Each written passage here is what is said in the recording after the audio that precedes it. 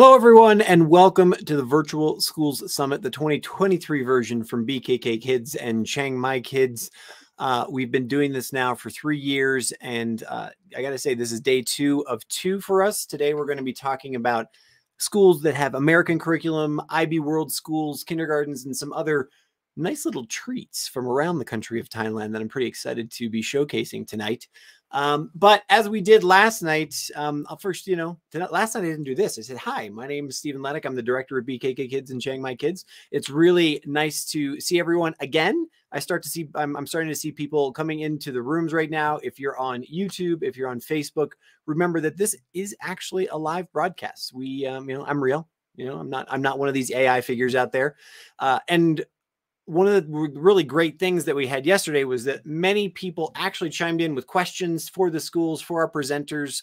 Uh, you know, we have heads of schools, we have directors of admissions, we have counselors, we have specialists um, who are going to be talking today. So this is a really great opportunity for you to actually ask your questions and get them answered on the spot right now. This is a overview of the schools that we're going to be looking at uh, yesterday and today. Yesterday, if you missed the presentations for the British curriculum schools. The good news is, is that we have those recordings up on YouTube and Facebook. Um, and we'll also be sending out emails if you, you know, were registered for this uh, summit, then you are able to absolutely, um, you know, see those and we will be uh, sending them out to you.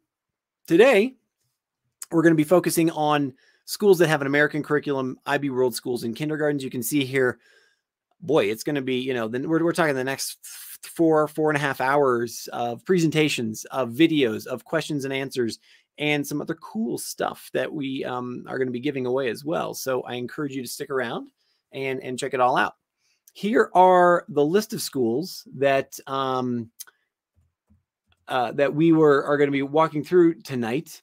And you can see here, we've got American School, we've got D Prep, we have ISB International School, KIS International School, KPIS International School, uh, Kids Kingdom Kindergarten uh, and Kids Kingdom Ruamrudee. Uh, we have NIST International School, Prem uh, International School, uh, and then we have Unity Concord and Verso International School as well.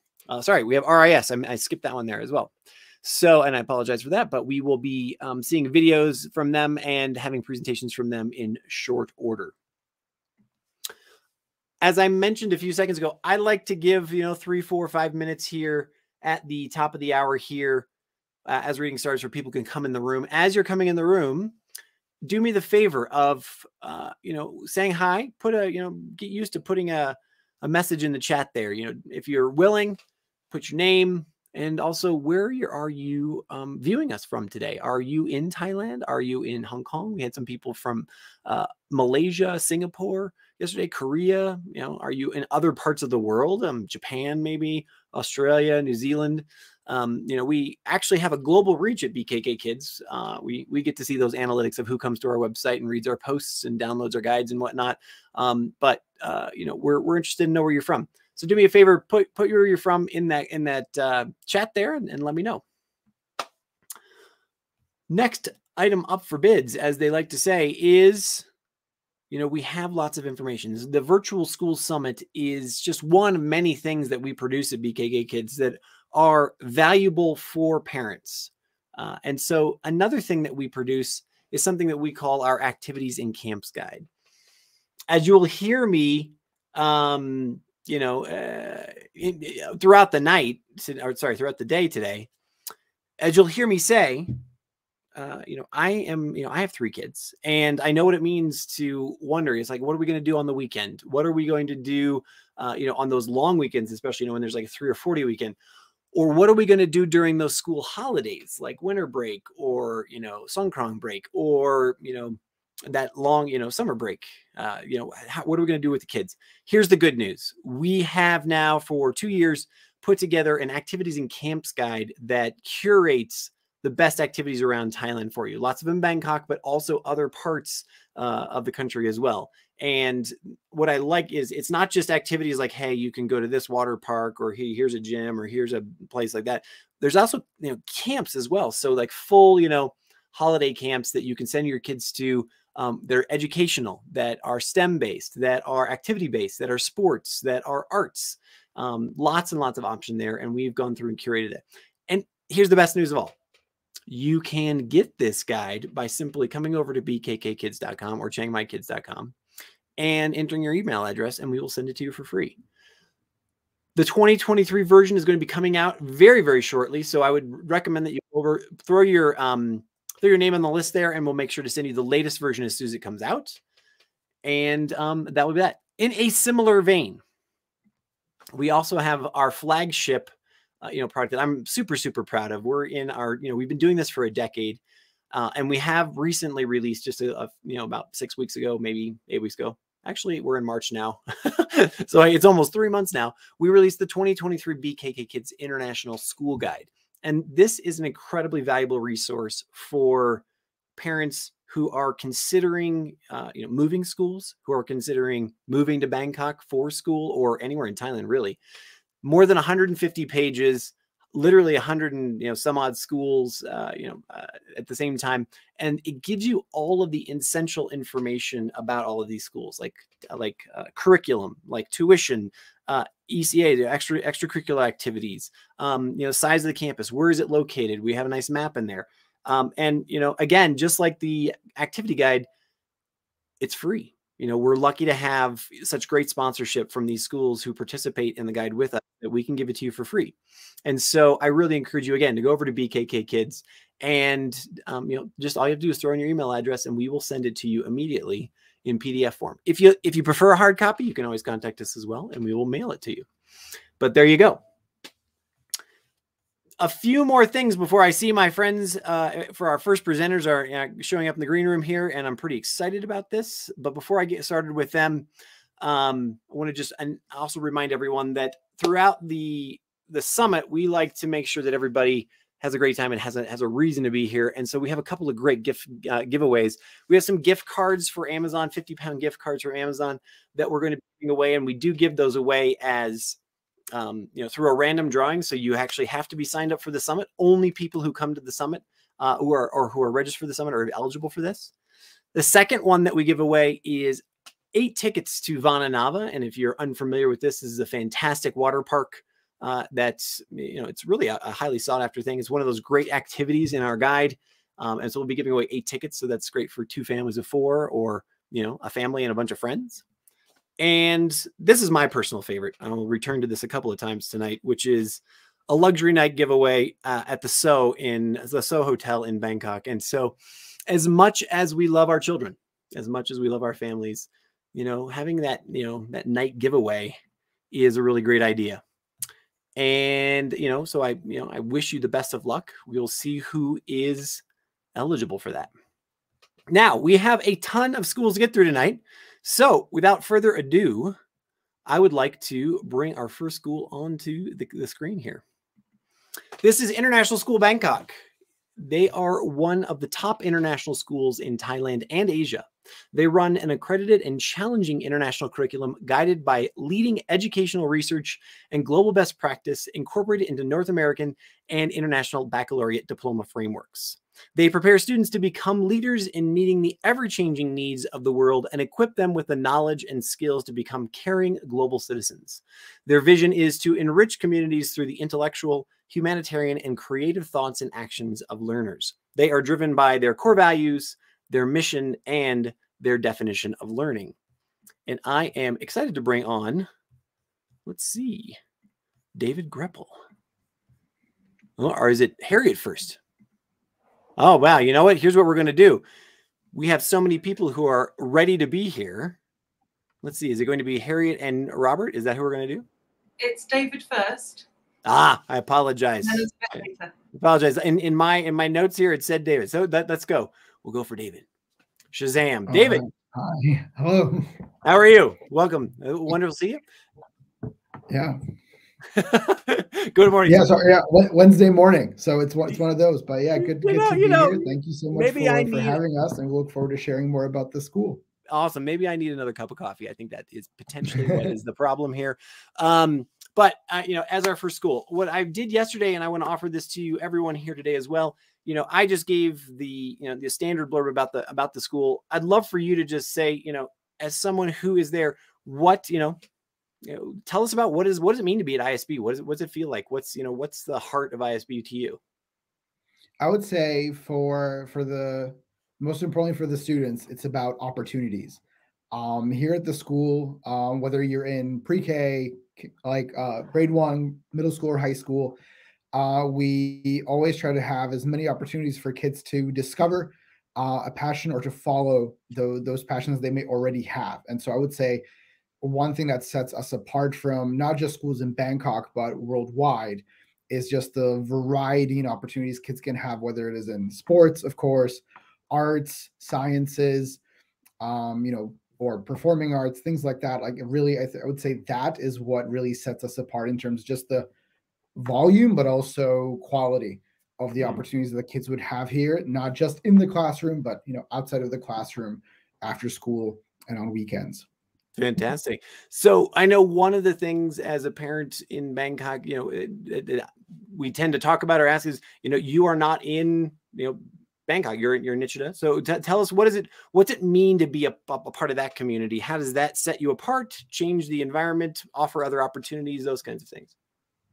Yeah, so I would say it's uh, like where we're located. That is one of the opportunities that you know we have for the kids, and so um, you know, I always try to paint a picture to parents about what it means to live, you know, or be close to the school in the sense that like it it reminds me a lot of what it was like for me growing up where I could get on my bicycle and go to school on my own, you know, or you can do what a lot of people like to do for here and ride a golf cart um, to work. And of course, usually a parent driving the kids to, to school in, in that golf cart or, you know, walking uh, in a, in a, you know, wonderful and safe community to be able to do that. And of course, the school itself is open into the evenings on weekends. So like the playgrounds, a lot of the sports facilities are available to families, you know, throughout the week over the holidays as well. So and like within Nichada Thani, you know, everything you might sort of need for your day to day, you know, you have access to here. We've got a villa market, which is a big sort of international supermarket.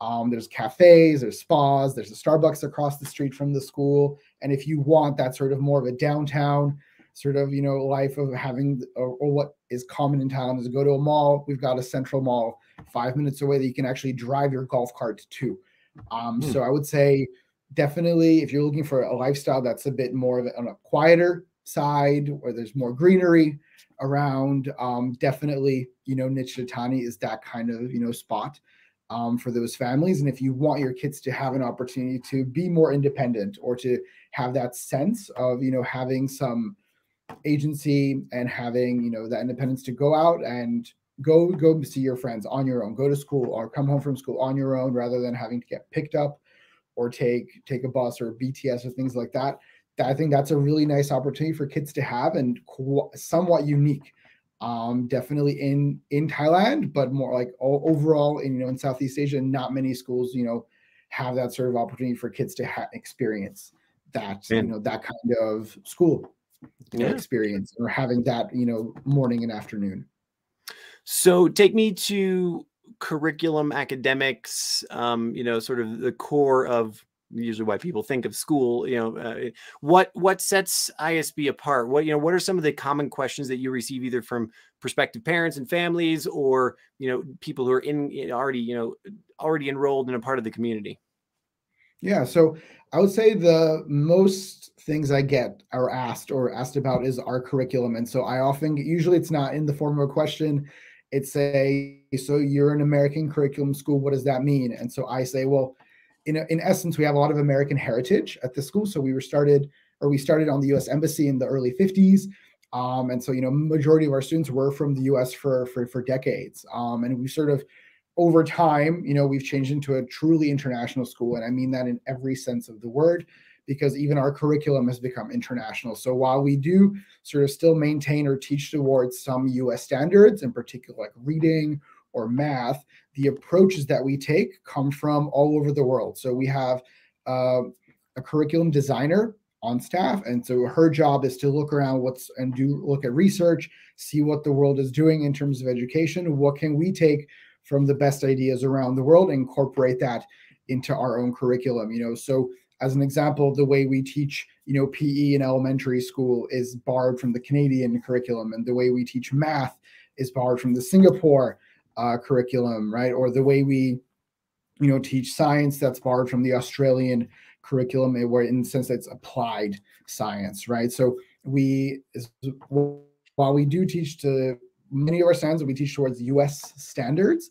Um, the skill sets or the approaches that we want the kids to be taking are borrowed from from around the world. And so, and every year we reevaluate. We look at okay, what does the research say now after you know another year? Do we reinforce this? Do we change it slightly? So we're an ever evolving sort of uh, project um, as far as like education goes, but we really try to bring the best for our students in terms and to make sure that we sort of teach towards our school values and maintain our school mission, you know, and bring excellence, um, you know, from from our school to the rest of the world through our graduates. Fantastic. Uh, here's, here's, a, here's, a, fairly specific question for you, but do you have a um, a mobile phone policy? Like, are, are kids allowed to bring mobile phones into the class and, and use them? Um, so kids can bring phones to school. Um, we wouldn't stop them from that, but um, depends on which division you're in. Um, if in elementary school, the kids when they bring a backpack, the backpack stays outside on a hook, uh, you know, and the phone stays in there throughout the day. Um, we don't, and like elementary school kids, they don't really, all their friends are there. What are, they don't really have a need for the phone. So phones are usually just for to call mom and dad after school. Um, for middle schoolers and high schoolers, they get a locker, and the phone needs to stay in the locker um, throughout class times. If they want to pick it up for a break or for lunch or something, more than welcome to. But during class time, stays in the locker unless they need it for something that the teacher asked them to, to bring it for. Right? We okay. phones are a useful tool, so every now and then we would use them, but um, for for class, ninety nine percent of the time, you know, phones are not in the classroom. Sure. There's a question here from one of our participants. If a parent is dual nationality, do they still go on a waiting list? And as I know how hard it is to get into ISB? All right, it's a good question. So um, it really depends on when you apply, what grade you're applying for. Um, it, it's there's a lot of caveats to sort of you know being like in terms of applying to the school. So my recommendation would be to get in touch with us directly at ISB to complete an inquiry form, and then we you know we'll work with that family um, toward towards enrollment. Like our job as an admissions office is to get you know families into the school, right? So I in essence, while I work in ISB, I work for for the families that get in touch with us. So that that's my role essentially, get as many people into the school as I can. Um, so my suggestion would be get in touch with, with admissions and we'll find, you know, the right pathway for you to take to to make get into ISB, you know, as, soon as soon as it's possible. Fantastic. All right.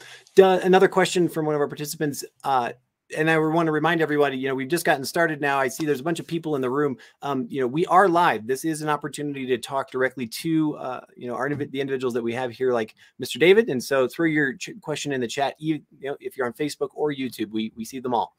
Do does ISB offer AP levels as well as the International Baccalaureate? It's like, can we? Yeah, so I'm glad you asked. Possible? Yeah, I'm glad you asked because I, I realized that when you asked about curriculum, I didn't mention this. So, um, so yeah, so we're not an IB school per se, but from middle school onwards, we do uh, take that inquiry-based approach.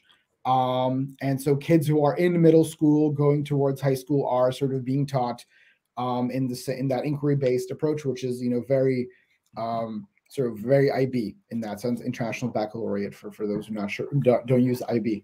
Now, once kids reach uh, 11th grade, that's when we have the IB diploma. So we offer that. Um, as far as I know, I think we have the largest variety of IB DP subjects mm. um, in Bangkok uh, to choose from.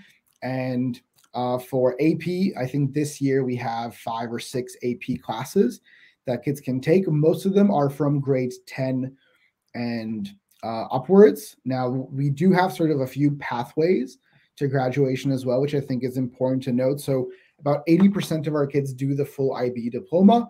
Um, that's why we have such a large variety of classes, but we also have something which we sort of coined as the personal choice diploma. And so, this is for students who maybe IB diploma is not their preferred pathway.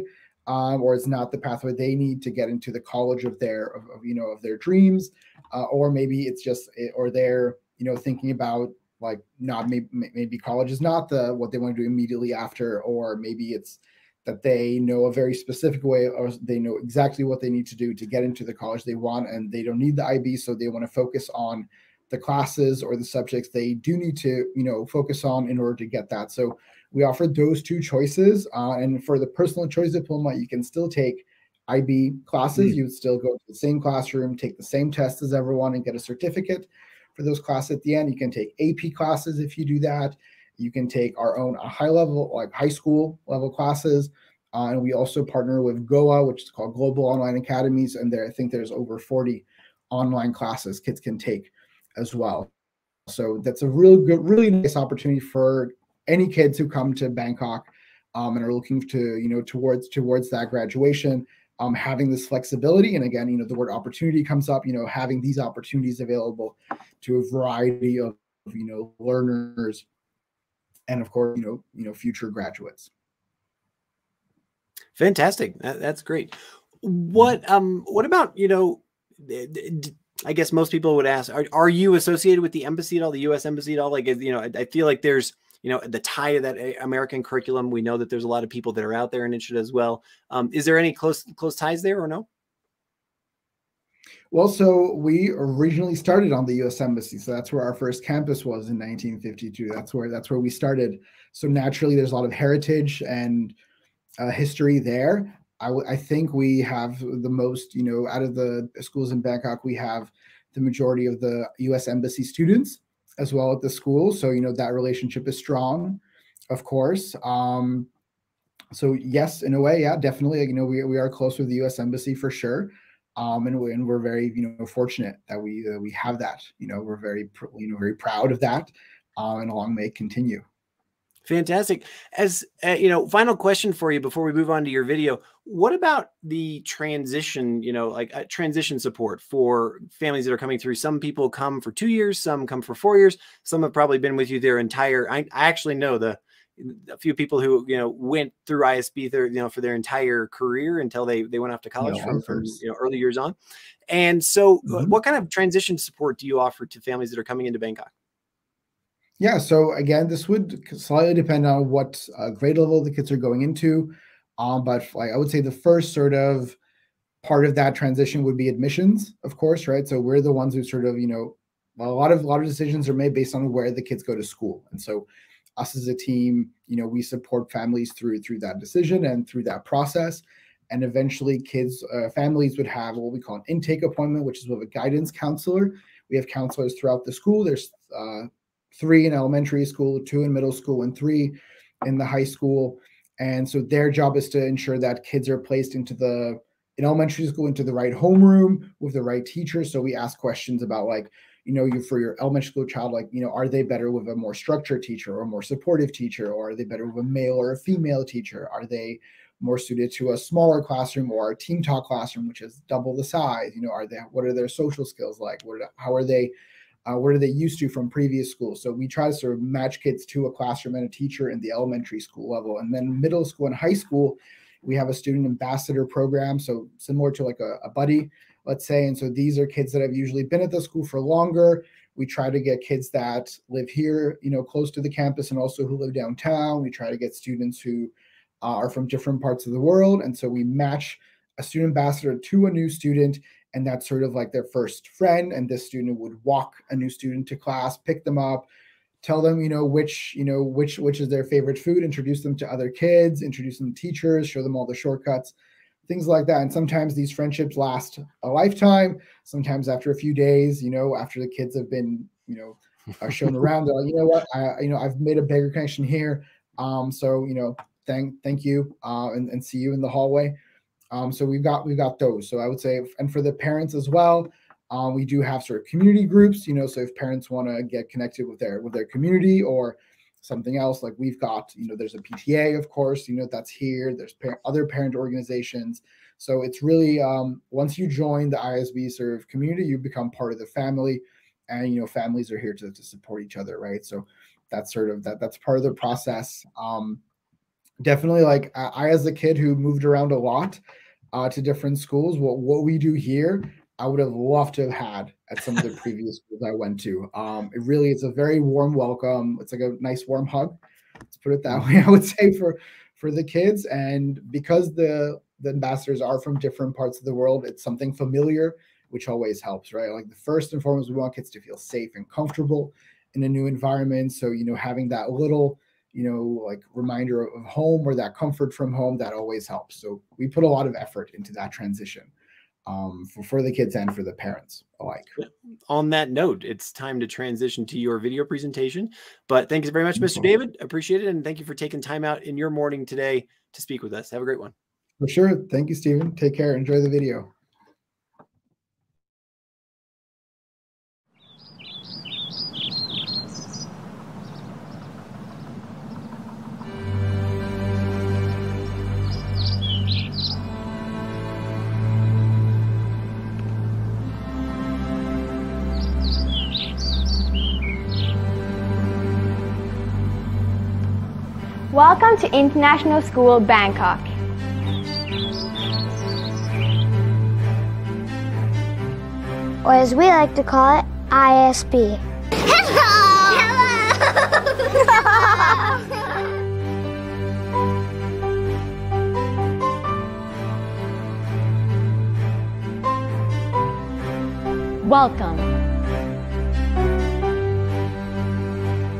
Our school was founded in 1951. It is the oldest international school in Thailand and one of the best international schools in the world. This is because learning is at the heart of our school, and everything is done to improve our learning, to challenge and support us, and to ignite our passions.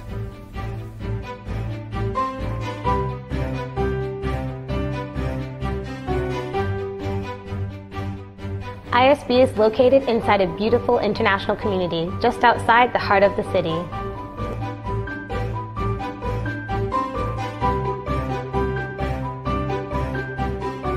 The housing in the community is fantastic.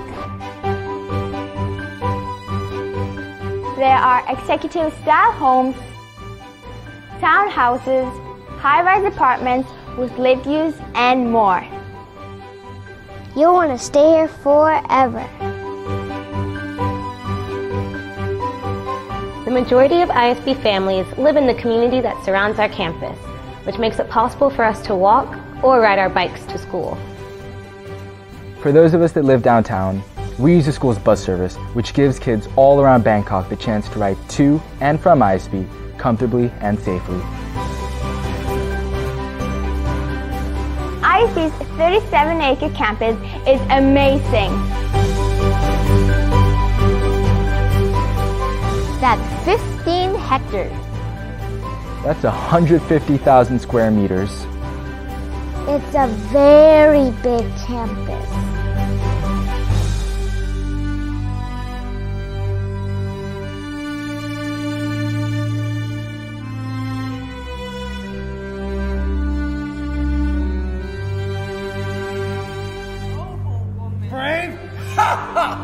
She were here, I'd grab her by the throat and teach her a lesson she wouldn't forget. Oh, no, no. Our performing arts, athletics, and academic facilities are among the very best in Asia.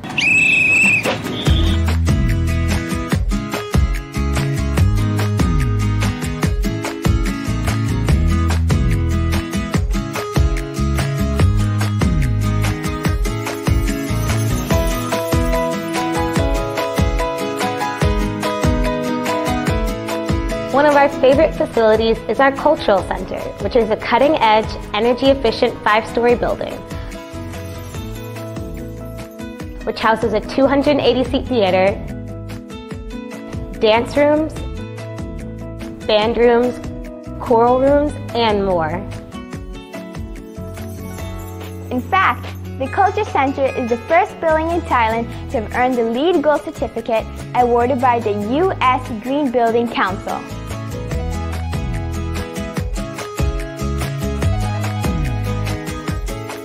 We also have a 700 seat theater, two swimming pools, indoor and outdoor gymnasiums, a great fitness center, tennis courts,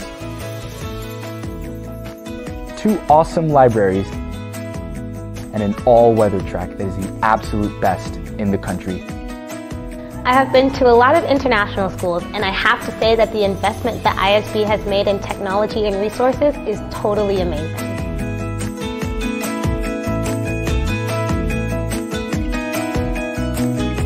ISB values well-rounded students, from academics to sports to performing arts. ISB has got you covered. What did we observe happening? What else was there that's not shown in that reaction? There was a gas, for sure, right? ISB offers the International Baccalaureate Diploma Program, which is an advanced college preparation program that is recognized all around the world. Year after year, our IB diploma students receive pass rates that are way above the world's average. Students who earn the IB diploma have a wide range of options for university admissions in the US, Europe, the UK, and Australia. Just about anywhere, really. And every year, ISB students end up going to the best colleges and universities in the world.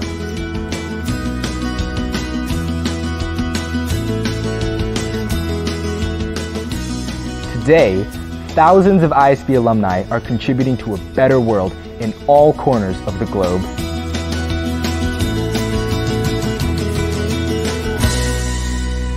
ISB's teachers are amazing. They truly care about us. And if you had a nice breakfast, who had breakfast today? We've been waiting for you. We've been waiting for you to come to this place. Waiting for you to come to this place. Wherever you're from,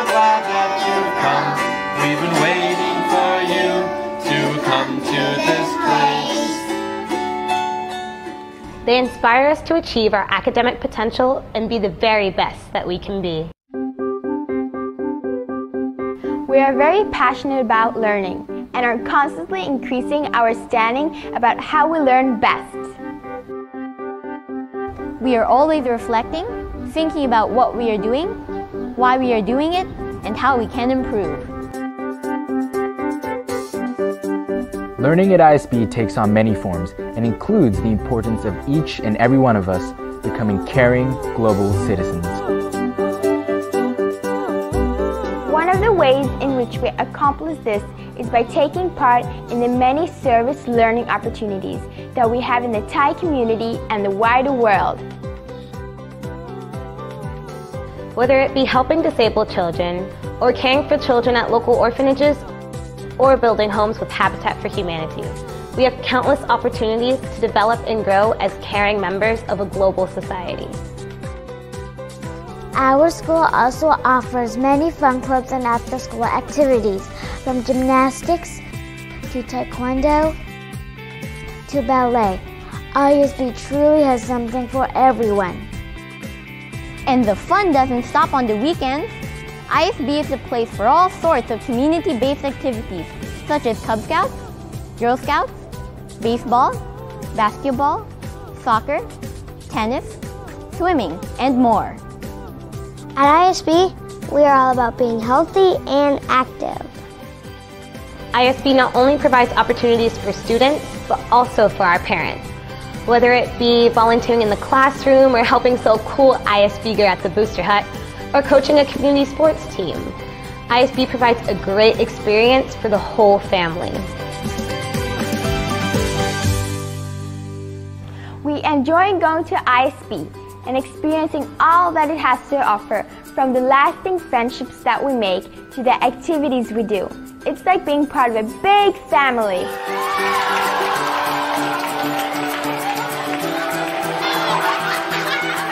We work together, we play together, and we have fun together.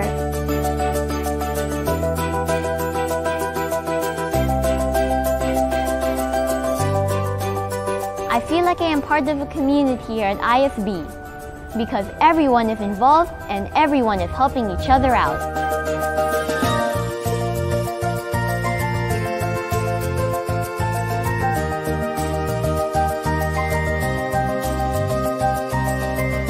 My friends, my teachers, ISB is more than a school. It is an experience that will be with me forever.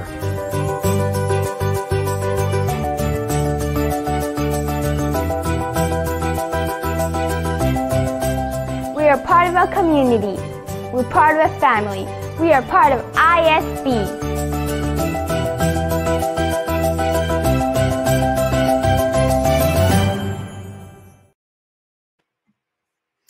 Fantastic. And now I actually have the correct names on the screen. That was a wonderful video presentation to start us off with. Harriet and Robert, how are you this morning? Very well, thank you. Thanks for having us. No, Very well. my- Thanks, my Stephen. pleasure. Good to see you again. Nice to see you as well. It's been a- it's been a while, Robert. Yes, it's yeah. been a while indeed. Uh, you are here to present or talk to us about education visas at ISB, and so I I give the floor to you. All right, thank you. Right, let me see if I can do our share screen. Oh. Two seconds. Ooh, hold on. Entire screen. What do I need to do? Sorry. No worries. Sorry, I wish I knew you known you'd have a presentation. I would have had had you loaded up beforehand. Share screen. But that's good. While you're doing that, I want to remind everybody that we are actually live here. This is a real thing, as you can see. The, even we have technology glitches and, and whatnot. Uh, you know, our presenters would love to hear your questions. They would love to take them. So if you're watching on YouTube, if you're watching on Facebook, uh, you know, put a question in there. Like, what do you want to know about ISB? What do you want to know about this campus? And in this particular presentation, what do you want to know about education visas? And you are off and running. Great. Can you see our screen? Yes, we can. Oh, fantastic. Right. So let's pass over to Rob. Okay. There we go. Thanks. So uh, today we're just going to give a, a bit of an introduction about this um, education visa, which certainly ISB and I think a lot of other schools in Bangkok uh, are, you know, are starting to take more more notice of uh, as the popularity has really uh, has, has been gaining uh, during um, we think be- because of COVID and this sort of phenomenon of being able to work from from anywhere now. Um, and just the agenda, we'll, we'll, we'll go through an introduction. What, what is the education visa? How it's been growing? Where we've been seeing that growth? Looking at a case study of a family uh, that that, that have um, come to Thailand on the education visa, and then just how ISB is is well placed uh, to serve some of the families that are that are coming in on this type of visa. Um, so, so just a bit of an overview. So, Thailand uh, welcomes families um, that are looking to uh, to seek education options um, in in international schools in Thailand. Um, a, a little bit like the healthcare uh, industry in Thailand. Um, uh, the the Thai government, I think, see opportunities uh, to connect um, the international community with with the quality of uh, of, of, of education here in Thailand. Um, so students can apply for a study visa, and then um, one parent can obtain a guardian visa to to travel with that with that child, um, and and uh, then can, actually live live in Thailand. Uh, the education visa is actually our fastest growing student segment. As I've said, uh, we've we've seen this growth, uh, especially rapid over the last three three years, and um, you know I think ISB is is is just very well positioned to provide uh, to to provide value um, for an entire family, and I think really just to summarize, you know Thailand um, offers something quite unique in this region, and and really it's a it's a mixture of um, political stability, um, economic opportunity, and a relatively low cost of living. Um, and all of these are, are, are ingredients which which uh, I, I think are also uh, driving the growth of this of this option for for families. Thanks. Um, so just a bit of data on where ISB is is seeing um, uh, this this growth and which nationality groups uh, we're seeing this in. So um, as you can see, you know, China and the US uh, account for just under half of of uh, uh, students um, studying on this visa of ISB. We're, we're, we're seeing um, notably uh, an increase from, from, from Myanmar, and I, I think that's probably for those who understand what's happening in the region uh, exactly why why that's uh, happening. But but equally, we're seeing you know growth from from markets such as uh, South Korea, where you know parents are, are really uh, aspirational um, and looking for for a type uh, of education that, that are really going to um, uh, really going to to sort of underline the value of be, being a global citizen for for for their kids. Um, you know, and, and, and Thai schools or Thai international schools really really offer uh, something quite unique in that respect. Um, thanks. So this is just a, an example um, of of you know a family, the Young family who who um, uh, who, who ended up at ISB uh, this this semester. So they they came to Bangkok um, and toured a number of schools. We always encourage families to do that. We know that that all, you know every child is different, and and we're, we're all about finding finding kids their their best fit fit school. Um, and and I think also for those families that are coming in on an education visa, um, they'll also want to use this time to look at some of uh, the housing options um, available in Bangkok, and and that you know finding finding a you know a realtor that has an experience working with families. Uh, for instance, there, there, there, there, are some you know particular needs, such as if you come with a pet, or if you have a lot of household goods, um, or any other sort of just just quite uh, unique requirements for every family, a good realtor will will will be able to to take all of that into the mix. So this family viewed viewed some some homes and and, and found some homes that that they that they liked near the near near the school, um, which at that point they were thinking of ISB. So they put in an application, they were accepted, and then they made uh, a payment to the school, which then uh, um, allowed the school to generate the, the, paperwork that was required to then apply for the education visa. So that's um, an acceptance letter. Um, you do need to get the school uh, signatory ID um, and also uh, the, you know, the trade license of the school. So this is what the the Thai um, embassy or consulate in in the home country will uh, will require. So um, the the Thai embassy, uh, in this case in in Yangon, required all, all of this paperwork. So the uh, paperwork was submitted for the guardian and the student visa, and the visas then received. It, it, typically it can take from three weeks, sometimes up to a couple of months, depending on each case and, and which country uh, is you know is um, is being applied from. Um, but after the visas are received, arrival in Thailand, and then following that, uh, the visa then would get renewed after 90 days. So what you see here is is really just you know it's it's quite a kind of straightforward um, straightforward process. But at ISB, what we look to do is try and handhold the family throughout this this uh, process, um, and because it can uh, you know sometimes bureaucracy can can seem a little bit um, intimidating and, and and complicated, but we really try and try and make it as easy as possible. Okay, so when they've arrived, and I think if you've seen that video that we played just before this, I think hope well, hopefully that gave you a flavour of what happens in and around the school. Um, but I think a little bit more about our parent community here, because as we said, it's not just the student applying; it's it's the whole family. So they need to find somewhere where they feel super welcome, and ISB in particular has the right setup for those families maybe they're looking for a, a, soft landing if they've if they've moved quite quickly or this is you know quite a sudden decision they they need to have somewhere where they can just put their bags down start school and then you know get on with family life. So where isb works really well is with our parent community. It's a it's a ready-made community. There's friends that you just didn't know yet waiting to to put their arms out and look after you. So there's parent associations, there's a booster club, which uh, for those familiar with the US system, this is quite a, a, standard thing. For, for me and my family, when we arrived a couple of years ago, this was all new to us. And it's, it's amazing how parents really support the students and other parents. So the boosters is all about students. So they help with international travel if there's any athletes moving or cultural exchanges. We they find host families for kids uh, and their families to stay with. So it's a it's a real all family approach.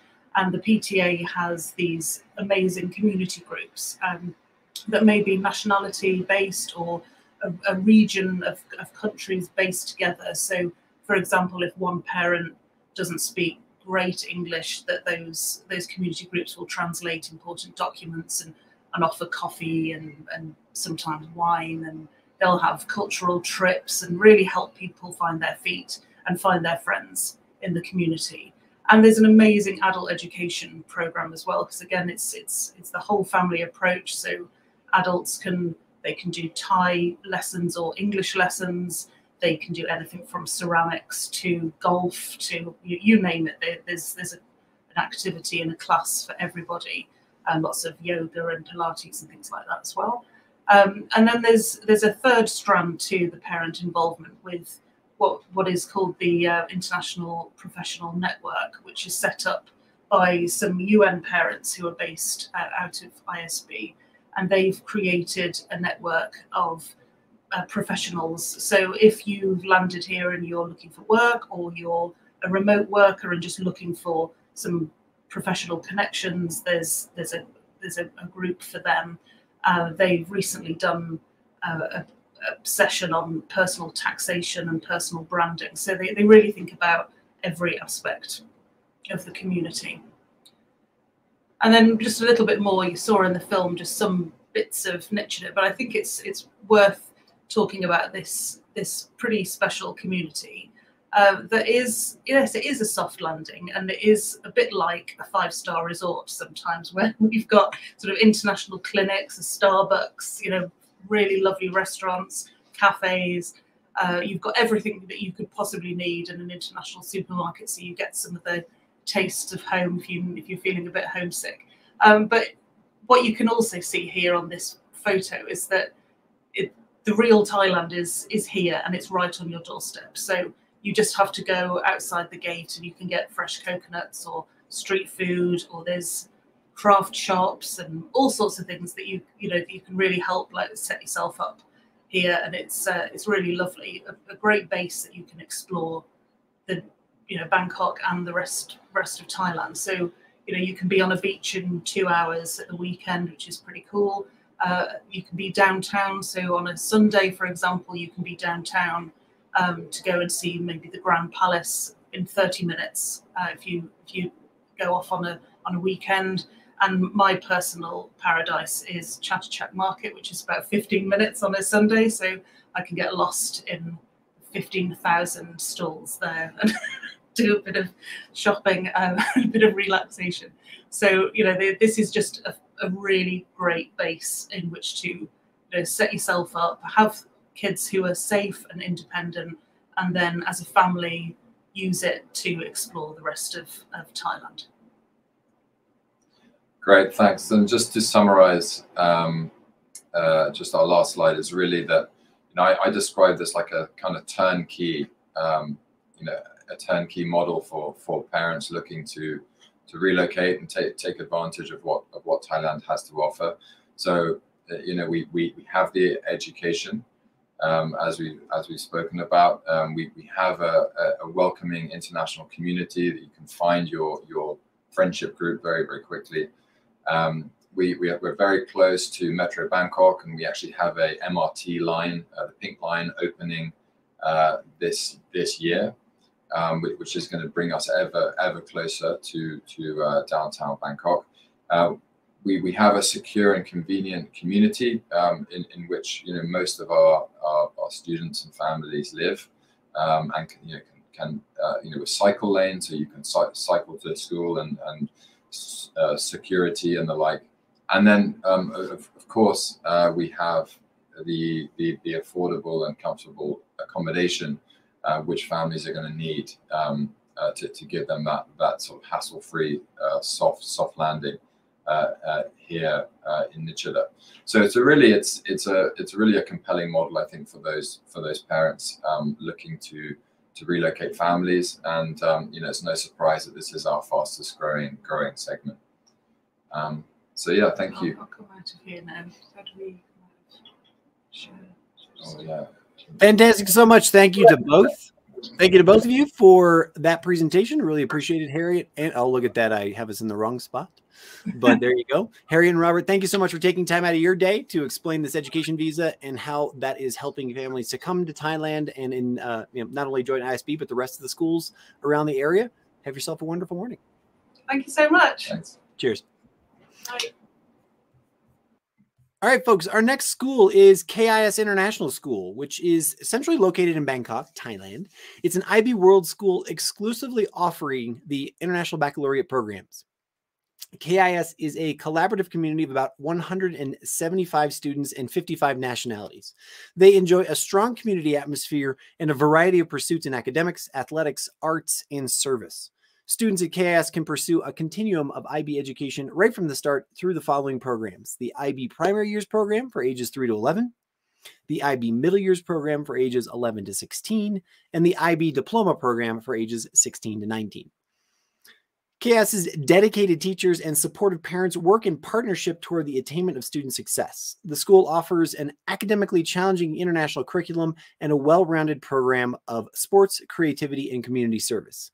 They provide all of their students, from the youngest children stepping into a classroom for the first time to their graduates heading off to the best universities, with the tools to become lifelong learners, successful leaders, and responsible global citizens. KIS is recognized as a top quality international school with high academic standards, being fully accredited by both the Council of International Schools and the International Baccalaureate. And now, without further ado, I'm going to give you Kayleen. Hello, Hi, how are you today? How are you? Did I- Morning. you know, I just realized, did I butcher your name? Is it Kayleen?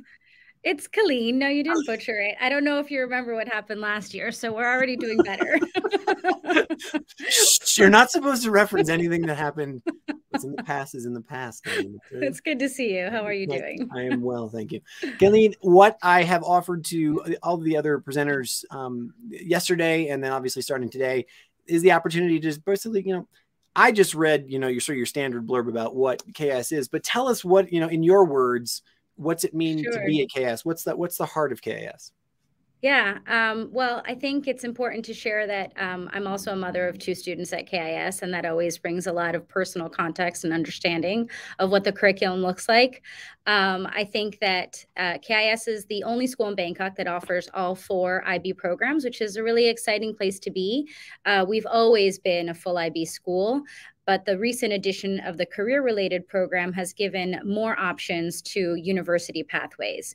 So I think that um, the same way the IB organization created this program in 2014 with an understanding that students are different, the world is changing, the world is evolving, colleges are evolving. How can we provide more of a diverse offering to students? Um, KIS is the first school that's adopted all four of the IB programs. So that's a really exciting place.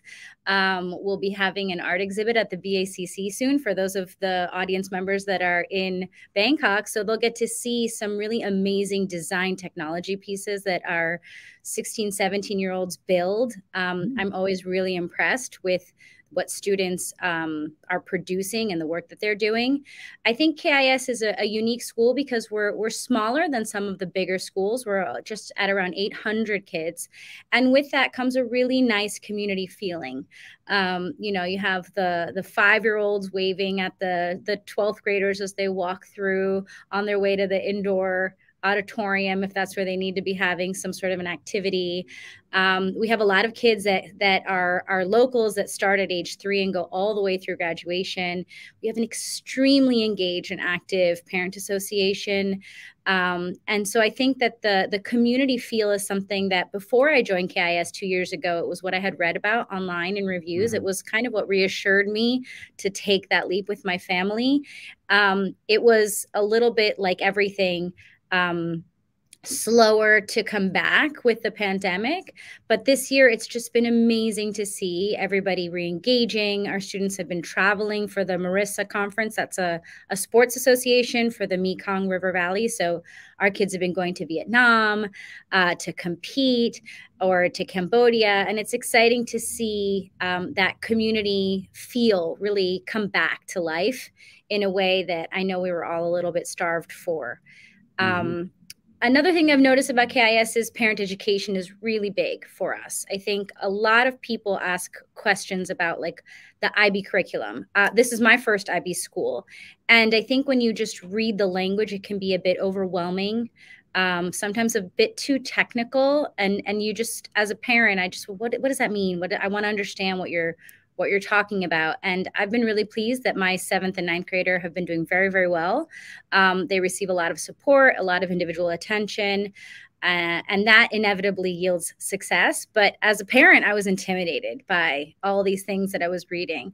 And now that I'm there, I realize that, you know, it's not very different than um, what a project-based learning school says about their curriculum or what a interdisciplinary school value or curriculum um, appreciates so that students are learning through various different lenses with a lot of group work, um, also individual opportunities. And I think all of that continues to further that notion of a, of a community school. Um, Fantastic. But I could probably, yeah, I could probably keep talking forever, and I don't have forever, so I don't know if we should open actually, questions. We have a question from a, a woman named Katia Rosello. Uh, can you tell us more about the CP program and exactly what it is and how it works, please? Yeah, that's a great question. So the CP program is a dual enrollment program. So in grade 10, students are um, they sit with their counselors and they talk about what is it that you want to do in the future? You know what is it that you want to do when you go to college? Where do you want to go to college? What do you want to study? The career related program is a dual enrollment program where students are, are enrolled both at kis and a university that's going to be related to what is that career kind of focus that they have. So it's more um, designed for students who have a strong understanding of what they want to do in our case specifically, we have a partnership with uh, SUMAS, which is a Swiss business and sustainability management university in, in Switzerland, as well as SCAD, which is the Savannah College of Art and Design. Um, and so our students get to have a much more kind of curated, specific curriculum that's furthering their career goals. Mm. Um, so if there's a student who's really passionate about design, um, and art, and they know that they want to be an industrial designer. They can be taking college level courses in addition to DP courses, um, as well as doing internships and getting other firsthand experience to be able to, when they get to college, have a much more robust portfolio as well as a lot more specific classes.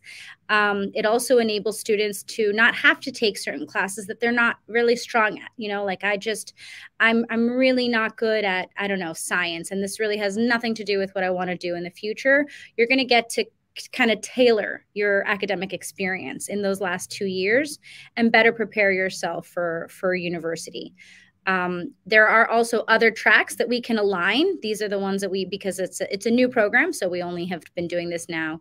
Um, this is our first year where we're going to be having students, and we haven't yet had graduates from this program because it's a two-year program. Um, but we there are also options with aeronautical engineering where you can have a partnership with Embry Riddle, or sports management is another track.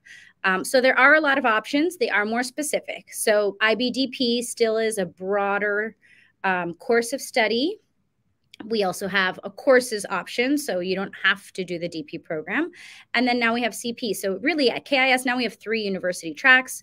We've amped up our counseling program um, as well as parent education. And so I think really it's about finding the right fit for mm. both the family and for the student. And it's really nice to be in that position to be able to offer that um, to our yeah mm-hmm. to our student population. On riffing off of the diversity uh, piece tell me about the student body. Um, what, what sort of internationality do you have and what, what's your student body look like? Yeah i mean broad strokes, we're about 50% local, 50% international. Within that 50% international, it covers over 50 nationalities. Um, it's interesting to see how each grade can change a lot. I was actually just before this looking at numbers. Our 2023 graduating class is actually 44% Thai, 26, 25% Indian, um, 4% British, 7% American, and then there's a mixture of the 18 others. So that's a hmm. really kind of unique group. And every year it kind of shifts a little bit. Um, and we do see that that kind of changes over the course depending on many different circumstances. Um, but that's that's kind of our threshold is what we try to not exceed the 50% local, not just because we want to provide that international global sure. perspective that is really a lived experience. Fantastic. One final question for you. Um, for the diploma years, what are the, what are the class sizes? Um, you know, sort of student teacher teacher ratio they can sometimes they can be really small. I mean, I've seen like a seven person class, but the max is going to be about 20. It's never okay. going to exceed that. Um, and it will probably average at around the 12 to 15 mark. Um, I think the DP students get a lot of individual attention, a lot of autonomy. Um, and so you'll see students on their own in the art studio if they're taking the DP visual arts class uh, in small group discussions for a theory of knowledge. But it's never going to exceed, I think officially our number is 23, but I, I don't think I, you don't see that at that level because it really is quite rigorous and, and they do keep the class size small. Well, excellent. Well, I think it is time to move on to your video presentation for KIS, and then we have your colleague coming on afterwards. But um, thank you so much for taking time out of your day today. Wonderful presentation. Thank you. Q and A this year, and uh, we'll see you again soon. Good to see you. Take care.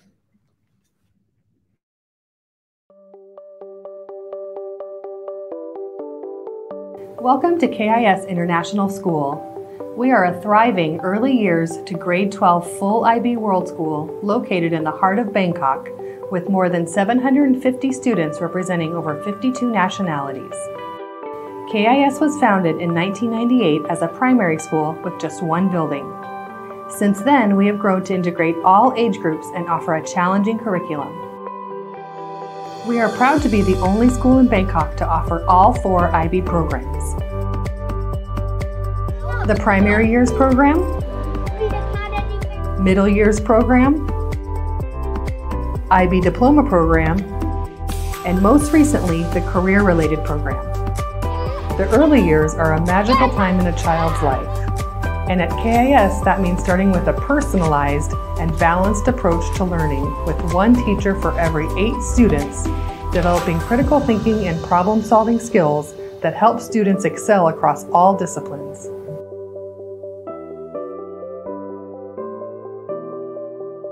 This instills a sense of curiosity and wonder through play, equipping all students with the tools to become lifelong learners and leaders.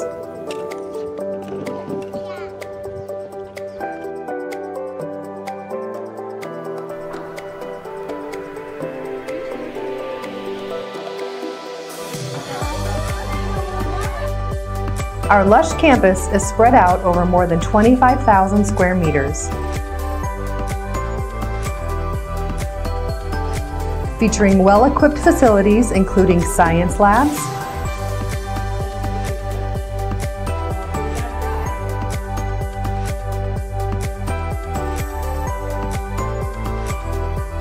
state-of-the-art design workshops,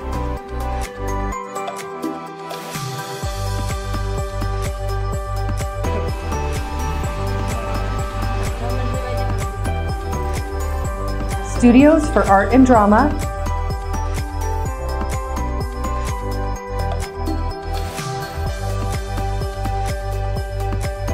an auditorium,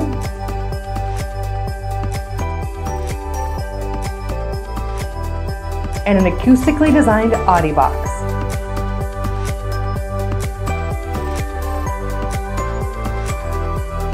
Our sporting facilities are home to various teams including football, swimming, basketball, volleyball, and more.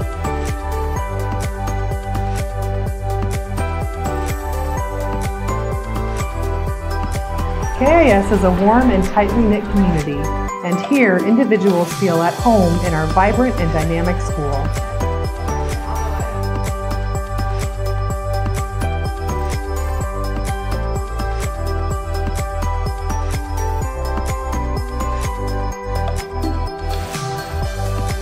Whether your child is just starting their schooling or nearing graduation, KIS offers a challenging and well-rounded program that will serve them well wherever life takes them.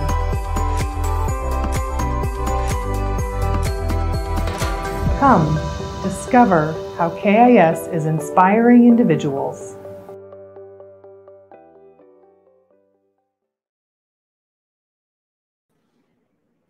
Wonderful. And turn my camera back on. Uh, great presentation there. And now here's my my my my friendly teammates and they never you know they didn't exactly tell me how to pronounce your name so is it chi Yeah, Chai? Yeah, exactly. Uh, my good morning. Uh, my name is Kai. Kai. Um, yeah, Fantastic. like egg in Thai, actually, as it turns out. Um. So uh, I'm American. My husband is Belgian, and here we are in Thailand. Fantastic, Kai. It's so nice to meet you and welcome. Uh, So glad to have you here to talk to us about educating the whole child. Um, do you have a presentation that you're going to share? Or we, would you like to just No, not today. Not today. Fantastic. All right, excellent. So tell us, what does it mean to educate the whole child? Yeah, so uh, first off, uh, as you can see, I'm the primary school principal. This is my first year as principal at KIS. And uh, similar to what Colleen had to share, uh, I moved here not only as a uh, not only for my personal per, uh, professional aspirations, but also I moved here as a mom. Um, I'm the mother of, of three children, and my husband is an educator as well. And so when we made the move, and I would say the leap to, to join a, a community in Bangkok, we really were um, thinking about what we needed in terms of professional goals, but also uh, family goals and what we were looking for for the education of our own children. So similar to Colleen, I was looking for a school that would be that would feel good personally, but also be a wonderful place for my children to learn, grow, and and ultimately thrive. Um, and I would say, first year in, we are now in the month of March. My children are happy. They have their friends. They feel challenged. They feel supported, and really, um, they're feeling engaged, and they're really quite engaged in terms of uh, involvement in the community. And I believe, as mom, uh, we are educating the whole child. Now, as principal, that is our, um, I suppose, our responsibility, our goal, our aim is to ensure every child feel ch- feels challenged and supported. Um, and there are lots of different ways we, we achieve that.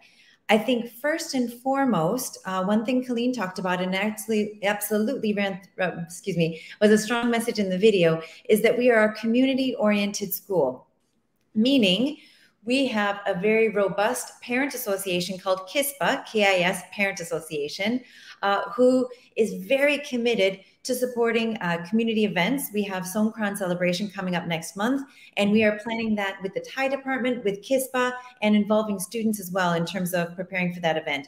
We also had a big Chinese New Year celebration, um, a big, uh, excuse me, um, other celebrations over the course of the year, even a, a Christmas celebration. Okay. Um, and also, one thing that we've done is we've looked at uh, our counseling model. If we think about educating the whole child, there are different needs that come up in a child's life over the years.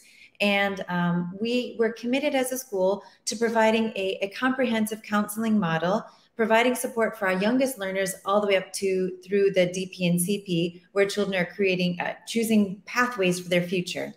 And um, so our counselors are not only working with the children themselves, one-on-one in small groups and in, in whole group lessons but they're also really engaged with involving the parent community. That's something colleen mentioned is we have had a number of parent workshops this year one even just yesterday um, one just yesterday with uh, led by our counselor amanda who was uh, leading a book club and that would be our second parent book club of the year.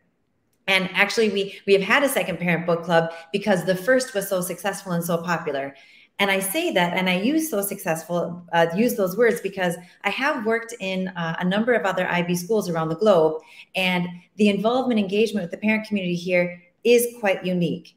Um, the the first round of uh, parent book club, uh, we, we were looking at the positive discipline, a parent, a positive discipline parenting book, um, and after that parenting book club finished, after about six sessions, the parents actually said, you know, we'd like to have a session where more parents can learn the key messages from this book.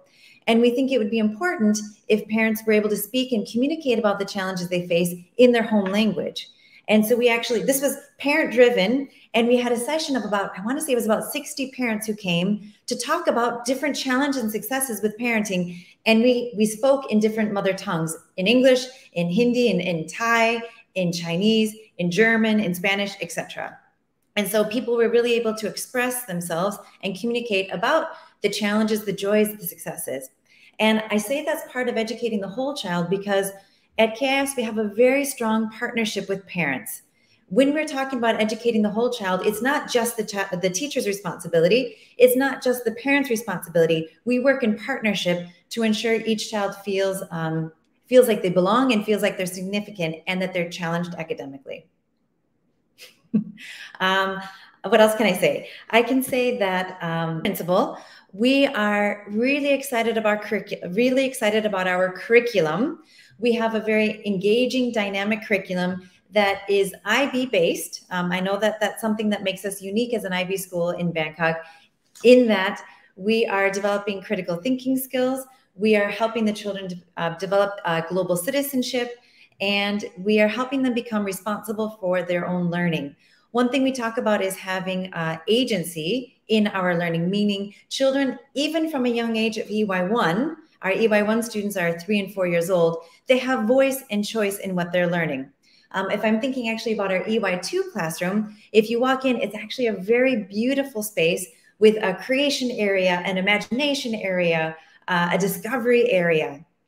And in one of those zones, in one of those areas, they actually have a, a, a budding forest. So it, it turns out that children were interested in learning about the animals in our environment. And so to learn about that and to engage in this learning opportunity, they built a forest and they're still building this forest um, and looking at what animals live there, how you take care of the animals, what's it like in this in this environment. They have a little tent that children like to go into that space and they read in there, um, etc. Mm-hmm. Uh, so fantastic. Yeah, yeah that, that, was a that was a wonderful overview of how you know KIS educates the whole child. Is there anything that you'd like to tie it in a bow? Is there you know something that maybe you're seeing for the you know through the end of the school year or for next year that you're particularly excited about? Yeah, so um, I, one thing that Colleen mentioned before was how we're this year our focus really was on uh, re-engaging the community. So um, one thing that we we've done is we've uh, re relaunched our residential trips. And so for me as an IB educator, this is something I've experienced in other schools having these overnight excursions somewhere else. Mm-hmm. Some schools will do this, not every school will. I would say KIS does this really well, going to really cool destinations starting in grade three uh, on overnight trips. So we relaunched that this year. And uh, we've had a number of day trips as well. And the day trips would be going to, uh, we have our EY1 group going to the butterfly garden uh, mm-hmm. in the near future. Um, we have the grade two, uh, sorry, EY2 group going to one of the recycling places uh, in the in nearby where they're turning plastic in using actually bottle caps, turning bottle caps into reusable plastic and little little plastic pellets. Um, and so we're looking at how we can engage in our local community, have really meaningful field trips, some overnight, some just day trips, to to bring the learning to life and to make those um, make those connections to what's happening in the real world and, and our curriculum. And I would say something that we're looking forward to in the in the coming year is we are, um, I say, when it comes to our curriculum, yes, we, we use an IB framework, but we are always reflecting on on the program of inquiry, looking at what are what is strong, what can be enhanced. And all of our teachers now are engaged in a what we call a program of inquiry review, meaning we're looking critically at all of our, our units of inquiry, having six units of inquiry um, in grades one to grade five over the course of the year. In EY, we have four units of inquiry, but we're looking critically at you know what is what are the children learning at each grade level and how are they building on that conceptual understanding year on year and so we're in we're in an in-depth review right now, and we're excited next year to really um, take that learning further and connecting that to our, our statement of quality learning, which means um, we're really ensuring high quality, engaging, rigorous education for our children. And again, putting my mom hat on, uh, you know, I ask my kids, you know, how do you feel at KIS? We've been here a number of months, and they say, Mom, you know, I feel like my teachers really push me to think harder they push me to to really dig deep in my understanding. They they challenge me but they also support me. And this is a conversation i had recently with my kids. So I, would say as principal that's something i really strive to do is make sure there's that rigor for all. Um, and i would say if you if you come and you just observe for a moment you'll see that joy and that happiness on the playground. You'll see that caring and kindness um, between the children um, as you as you peek into the classrooms. And i'd say our our mission, uh, excuse me, our vision of, of inspiring individuals, that's really at the core of what we do in in all all aspects of the day for the for the children. Super cool, Kai. Thank you so much for putting that on the table for us, for uh, talking about how you educate the whole child, and we're really excited for you to be with us today. Thank you so much for taking the time out. Thank you. Thank you so much. And so we're going to wrap up with chaos, but the way we're going to wrap up is one of these really cool promotions in that, you know, they're extending for anybody who's registered for the summit here with us. And, you know, I gotta, I gotta say there's over 1200 people registered in the summit right now.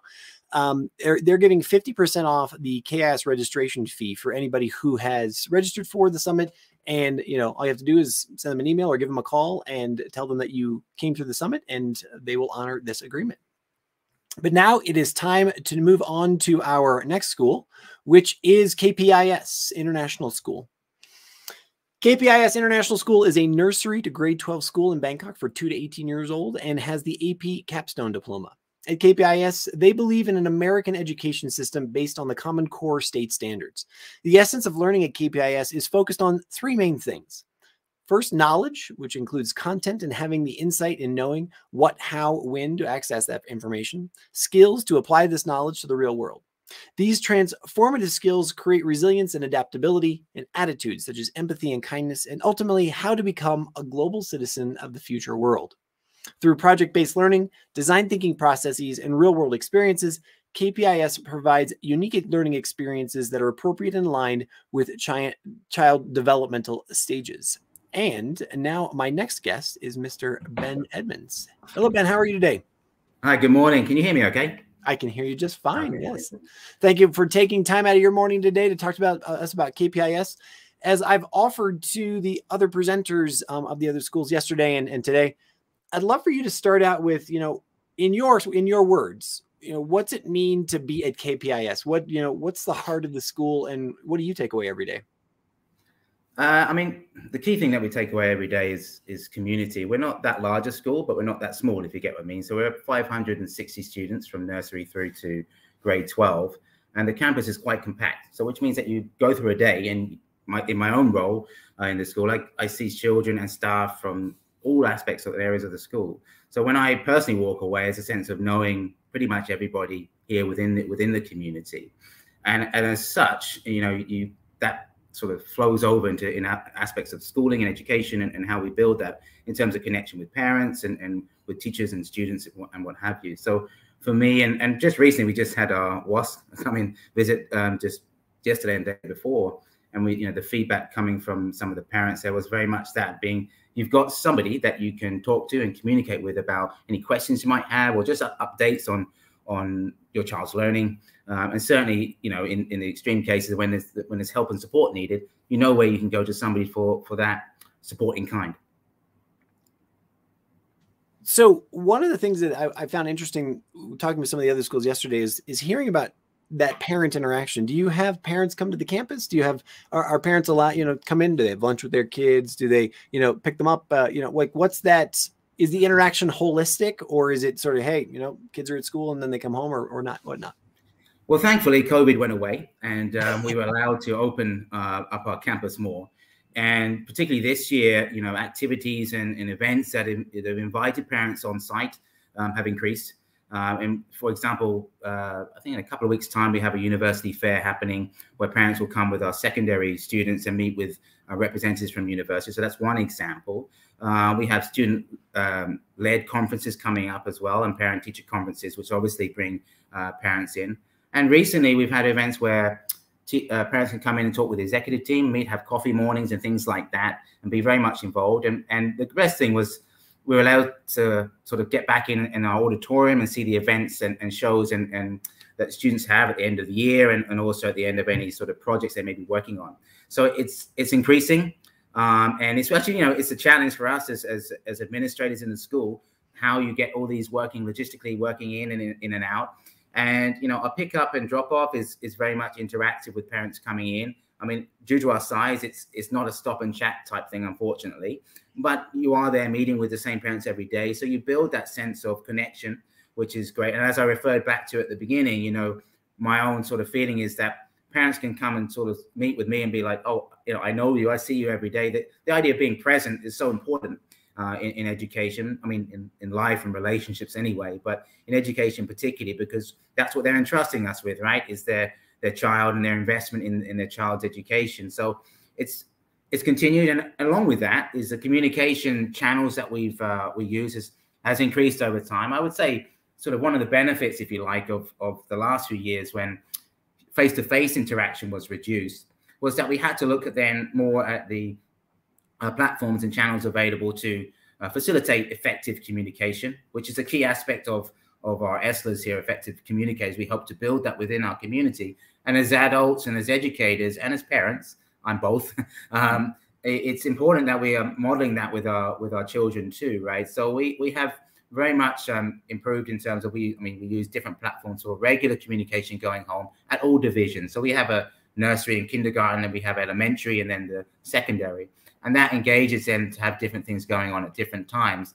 So we've seen actually involvement and engagement from our parents coming back onto campus increase.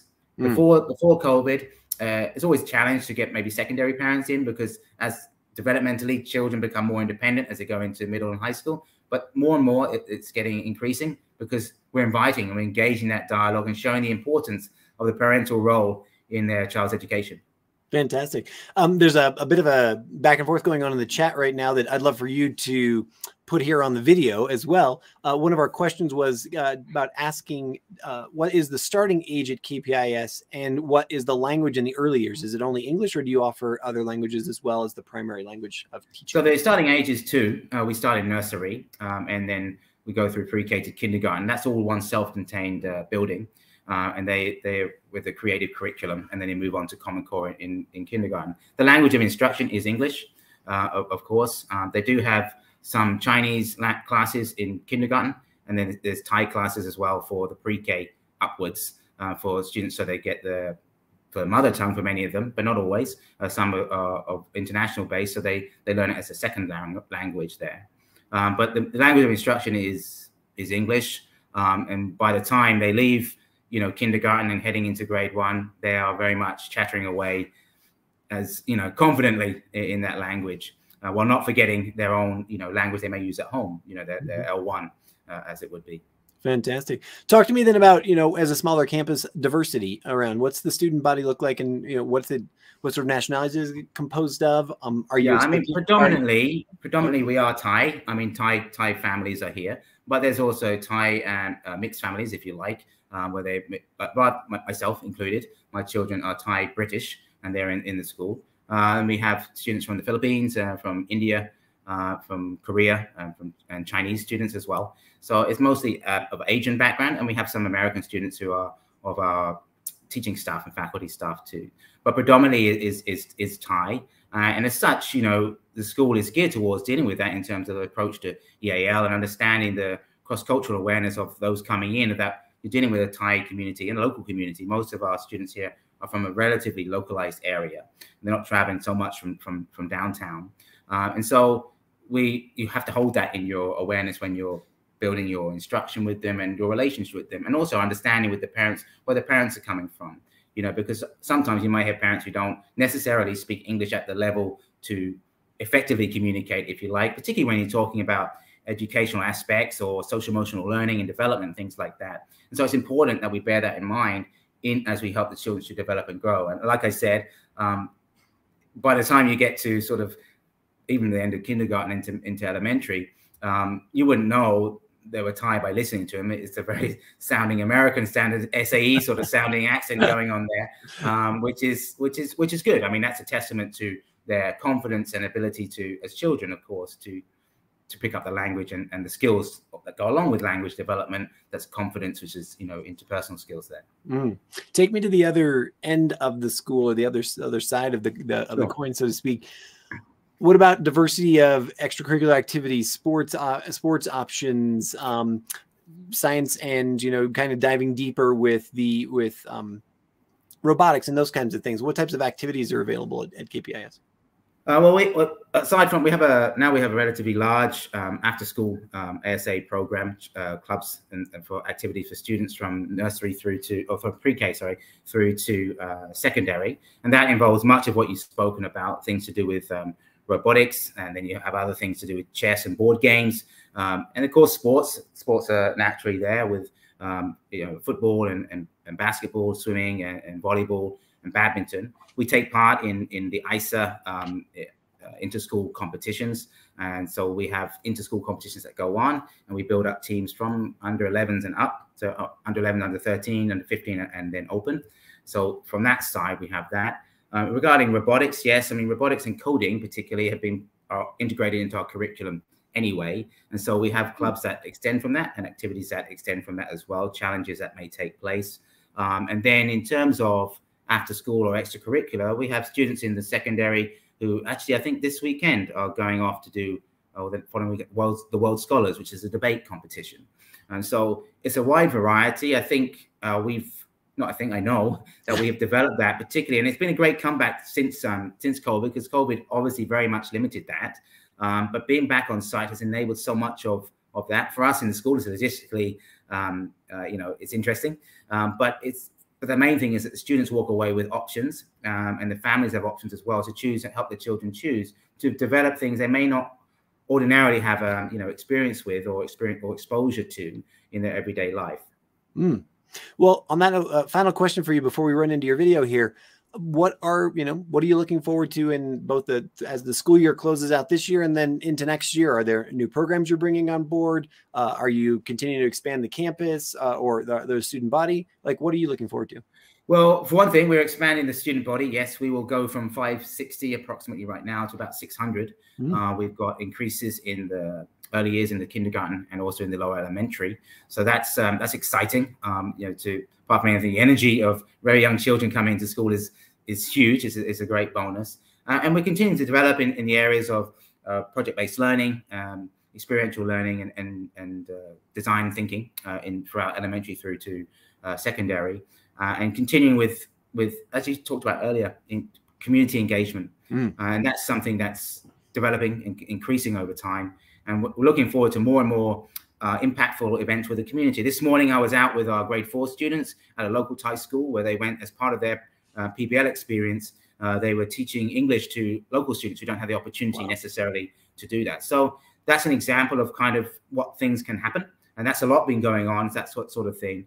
Um, but we want you know that, that will increase, and as we gain confidence in that, the students gain confidence too, right? So and that sort of has a, the impact of just pushing it through forward and, and seeing how important it is that as a community, you know, you're you're engaged together because alone we can't do it. You know, the village raises the child, as it were. It's it's it's very much important. So I'm excited for that uh, and moving onwards and upwards with all of those things. Fantastic. Mr. Ben, thank you so much for taking time out of your morning to speak with us today. We have the video for KPIS then, and then we're going to talk about KPIS kindergarten afterwards. So um, here, we'll go on to this video right now. Thank you. Thank you.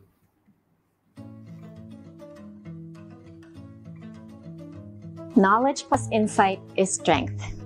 KPIS provides unique learning experiences that build skills for the ever-changing world. With today's technologies developing faster than ever, the skill sets needed for future careers are also transforming. We believe education must adapt to the new world. To ready our students to deal with many challenges the future may bring, we provide a learning environment that students will not only learn, but practice skills that prepare them for their future, such as effective communication, critical thinking, problem solving, lifelong learning, independent thinking, collaboration, creativity, computational thinking, and global thinking. With this fail-safe culture and environment, students will be able to stay curious and develop the much needed future competencies. Follow us as we take you through the learning approaches of our school.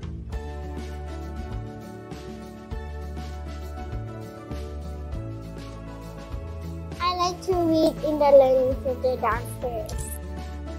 Why do you like it? Because they have a lot of books. I like to play the house game.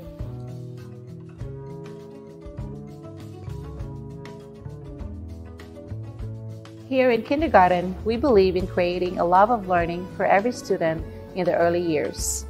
Using the principles of creative curriculum combined with the pockets of play and adaptable learning centers and technology centers, we provide an environment that nurtures young minds.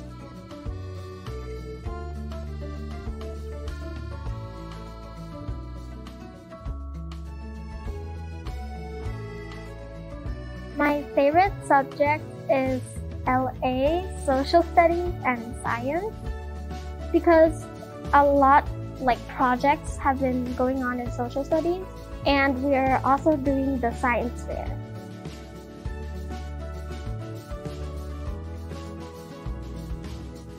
My favorite activity is uh, language arts.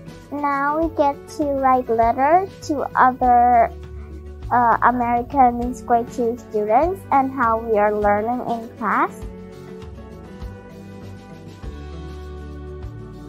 A lot of people do say that, like that math is very hard, but once you get used to it, it's actually pretty fun.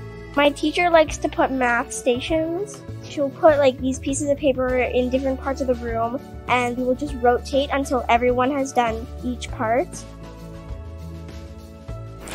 In elementary, our goal is to create a strong foundation for students to gain confidence in their abilities, to excel in their education, and to grow individually. Through project-based learning, we develop independent critical thinkers who communicate their ideas effectively within a collaborative environment. We also equip students with social emotional skills to be successful, independent global citizens with strong moral values and a resilient work ethic.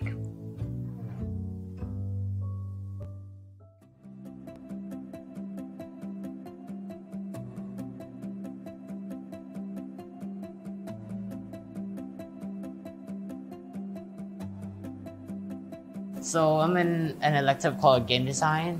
Game design helped me understand games better. My favorite subject, music. You can play instruments, you can sing, you can dance. Club the Onion is a speech and debate club. I really like doing debates because it gives you a chance to think about other people's opinions. What do you want to be when you grow up? Uh, that's a hard question. I don't really have anything. Yeah. You're still exploring? Yeah, yeah. We used to wear in high school. Middle school is a time for exploration and various learning experiences. At KPIS, we offer programs that help to build and grow transferable skills in a safe and supporting learning environment. Students are able to discover their passions and gain experience as they reflect on their process and their academic and social progress.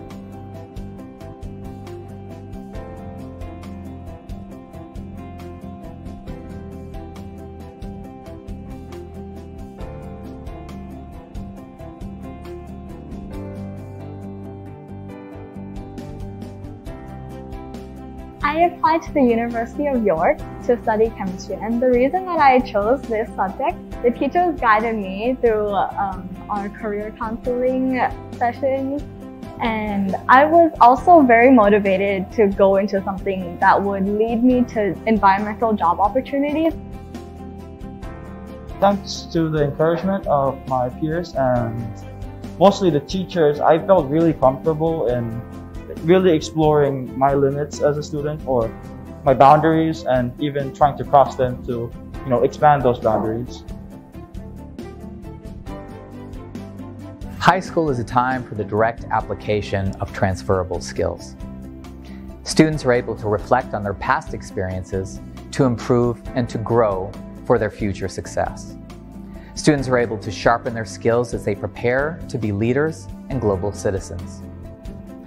At KPIS, we offer subjects in accounting, statistics, physics, chemistry, biology, environmental sciences, psychology and economics, language, literature and acquisition, visual and performing arts, and the AP Capstone Diploma, which includes AP Seminar and AP Research.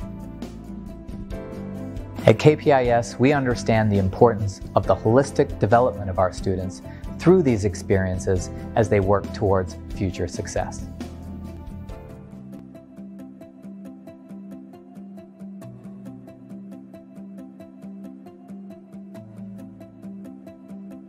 Welcome to KPIS Experience Center, where our main goal is to take learning experiences beyond the school.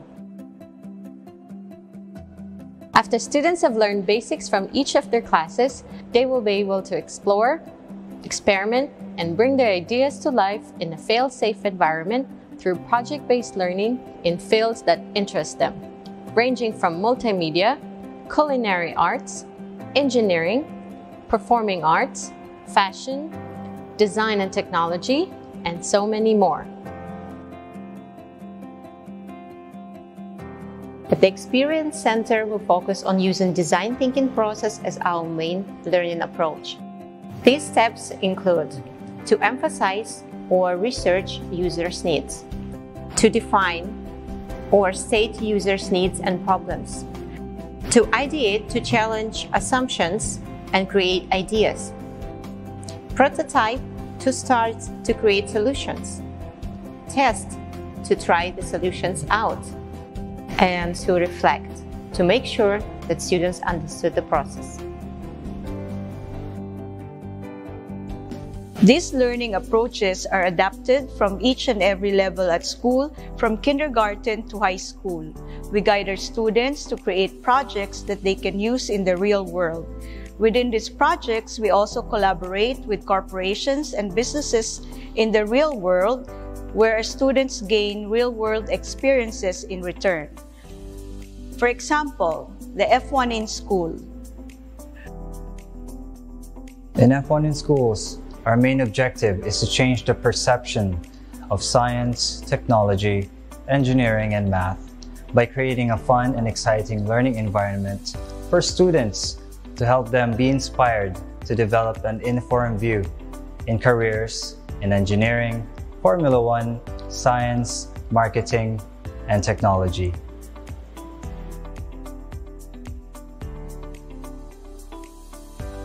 Here at the Multimedia Studio, we let the student lead the class. Uh, we do what they're interested in, whether it's going to be a music video, a cooking video, or maybe their personal log we here just giving them guidance and the experience that they need so that they can find out who they are, what they're passionate about, and help guide them into the career they love. Together, we look forward to creating wholesome experiences for all of our children. We do understand that each child is unique, therefore we would create unique learning experience for each of them.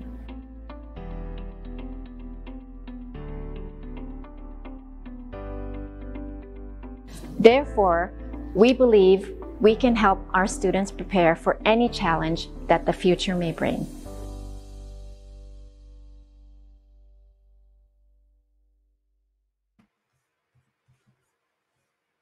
Okay, fantastic. And next, I have to tell you about the promotion that KPIS is running right now. Here again exclusive for people who are in the summit and who have signed up and registered for the summit. Um, they are offering an enrollment fee waiver of 100000 baht. Um, you'll see there that it, it, does expire on may 31st so for those people who are listening today this is something that you want to take action on right now. And um, if you are watching the recording of this later uh, hopefully you'll see it before may 31st to be able to take action on it but then contact kpis international school uh, directly in order to do that we actually, you know, I, I want to give a shout out here to KPIS because they actually um, wanted to participate in the summit on two levels. So we heard from Mr. Ben uh, about KPIS International School, but we also wanted to actually have a very specific focus on a, a second aspect of the school, which is their international kindergarten. And so I want to tell you about the international kindergarten here first, and then we're going to play a short video about that kindergarten as well. At the kindergarten in KPIS International School Bangkok, they believe in creating a love of learning for every student in these early years. Using the principles of the creative curriculum combined with their pockets of play and adaptable learning center, they provide an environment that nurtures young minds.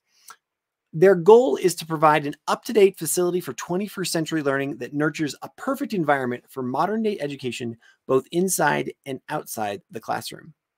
Now, without further ado, I will, um, we now have a presentation for KPIS Kindergarten on video. Our goal is to provide 21st century learning experience that nurtures a perfect environment for modern day education, both inside and outside the classroom. Our preschool curriculum is based on the principles of the creative curriculum, which focuses on four main topics that develop students into becoming well rounded, wholesome individuals. With these objectives in mind, combined with the concept that children learn best when they are having fun and engaged, our facility is designed to celebrate the love of learning in everyone. Pockets of play, cognitive development. Play is essential to the learning process of children, and play can come in a variety of forms to create development in many ways. Therefore, our learning environment has pockets of play in every corner with different objectives, with walls for logical thinking, problem solving, understanding nature, exploring each of the five senses, literacy, and so much more. This way, every child gets a new learning experience everywhere they go.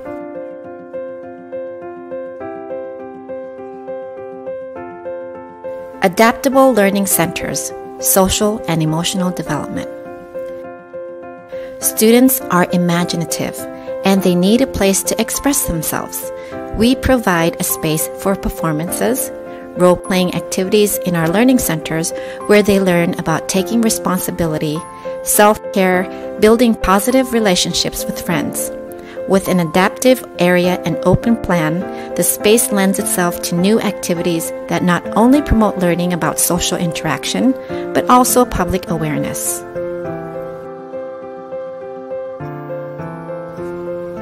Playground Physical Development Every child is filled with energy waiting to burst into the world.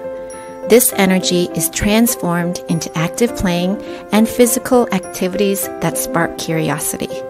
With different forms of equipment to fulfill different physical movement, our playground boosts this energy into good use, from climbing, sliding, and running to sand play and water play.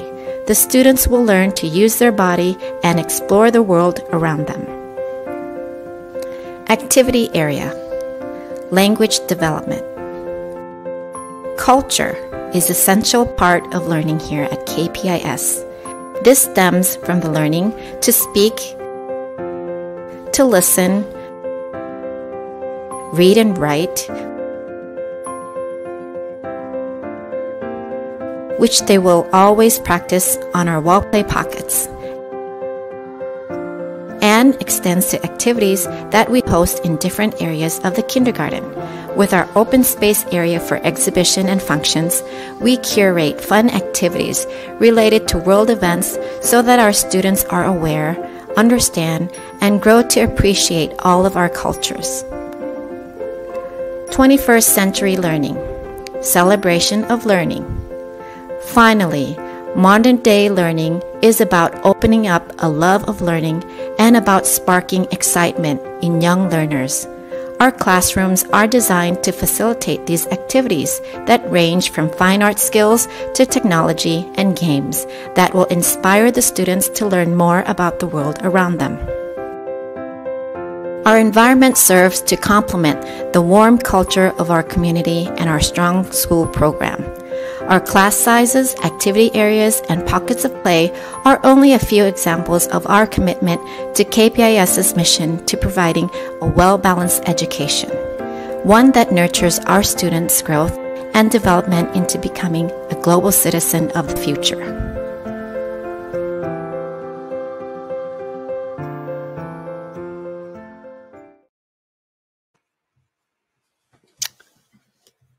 Okay, and there we have it.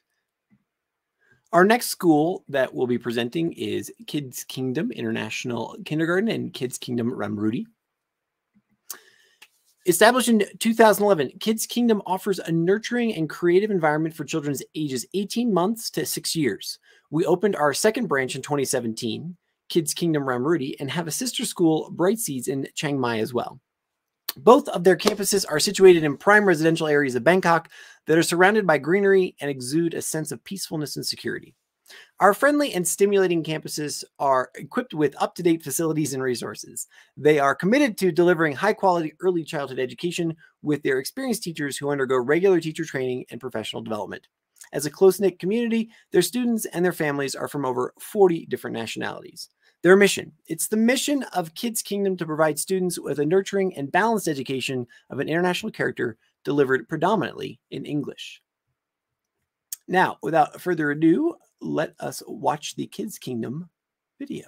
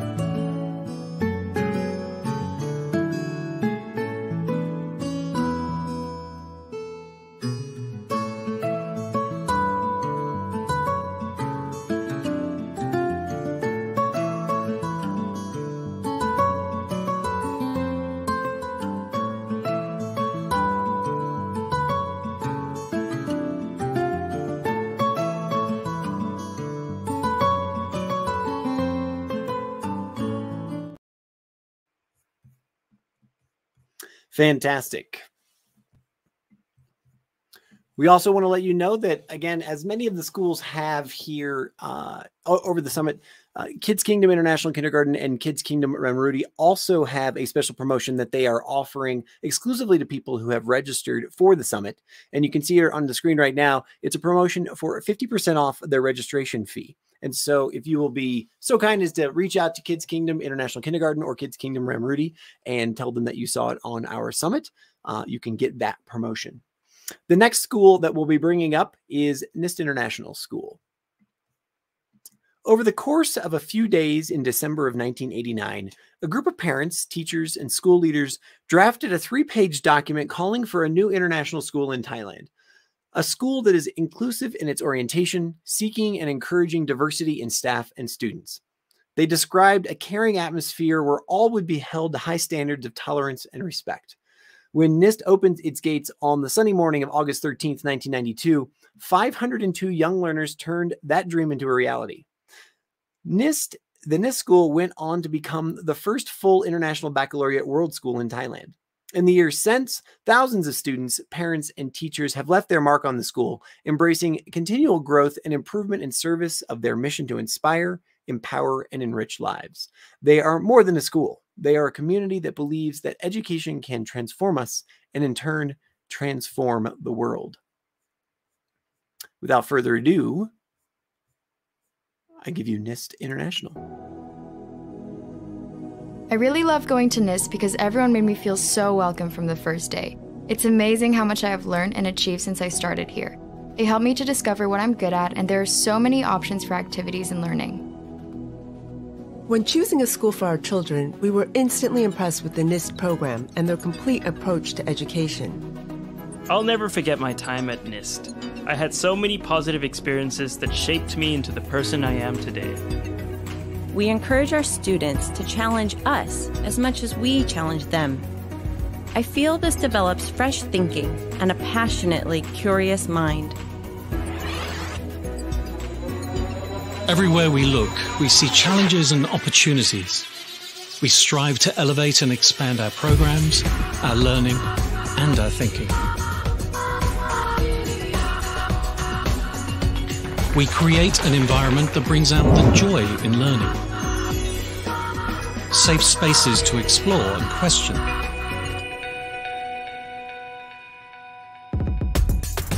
And nurture growth, always. Every space is a classroom. Every interaction is a connection. Every experience has the potential for learning and growth. Our learning program offers opportunities for long term positive change that is truly transformational. At NIST, we believe student growth is multidimensional our service program encourages students to engage in community activities that develop solutions for the real world. Our goal is to equip each student to flourish. Through the highest academic standards, excellence in teaching, and world-class facilities, we bring true joy to learning. As we embark on the next chapter of our NIST story, we do so with purpose and passion, motivated to constantly improve with our hearts and hands in the present and our eyes on the future. Building better programs, better facilities, and better opportunities for our community to challenge themselves, to grow, and to learn. What makes NIST so special to me? It's joy.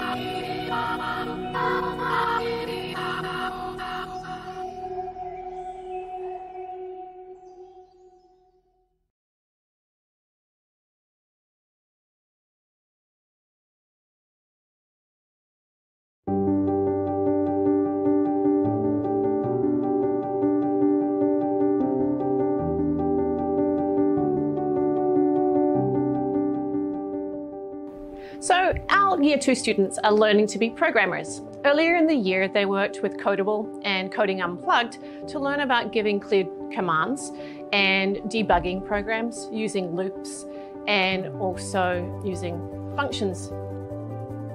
This time we're building on that knowledge of programming and we're using robots. So we're using the Sphero robots and the students have learned to use block programming. So they're using problem solving skills to work out how to make the robots move.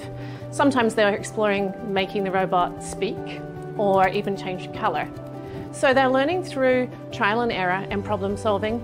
They're learning to work out the cause and effect of what some of the blocks do. So with the movement blocks, they're learning that they need to change the speed, they need to change the time or the duration the robot um, rolls for, and they also need to change the direction.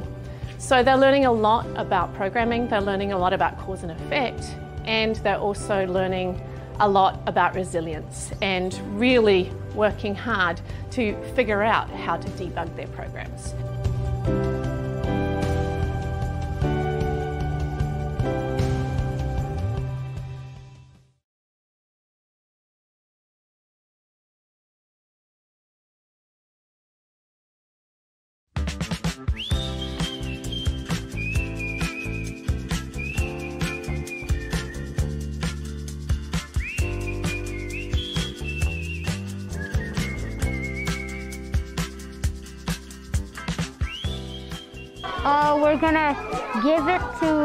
The bottle bricks and then they're gonna make stuff like flower beds with the bottles instead of just putting them in the sea.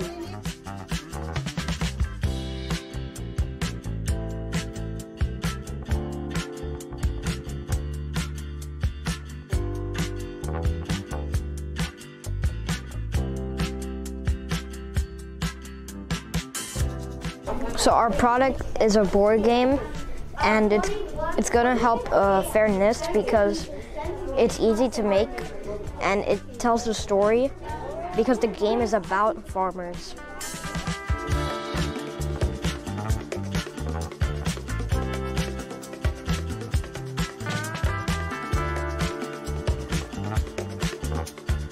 So the reason we are making this is because um, a lot of the old coffee beans that Fairness doesn't sell goes out to like wastelands and it's not like good for the environment. It makes more trash. So this these are old coffee beans and we're using it to make our body scrubs so it doesn't go out to waste.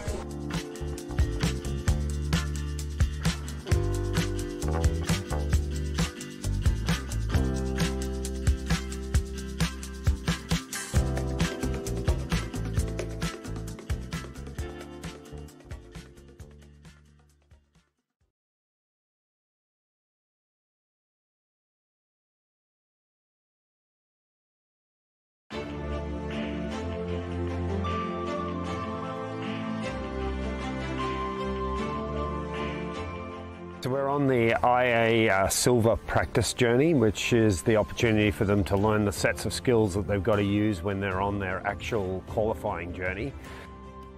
So this journey, it's learning how to um, use a stand-up paddleboard, paddling along, how to read the river, learning how to navigate, learning how to work as a team. And that's preparing them for a three-day journey they'll do in two months' time.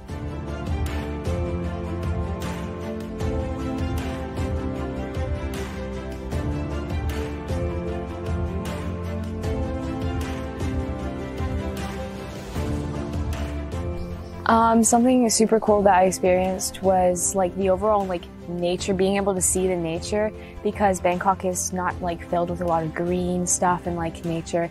So it's really cool to be able to like experience that and like feel the breeze and like fresh air. Uh, one thing I learned on this trip was something very important that Troy taught me at the very, very start, which was respect the river. Um, if you respect it, it will respect you, and so don't try and fight it.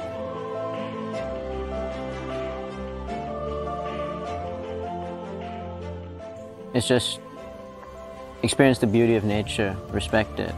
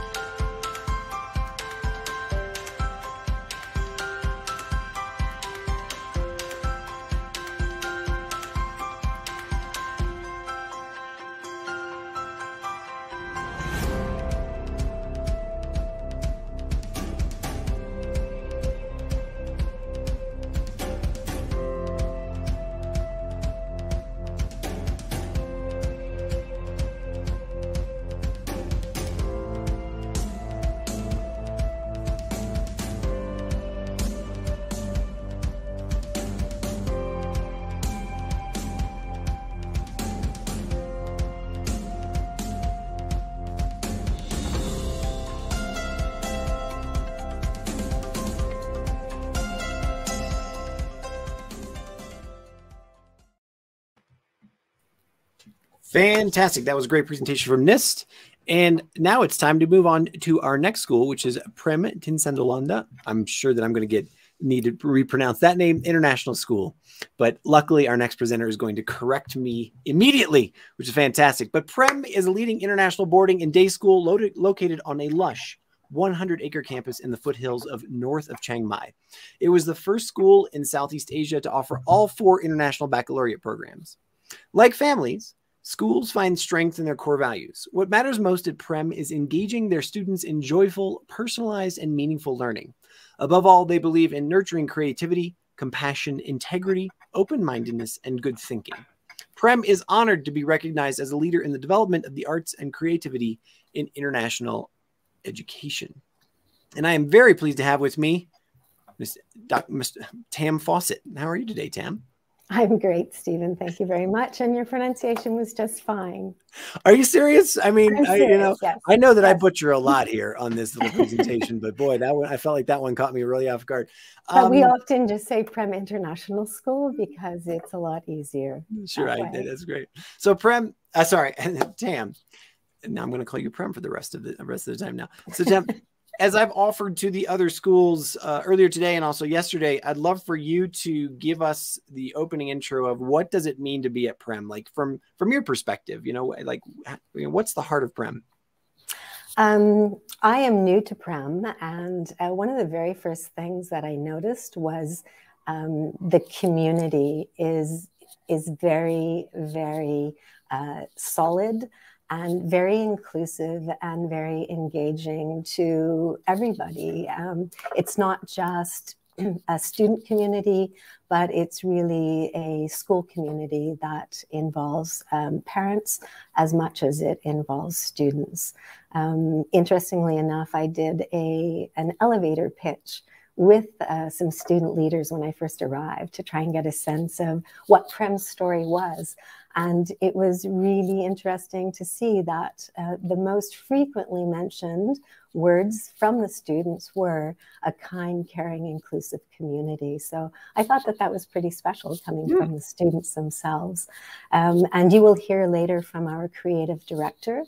Um, so creativity is also a really big part of who we are and who we've been for about 10 years and currently in education um, and the onset of such AI platforms such as ChatGPT, which is sort of taking the educational community by storm, um, it's more, it, it's never been more important to engage students in creative and critical thinking. And wow. we have been acknowledged as leaders um, internationally in that field. I'm, I'm I, I want to I want to congratulate you for being the first person to mention Chat GPT in, a, in 36 hours. That's fantastic. Yes, yes, um, yes. I'm, I mean, I'm I'm personally enamored with it, and I'm, I'm looking forward to talking with you and, and Alex afterwards about this as well. Mm-hmm. Um, I think it's something that people need to not be afraid of, and mm. to realize that um, it can be used to further students' uh, thinking in higher levels of thinking, such as creative and critical thought. Hundred percent it's here to stay. You know, it's it's not, not here, going anywhere. So not only here to stay, but they OpenAI just uh, just announced ChatGPT or GP, GPT four today. As a matter of fact, they had their presentation today. So fantastic. But we're not here to talk about that technology. We're here to yeah. talk about Prem. Yes. You, I believe, unless I'm completely mistaken, are our only school in Chiang Mai that is in this summit today. And so I want, uh, yes, I, probably. I would love for you to give me that that juxtaposition between you know being a school in Bangkok or in that surrounding area of Bangkok and Chiang Mai. Like what are the differences that I experience as a family or as a student or maybe some of the benefits and opportunities that I, would receive in Chiang Mai? For sure. Um, first of all uh, we are on a lush 100 acre campus uh, set in the foothills of uh, Chiang Mai. Uh, it's absolutely stunning facility. Um, so students get to not be uh, immersed in, in big city life. Um, you know, there's there's the lush, lushness, there's the peace and the quiet um, that comes with that kind of environment. Plus, we have amazing facilities as a result of having that that great size. So, um, you know, we have a um, tennis pro um, and six tennis courts. We have a golf pro and uh, we have a golf driving range.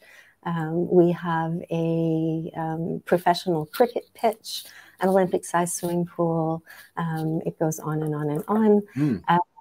and, um, you know, I've already mentioned the, the tightness of the community. We are also a boarding school.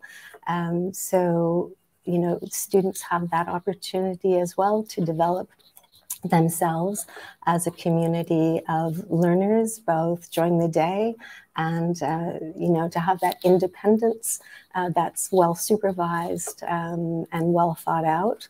Uh, at the end of the day, the ability to partake in all of these activities. We offer actually over 100 activities throughout the year. Um, wow. So students are not, uh, you know, spending hours in traffic going back and forth. We are also a day school, um, not not just a boarding school. Um, but we have um, a lot to offer.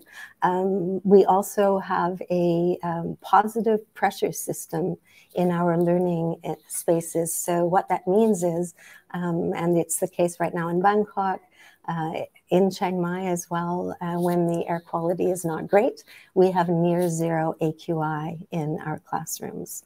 Um, mm. So that's, that's, something that is of great importance to parents.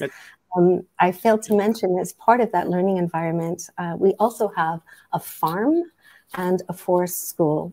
So mm. for us, um, sustainability and giving students real life experiences in the world is of great importance. Um, so on a weekly basis, our students, particularly our early years students and our junior school students, spend time at the farm um, and at the forest school, um, engaging in real life learning experiences from building shelters to planting seeds, um, being with animals. Uh, we are also a World Wildlife Foundation Green Flag Eco School. Hmm, fantastic. Uh, we do actually have a question from someone in our chat here. And mm-hmm. the question is What ages does your boarding school start from? And what pastoral care is in place for younger students, please? Um, so we start from uh, the age of six. Um, we do have uh, some students that are of that age. Um, predominantly, uh, it's middle years um, and, and senior school, uh, but we have a very strong pastoral program, uh, both within our curricular day program. Um, we actually have um, an administrator who is responsible for that uh, within our school. Uh, but our boarding community as well um, is uh, very fortunate. We're not just a school with boarders, we are actually a full boarding program. Um, and our teachers are the um, parents of the boarders. So, hmm. um, so there's that connection that extends from the day through into the evening, and on weekends, um, a full program. They're always off, um, you know, it, getting involved in the community, exploring, learning outside of the classroom as well. What about uh, the ecosystem in Chiang Mai of other schools in order to have intramurals or inter, you know, intersports competitions and these types of things? Is talk to me about how robust that system is, or are students traveling often to other parts, other countries, Bangkok, etc.? Um, we do have a CMAC, which is the Chiang Mai Athletic Council of Schools, um, and we um, host uh, often the tournaments, uh, depending on the facilities that um, are required at that time. Um, that is predominantly where um, our athletes um, do exercise their talents, would be within Chiang Mai. Okay. And part of that, part of that uh, association. Um, I believe we actually, um, oh, that was our, our, our viewer was just saying thank you for answering their question. I was just oh, checking to see if we had another Um, final question for you: What are the typical, um, you know, when someone comes to you as a as a, a, new parent or a new family? What are some of the typical questions or challenges that they may see either you know transitioning to Chiang Mai, choosing Chiang Mai over other mm-hmm. alternatives mm-hmm. like Phuket or or Bangkok? Um, and you know, how do you? What's your answer for those challenges? I think one of the things that um, parents are always uh, interested in, above and beyond the curriculum, is just um, how they are going to fit into the new environment. Mm. Um, and as I said, uh, for us, community is a big thing, and we have a very robust uh, parent school community. Um, we have grade level ambassadors and we have cultural ambassadors as well. Um, so that as soon as a parent becomes connected to our school, um, we connect them to their specific grade level parent ambassador and their cultural ambassador so we can ensure that um, parents, for example, who do not have English as their primary language, um, feel welcomed and, and get the information that they need. And our PSC continues with bi-weekly sessions that are in um, connection with our administrative team uh, so that they're never wondering um, about the platforms that we're using or about the assessment practices or, or what's taking place, um, as well as that PSC uh, hosting um, major events throughout the year to, to keep people well connected to our community. Fantastic. I was just told by my team here as well that I, I just I have to put this in here that Prem is not the only school from Chiang Mai. We actually have Unity Concord as well, and I apologize. Oh, okay. I, I, want to apologize to them. Just, just for anybody who's listening right now, there is another school from from Chiang Mai as well.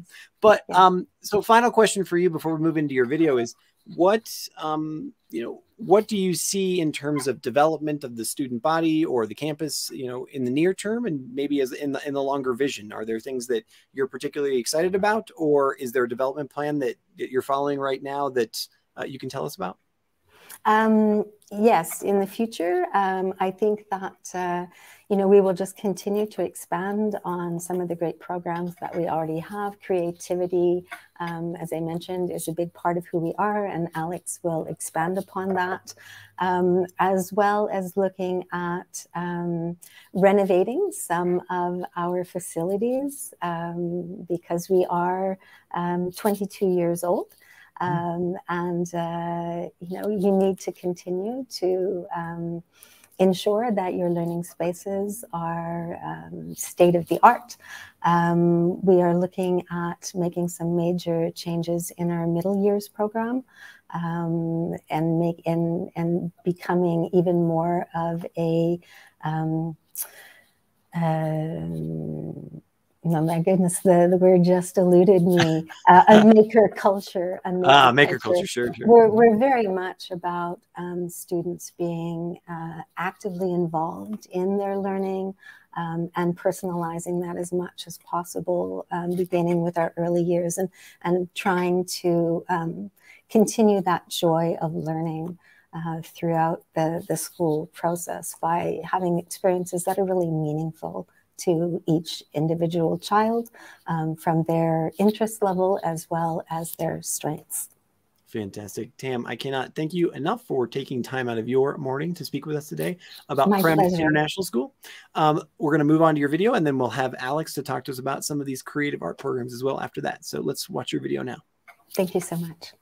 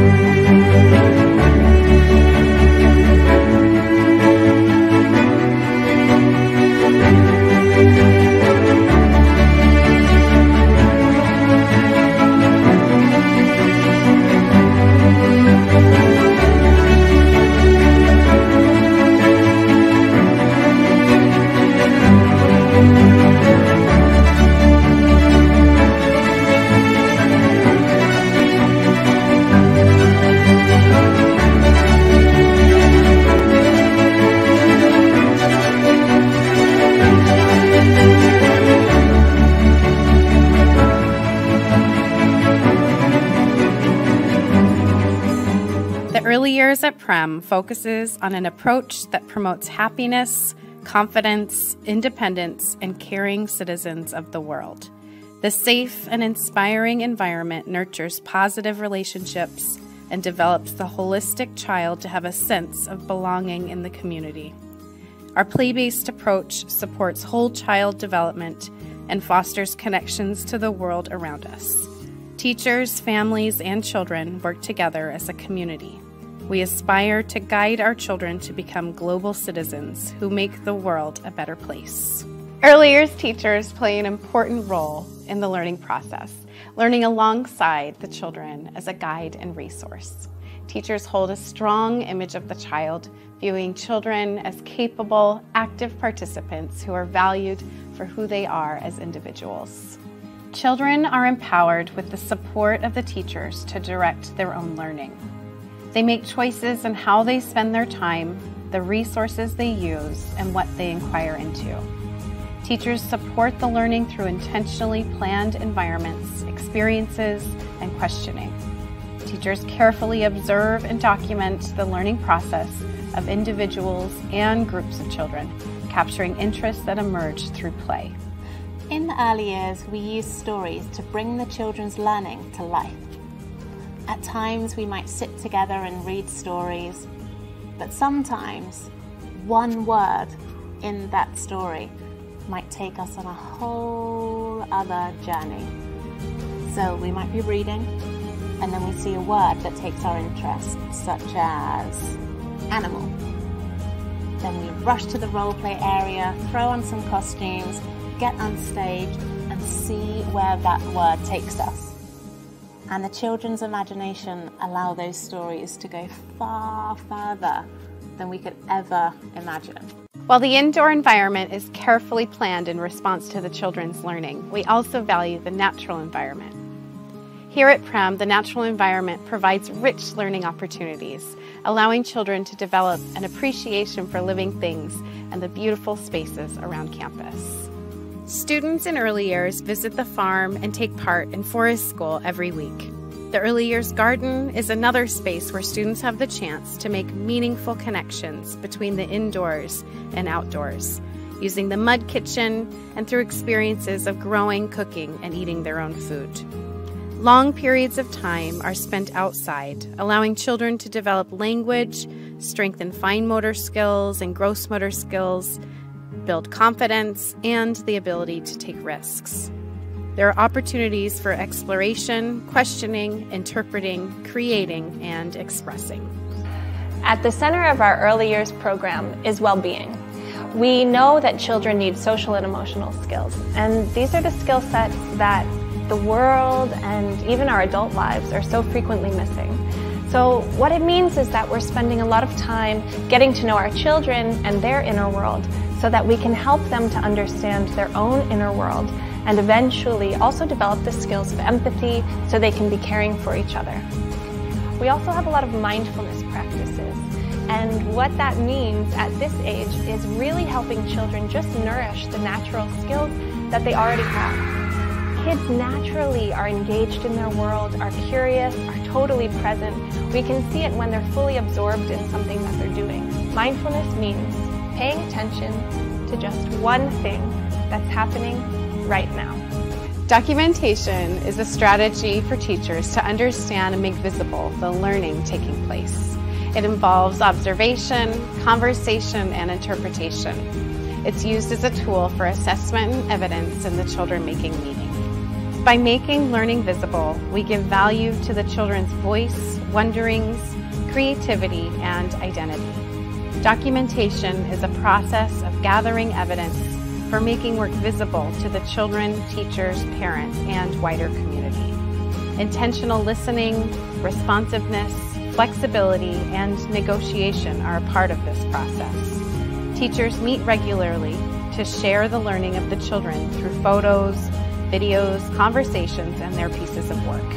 The teachers use tools and resources to guide them in rich dialogue, interpretation, reflection, and research.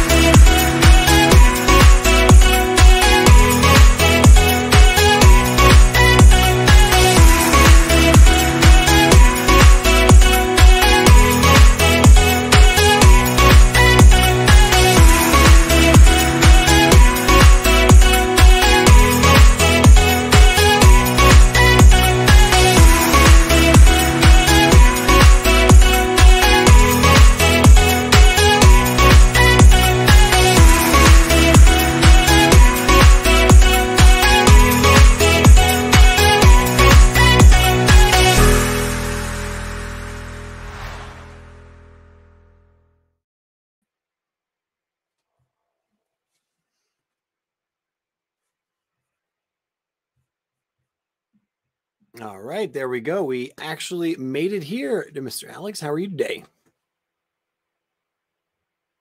No. Let's see now. We have some audio problems. Let's see. I cannot hear you. So, no, I can't hear you. So let's let's figure it out. We'll figure it out on the fly here. Um, if you go to those audio settings that are down at the bottom of the screen there, let's just see if you're connected.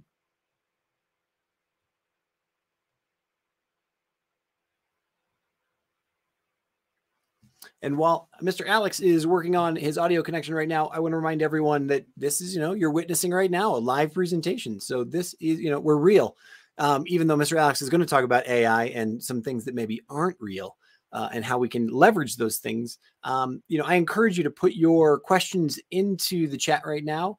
Uh, if you do have questions for for uh, Prem, for NIST, for Kids Kingdom, for KIS, for you know any of the schools that are coming up, RIS, Unity, Concord, etc um, you know, part of the reason why we do this, or one of the core reasons why we do this, is so that we can have these real-time interactions with our um, you know with our with our schools and with the people who work at those schools so that we can get your questions answered. Um, so you know if you're on facebook if you are on youtube um, do us a favor you know throw your questions in there. And i've seen some great interaction between you know kpis and some people uh, people are asking about um, different places to live, different you know aspects of the school. Um, but I'll check with you, Mr. Alex. How are we doing there? Still no luck. You can hear me, but I cannot hear you.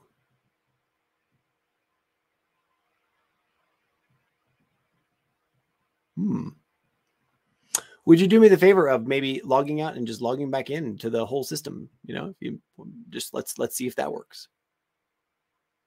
I promise that uh, I am able to uh, spin a web while while you're able to do that. Can you hear me, Mr. Alex?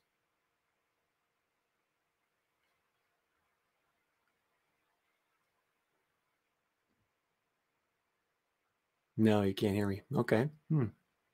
All right.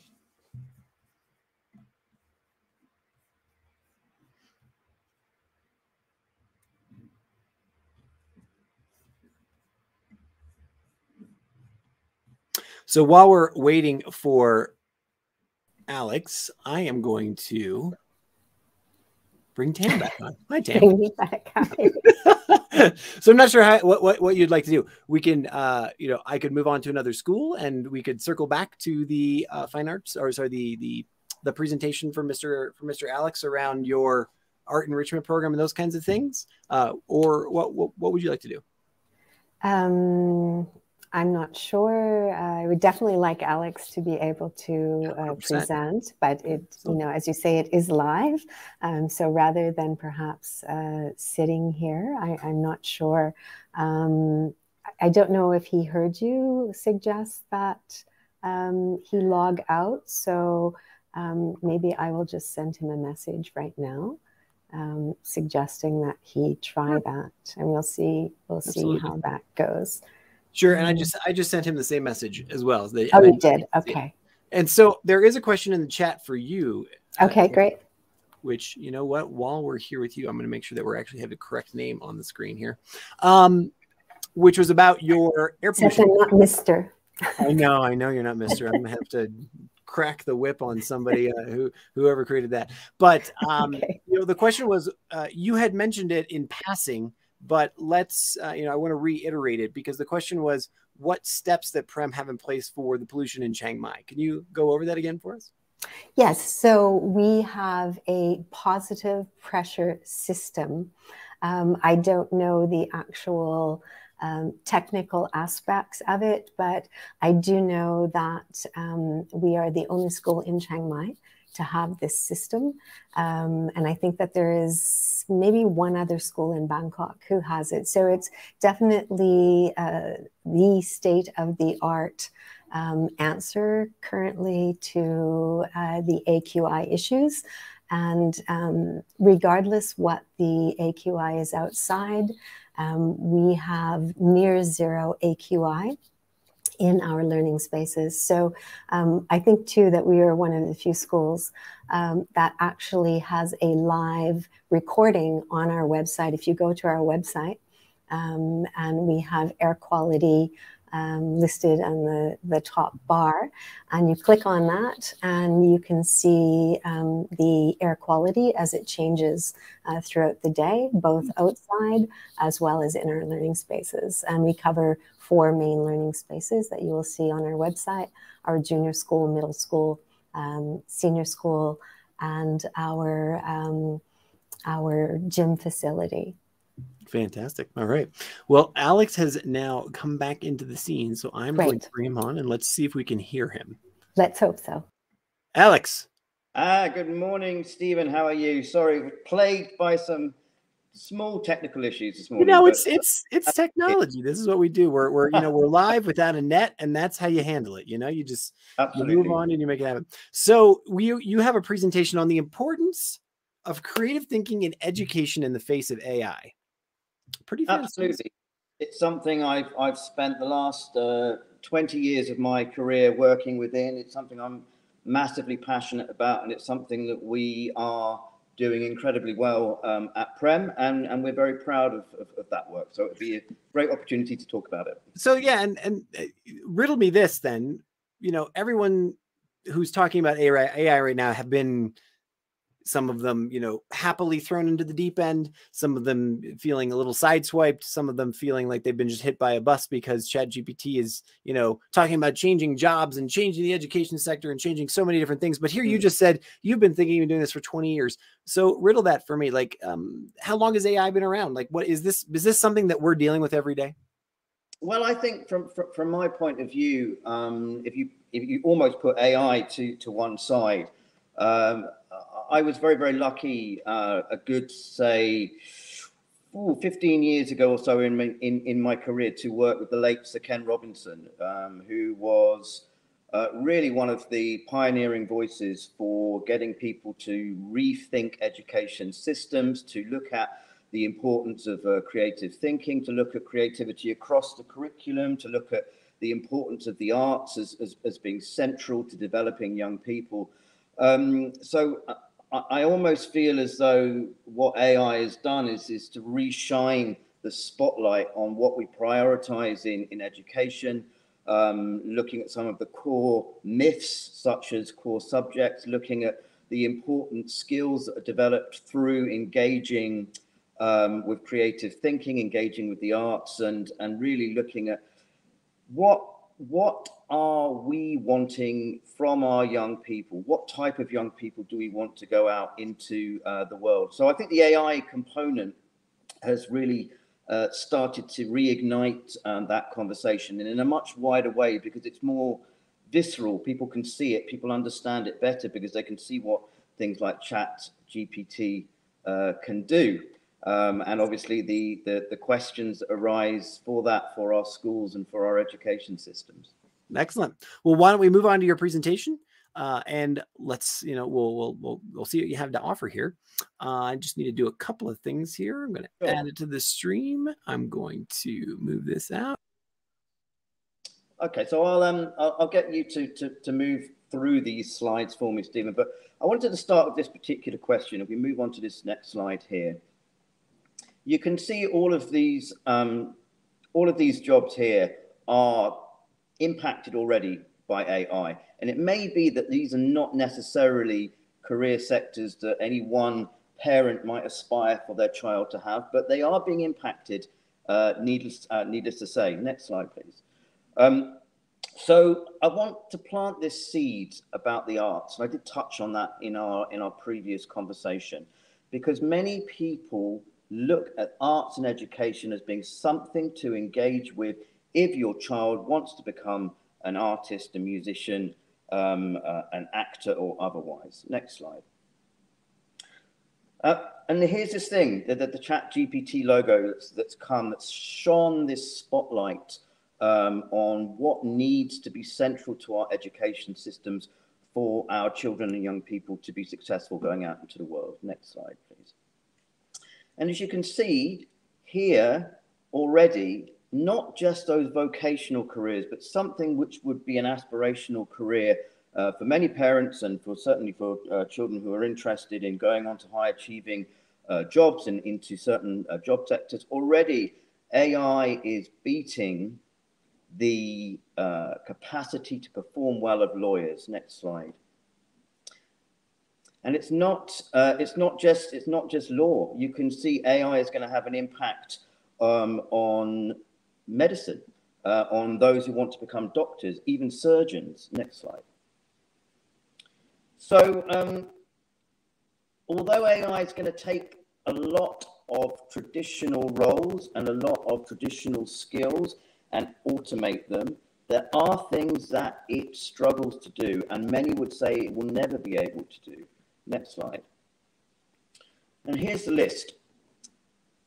I won't read through all of these things, but you can see things like communication and collaboration, divergent and critical thinking, aesthetic appreciation, cultural literacy.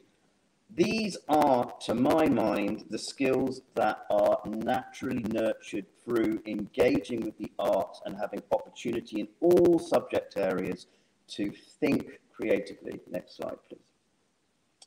So what can schools do to help cultivate these things? Next slide. Well, here are the things, these skills, emotional intelligence and empathy, creativity and innovation, ethical, moral decision making. These are the areas that arguably we don't want AI to be involved in. We don't want a computer making decisions about ethical and moral, moral decision making. It could be disastrous. Next slide, please. So, uh, who's in agreement? This is not a fringe voice. I don't think I represent um, this idea alone. These are the global experts. You can click, Stephen, and these, these will come up. OECD, the Organization for Economic and Cultural Development, next, slide, uh, next button. UNESCO, huge featured report on the future of education just a year ago, where uh, creative thinking, connection to community are massively uh, at the forefront of what are being recommended by UNESCO. And lastly,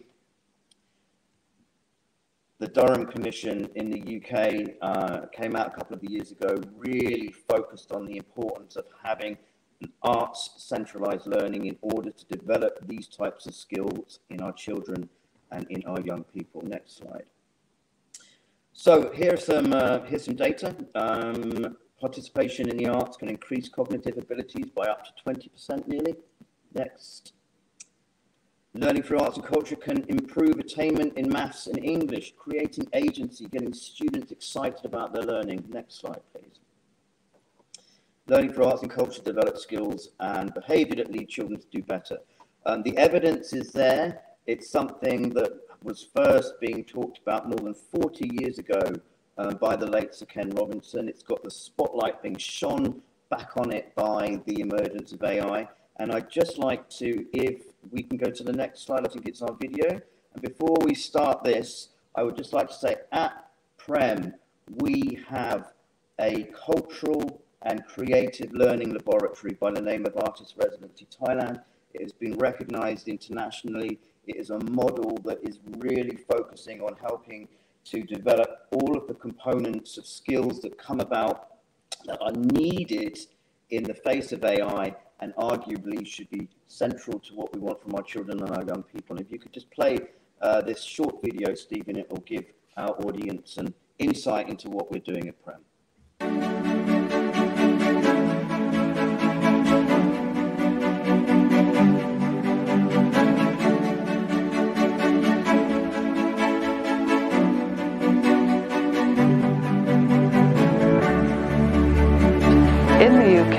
Many schools bring in practicing artists perhaps once, maybe twice a year at the most.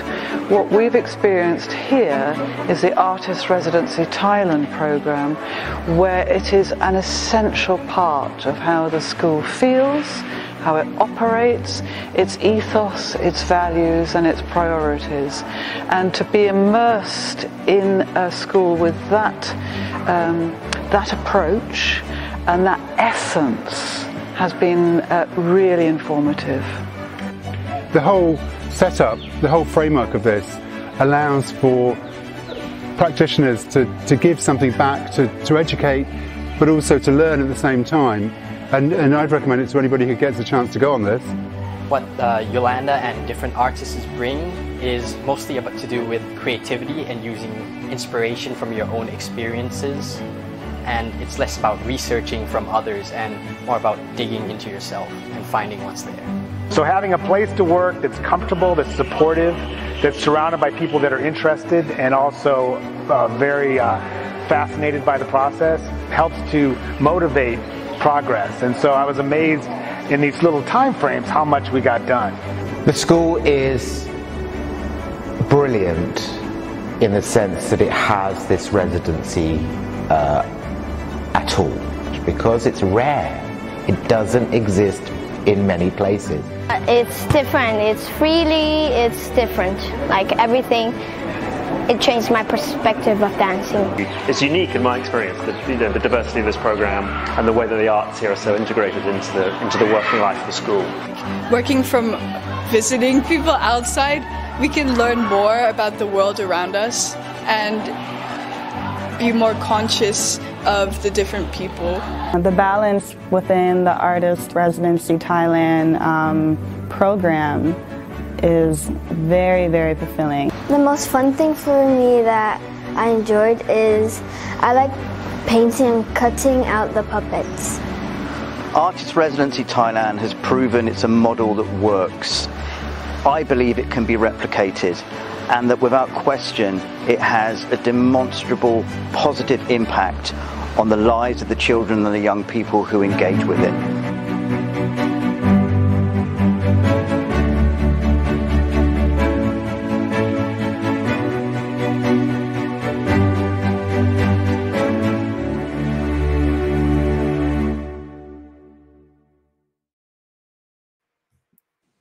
And let's put us back in the great places. That looks like a fantastic program. Is there anything that you want to round out or tie that in a bow with for the people who are listening today? Yeah, I, think I would just end by saying, um, to repeat the point, engaging with the arts, um, making time for it in schools is not about creating a world necessarily full of artists and musicians and actors. Um, engaging in the arts are the main way in which an education system can foster and develop the types of skills that humanity needs and that AI doesn't have. Fantastic. You know, I I I would love to continue this conversation as I I, I suggest I you know I would suspect many many people uh are very intrigued by this conversation and would love to continue with you. And I hope that they will. So for I want to remind everybody, if you would like to talk to Mr. Alex or Tam or anybody else at Prem, please do reach out to them either in their chat or uh, through their uh, their website. But um, thank you very much for taking the time out, putting that presentation together and letting us know about this important program that you have. Stephen, it's a pleasure. Thank you so much. And just like several of the other schools, Prem International boarding and day school also has a promotion that's exclusive to everybody who is coming to or who has come to this uh, this event today uh, and yesterday the promotion is that there's no application fee, 20% uh, off their first year in their enrollment fee, and 40% off boarding for those people who are attending or and registered for this virtual school summit. That's pretty special stuff there. So if you are interested in uh, you know taking advantage of this offer, please reach out to Tam or her staff or her her team up there, and um, they will be happy to accommodate you. Moving on to our next school. Oh, pull them up right now. We have RIS. RIS is one of Thailand's longest running international schools. Ramrude, which Ruamrudee, excuse me, Thai for Union of Hearts, perfectly captures this Catholic school's philosophy of welcoming all children, emphasizing social responsibility and ensuring a warm environment. 21st century learning at RIS focuses on the three elements of head, which is knowledge, hands, which is skills, and heart, which is values. Students are nurtured to develop necessary critical thinking skills for success in the IB and AP programs of high school. Since 1957, the RIS community has been a connected global network where teachers often state their admiration for their students, and decades of alumni look back at RIS with fond memories and nostalgia. And without further ado, Good morning. Sorry, I catch you off? we, we were messing around over here, so as, as one does. Everyone, you know, one of the things we need a little more levity in our lives. You know, I think that's that's just the way it should be. So, Miss Madeline, it's very nice, very nice to meet you. How are you? Very nice to meet you too. I'm, I'm great. I just came from some um, student presentations, which is the highlight of my days when I get to be with students. So I'm good. It's a good day so far. Excellent.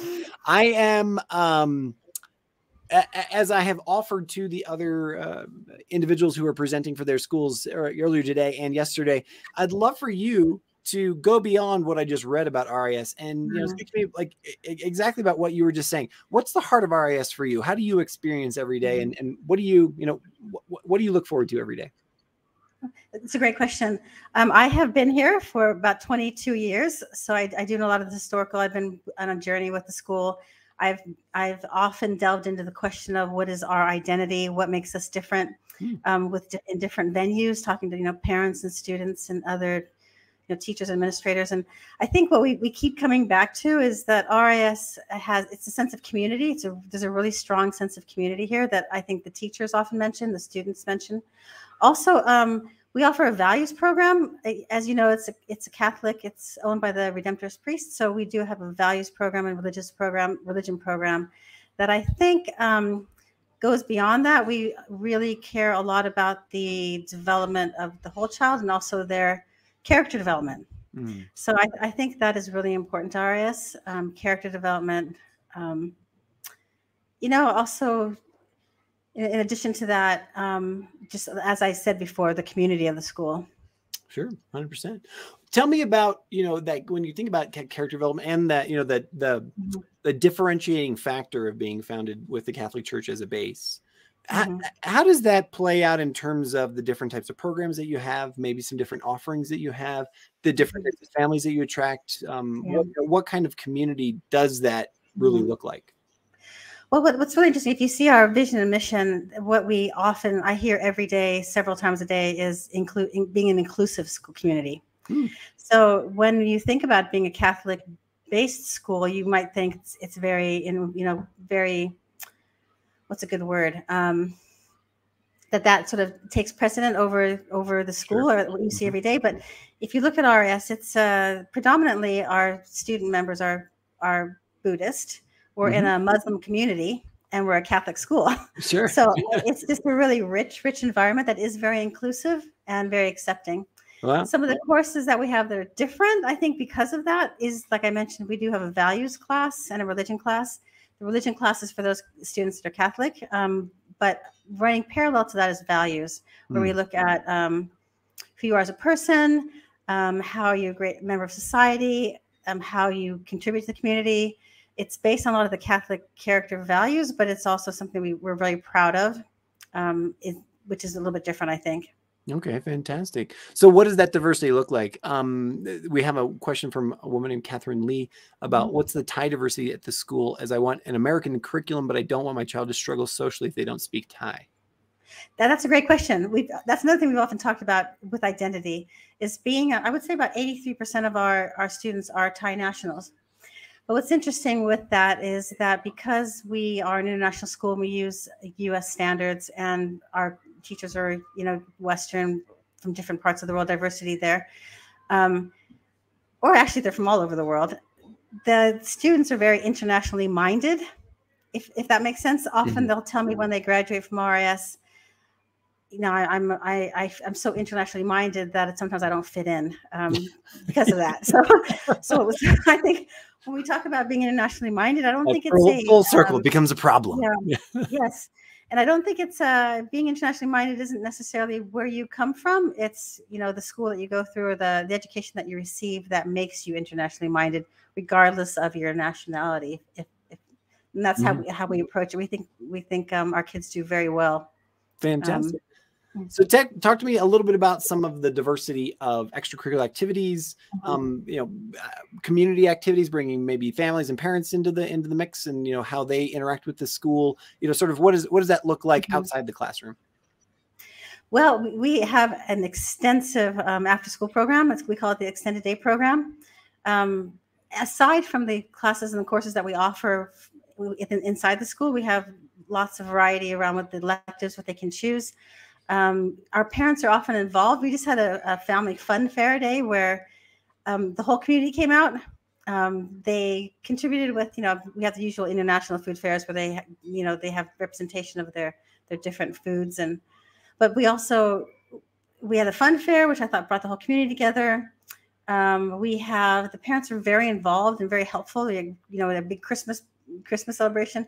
We have a, a very very good sports program in addition program in addition to the um, I want to say the the performing arts. We just had a presentation, uh, Little Mermaid. Mm. That was just amazing. The parents loved it. The kids loved it.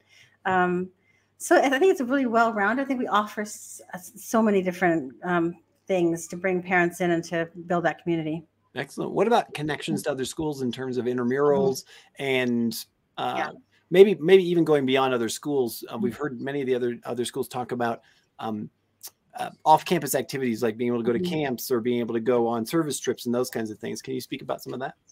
Yes, that's a great question. I'm really excited to answer that um, because um, something else that is very distinct, I think, for RIS is service learning. It's very important to us, you know, as a as a, as as a religious foundation, but also our, as I said, our identity.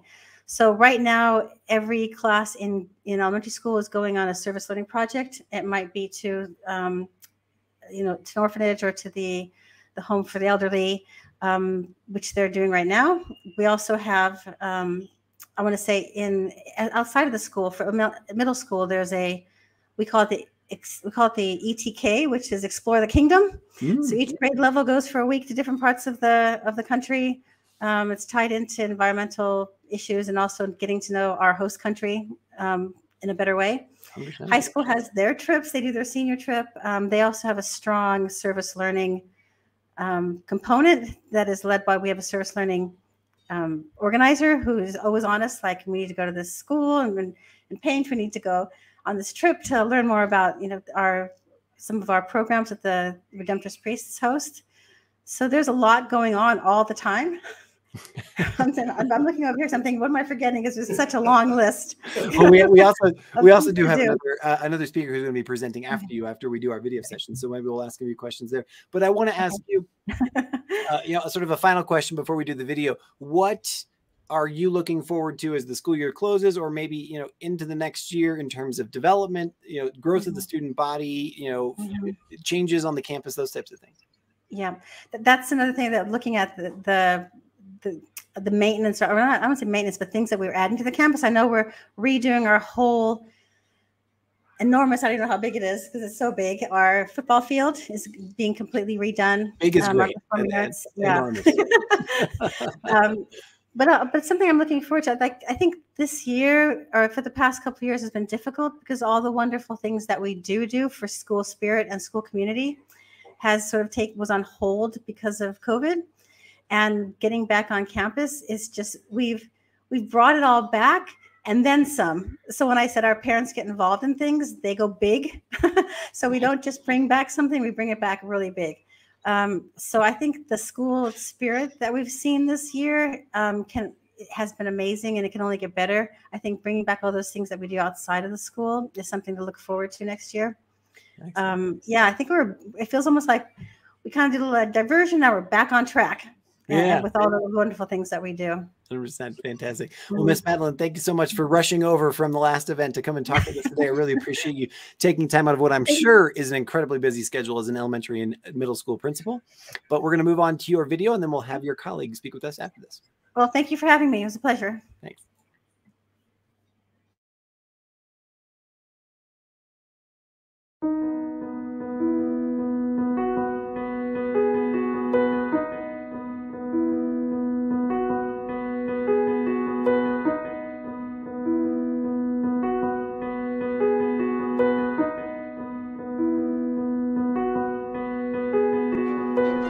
Ruamrudee is a Thai word that means union of hearts.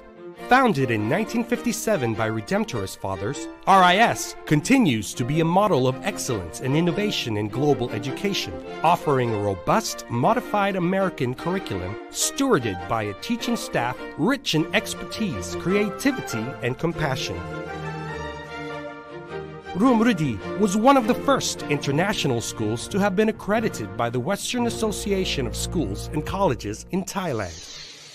RIS nurtures the minds, hearts, and hands of its students from pre K 2 to grade 12. IB Diploma program and AP students score far above world averages and attend the most prestigious universities worldwide.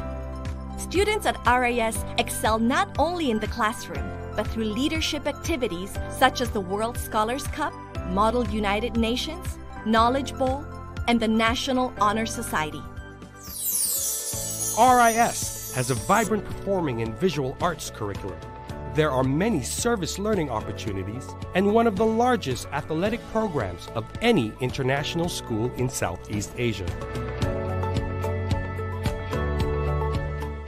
Our alumni hold prominent leadership positions in diverse fields, including government, business, medicine, media, entertainment, and humanitarian sectors in both public and private domains, locally and internationally. Given the rich academic background of our professionals, it is only natural that they inspire each other on a daily basis and create an engaging and challenging teaching and learning environment for our students. As it has been for the last 60 years, the goal of RIS has been to develop creative, compassionate, critical thinkers who are committed to leading happy, healthy lives while helping others do the same. And this is why RIS students continue to forge lasting, positive legacies for the world.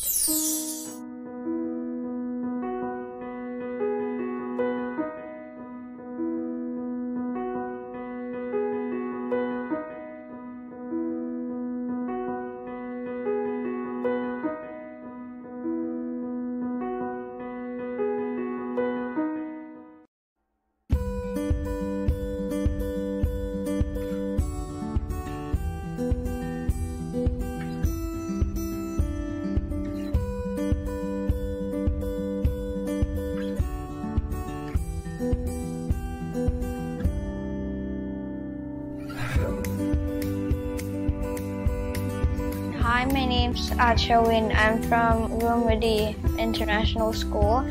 I'm 11 years old. I'm in grade 5 and I really enjoy here. Hi, my name is Pumpuy. I'm 10 years old and I have two brothers. We all attend Ruamrudee. My name is Shona Pat and I'm 10 years old. I've been in RAF since first grade. Yes, I did enjoy ELD class. Indeed, it was almost my whole life. Yes, I did because the teacher was very helpful and I was on task doing my work. My friends were really funny and kind. The teacher was caring too. I mostly improved my writing, spelling, and reading. Writing because I learned how to use new words and sentences. And when I first came into ELD class, I had trouble with writing, reading, and I also have trouble with spelling. I probably improved the most by talking to my friends in English, writing, and doing my work and playing games that are also learning too. I improved by reading a level I can and when I start learning some new words I start going level by level to to go up and up so I could get out of ELD early.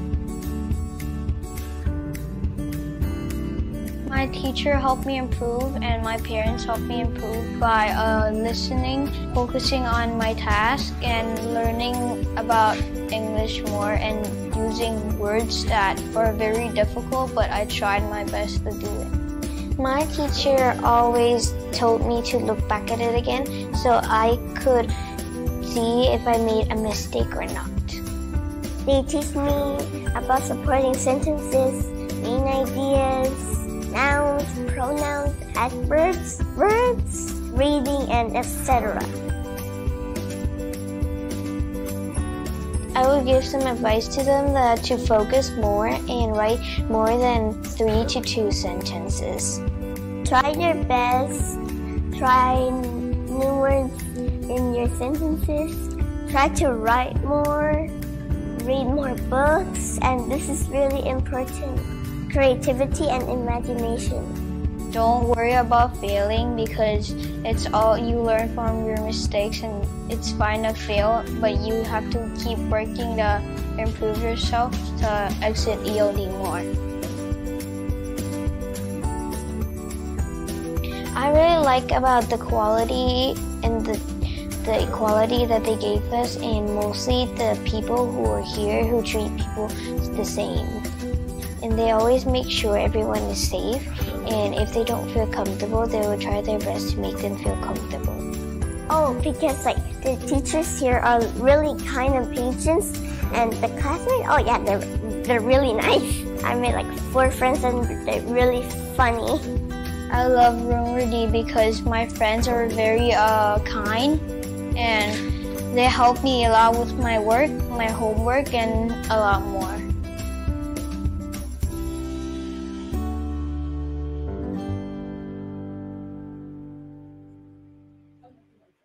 All right. So we are back. Uh, oops, I have to bring Mr. Michael onto the screen so that we can actually see you. How are you doing, Mr. Michael? I'm doing well. Thank you. Thank you for having me. No, my my pleasure. Absolutely. That was a fantastic video presentation about uh, RIS. And now I believe that you are actually going to be talking about student life at RIS. Yes. So just to continue. Sorry, just to continue from what Miss Madeline was saying about our community life and extracurricular activities. Absolutely fantastic. So what I'm going to do is I'm going to share your presentation right now, and then we will have you take off and take us through it. All right. Hi, um, and welcome to. Oh, let's see. Let me. May I? I think I, I don't have it uh, on full screen mode, right? Sorry. We, we we can see it full screen, so um, we can see the full Ah. presentation. I see. All right. Um, right now, um, um, let me introduce myself. My name is uh, Michael, and I am the supervisor for the Advancement Office, which includes communications and admissions and alumni relations, among other things at RIS. So I'm going to talk about student life at RIS. Um, talking about student life, I'd like to introduce first our school mascot, which uh, which is the Phoenix, and this is. and speaking of the Phoenix, um, that leads us to the principles of Phoenix, which are our school-wide learner outcomes. And with that, um, there are things like um, three elements: head, hands, and heart.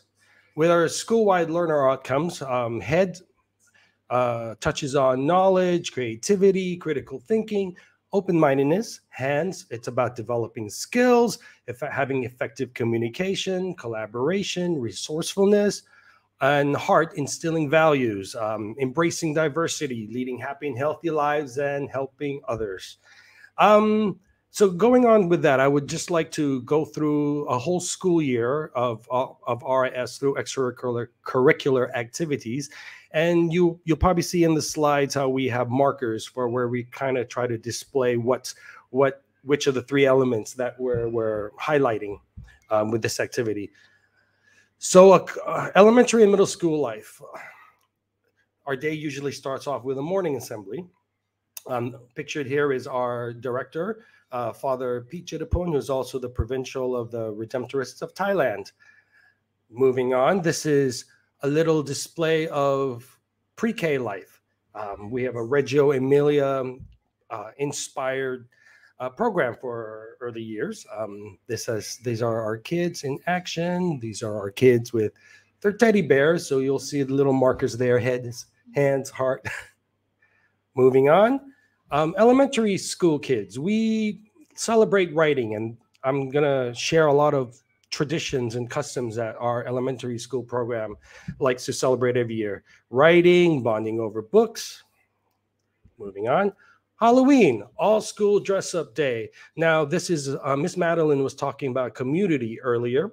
So, this is a great example of, of, of, of one of those big all school events. So, Halloween, character dress up day. Actually, these slides should really be appearing one at a time, but right now it's appearing in full screen. So, anyway, I'm sorry about that. This picture is um, our parent auxiliary in action. So as you can see here, this is just one event in which our parents are involved in. There are many, many of them. Um, our parent auxiliary here is handing out treats for our students. And speaking of our parents, they also get involved in some classroom activities. Like, for example, over here, the picture on the top left, we have our parents in a pre-K class helping out with Loy Krathong decorations. Now, with Loy Krathong, it kicks off our International Cultural Week, which is a custom at RIS. We celebrate this every year. And our ES kids have a student exhibition in which they share their work and research on different cultures of the world. So all these pictures here are just examples of that. And all these things that you're seeing on the board, they're all they're all student led and produced by them. Um, moving on, these are other extracurricular activities. They all, you know, of course, performing arts. We we touch on all elements of our principles of Phoenix: head, hands, heart. These are opportunities for our students to perform so this is a picture of a pre-K Christmas class. We have our elementary school uh, nativity production. We are a Catholic school. Moving on, we have our elementary, more elementary school pictures, our high school and middle school band and choir. We have our Knowledge Bowl. Our Knowledge Bowl, I forgot to mention that I'm also an alumnus of RIS, and I can remember from even when I was a child at RIS, Knowledge Bowl was one of our favorite events. So we have a high school Knowledge Bowl, but pictured here is our middle school one. Moving on, we we have an annual science fair. So it's a big um, event in which our parents also take part in. So these are some of our middle school students from the last two years. You could see them here talk, sharing their work with upper elementary students. Now moving on. Now, a big staple of middle school life is the annual ETK or Explore the Kingdom trip. So I'm showing you pictures from, from a recent trip in December. Now, the ETK trip is a great bonding experience. It's also a opportunity to an opportunity to um, you know work on skills, things like cooking your own food, outdoor activities, trekking, hiking, and even you know doing crafts and things like that. So these are just grade six, grade seven. They're all actually doing separate trips in different parts of Thailand. Okay, moving on. This is one of our favorite activities for RIS, Games Day. On the top left, that's pre-K Games Day. Uh, the bottom, actually, the first two pictures are pre-K and kindergarten Games Day. We have uh, elementary school games day. As it says, the more opportunities to be active, the better for physical development. This is our middle school games day. So as you can see, as Ms. Madeline said, a lot of things are, you know, happening at RIS simultaneously every day. It's a very full-on community life here. We also like to um, encourage our students to respect their elders. I mean, in Thailand, you know, that's one of our it's one of the things that we value. And on Teachers Day, we our Thai department does a very, very, very um, touching tribute to all our teachers in the Thai way. This is um, our students giving uh, wreaths to our assistant high, uh, elementary school principal, for example. We also celebrate 100 days of school here. and touching on what Miss Madeline was talking about earlier, um, our after school extended day program. Um, what you're seeing here are pictures from the EDP fair. This is an opportunity for our parents to come together to see the programs we have on offer. Um, a lot of these programs can be run by our teachers or our outsourced vendors, but they're really an extension of what um, the RS curriculum already offers. So, for example, there are robotics uh, classes, there are board games, and and whatnot, chess, so many. Everything that you know um, the school offers during the day, from music to sports to academics. Um, there are enrichment programs, uh, enrichment courses within the the extended day program. Okay, moving on to high school student life. So in these pictures, you're going to see these are images from our Greater Bangkok University Fair and our Thai College Fair. High school student life. Um, this is organized by our awesome high school counseling office. We are uh, college preparatory, and um, here the what I like about our high school counseling office is their philosophy is very much about best fit you know um, what is the great the, what is the best fit for your child as opposed to going to the most prestigious or most you know famous university? Here they try to encourage that this place really fits your needs and your passions. So moving on i'm just going to breeze through high school life. Um, over here it's a tradition since the 60s that we always honor our senior class. And so we have this uh, annual tradition senior convocation we have a pin that we, uh, in, a, in a ceremony that we hand out to our seniors. And it's a day when they're officially recognized as seniors by the entire school. So over here, just images from that special day. It's a big photo op for our parent community. Uh, moving on, I'm just going to touch and breeze through some some other aspects of high school extracurricular life. This is community um, games day for high school. Um, every year we have our our senior class pose a picture with a with a number over here. As you can see everyone's wearing a different color because every every high school class 9 10 11 12 uh, um, has color themes. Uh, moving on. This is an example of our students celebrating chinese new year celebrating songkran. This is just a little of them out on the field. Over here we have our ninth graders in learning about agriculture in Pathum Thani we have our ib year one and year two biology class. I believe this in in Khao Yai, doing coursework, getting their hands dirty. Um, service learning. Um, the picture you see on the left is our annual walk and runathon event, which um, supports the Ban Nokamin Orphanage, I believe. Uh, on the right, we have Give Hair, Give Care to support wigs for cancer patients.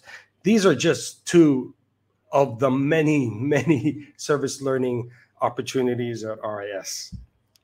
I know that's a lot of information here. So um, extracurricular activities, not really just for high school, but pretty much whole school. These are just examples of our students playing basketball, touch rugby, volleyball, tennis. Um, we've just hosted the CSAC for basketball and touch rugby this year. Um, moving on, arts and music. These are images from a production of The Little Mermaid that we just held and some pictures from our IB art program.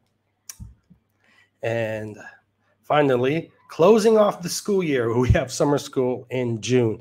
These are images from last year's summer school. So again, it's, it's, it's a continuation of things that we already offered during the regular school year.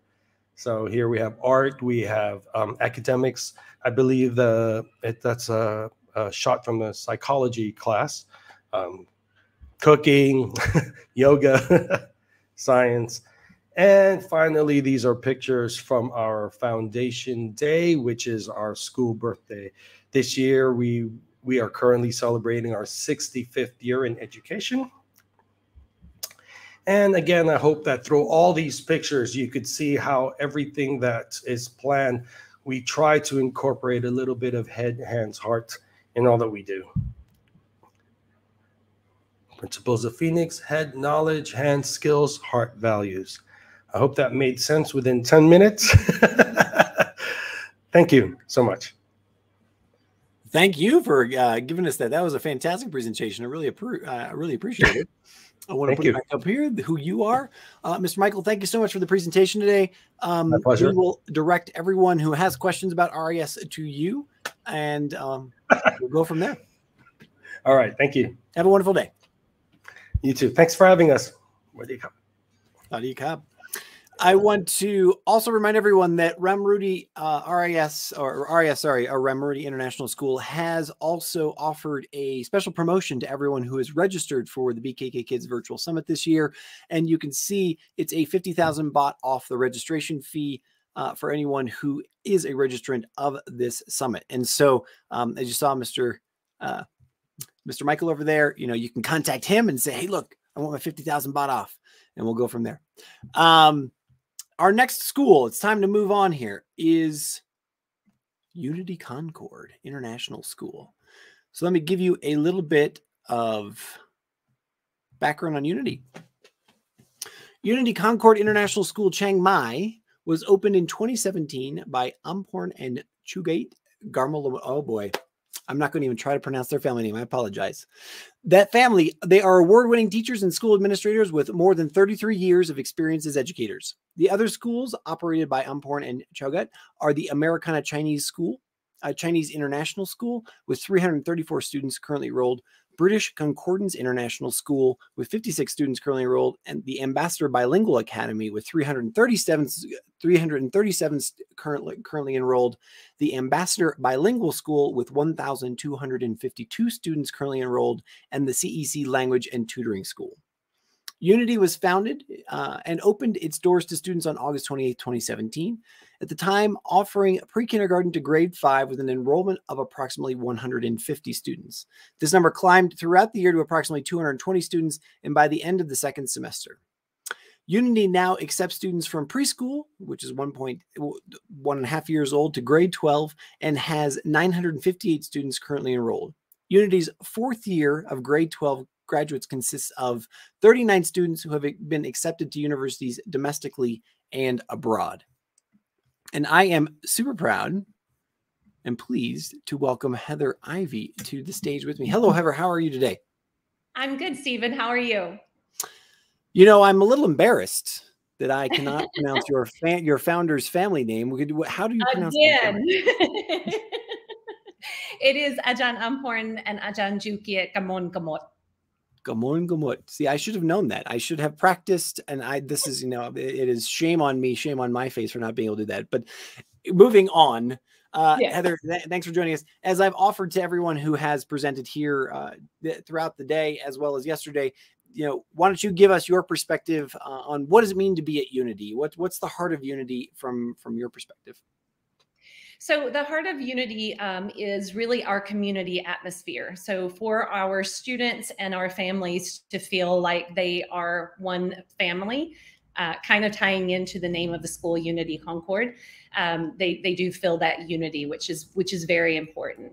Hmm. Um. Our motto is creating together so our students and our parents are able to join in different activities um, throughout the school year to be able to do that and i think that's the kind of the heart of the school. Oh, fantastic. So tell us about the student body. What what does it look like up, up there in Chiang Mai?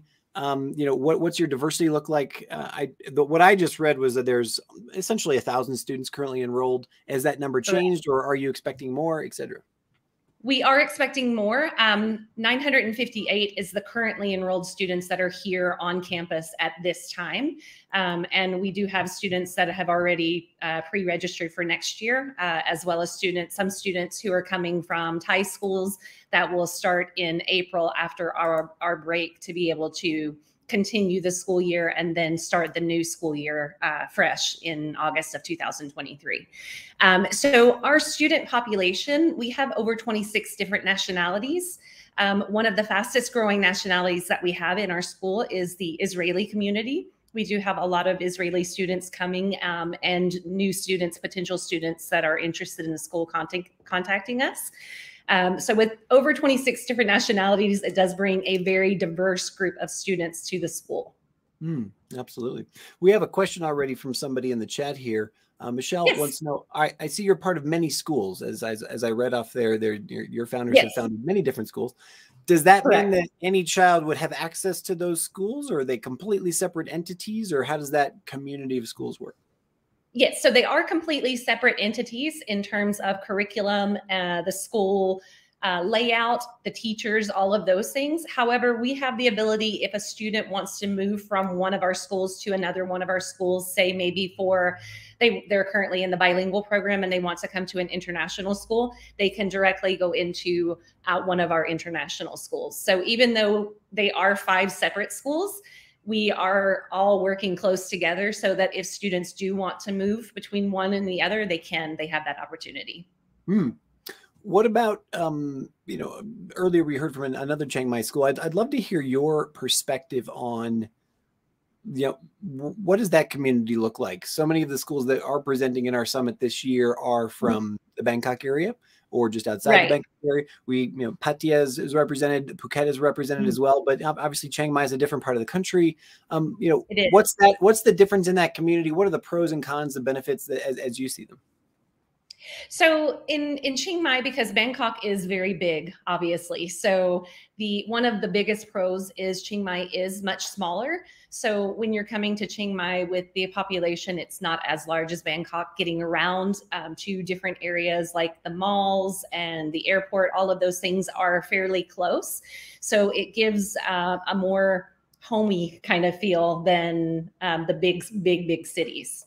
Mm, all right, nice. And and you when when parents come? Is that a, a, a particular reason they say, you know, hey, we're coming here because we want that smaller feel, we want that, you know, the less pressure, those types of things, or are there other reasons why families are, are arriving in Chiang Mai or, or, or choose this area? Uh, there's a combination of things. Uh, some of them will come due to work. Uh, their company has sent them to work somewhere here in Chiang Mai um, in which case they're looking directly specifically for Chiang Mai. But a lot of them do choose Chiang Mai because it is a smaller city, but it's still accessible and has a lot of interesting um, things that they can do. So I think that's very important and why a lot of uh, parents do choose to come to Chiang Mai. Hmm. We have another question in the chat there. Are there any boarding options at Unity? We do have a boarding option. So it's not a full boarding school, uh, but we do have a boarding uh, facility that is located just next to the school called U Home. Um, mm. And we can take up to uh, students starting from uh, grade one through grade 12 have the option to board there. Um, we have two different options. They can either have their own room or they can have a shared room. So the fees are a little bit different depending on if they're in their own room or uh, sharing room. Okay, excellent. And talk to me about uh, you know uh, extracurricular activities you know outside the class you know type of situations you know what what what are you you know is there something that you excel in or something that that, that you are particularly known for or you know what, the, what does that uh, menage of things look like yeah, so one of the biggest things is sports. Um, because we are a part of CMAC, which competes against other international schools locally here in Chiang Mai, um, we are very competitive in our athletic department in terms of after school sports. Um, so there are different seasons at different times that the students would be able to participate in uh, different sports if they like those sports uh, like soccer, basketball, uh, futsal, track and field. Right now, um, some students are in volleyball. Um, so it allows them the opportunity as young as grade one to be able to participate in after school sports. Uh, additionally, we have after school clubs, which are um, operated throughout the school year. And what we do is we promote those clubs, different types of clubs for our parents to see what interests their children have, and then they can participate in those as well. Give me, give me that like so what types of clubs do we have? I mean, is it is it run the gamut of everything from chess to robotics, or or or what do you? Yeah. Uh, it depends. Each year is a little bit different. So we we have our basic ones that are always going to be included, like the homework club, the computer club, um, the STEM or engineering class. Uh, art class and music um, classes or clubs. Those are kind of the standard ones, but then we have more interest um, starting in robotics and things like that. So those would be clubs that we would be adding to our current existing clubs. Super cool. Before we move on to your video for Unity, um, I'm very interested to hear, you know, it, as we heard in the introduction, there's uh, you know all of these different schools, and it sounds like there's a, a forward-thinking vision in terms of continuing to develop and grow the school. So, what yeah you know, what are you looking forward to as this year closes out, maybe to the 2023, 2024 uh, school year in terms of development, new buildings, new facilities, growing the student body, those kinds of things? That is a great question, actually, because we are in the process uh, of a new building being built. It's currently under construction, um, anticipated to be able to be used in August. Um, it will hold 400 more students and it will have a full auditorium. So we would be able to do um, programs and things like that in this new um, building. So it's actually something we're looking forward to for obviously increasing our student population, but also having that extra facility for our students to do more practicing for performing farm uh, performing fine arts and things like that as well. Super cool. Well let's move on to watch the video route unity and then we're going to come back and actually talk with you about the ambassador program. Is that correct? That's correct. All right. We'll be back in just a, a few minutes and here's the video for unity. All right, thank you.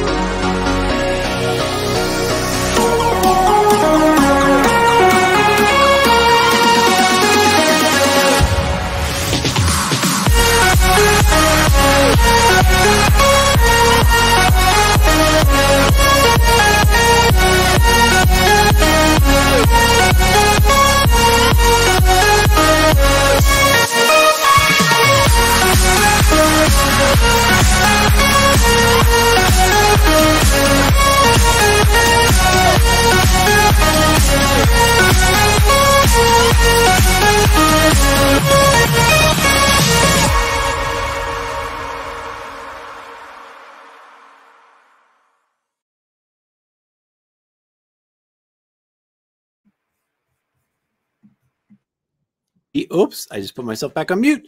And we're back with Heather to Yes. actually talk to us about something called the Ambassador Education Group. And so Yeah. I give the floor to you. I'm very interested to learn about this. All right, thank you.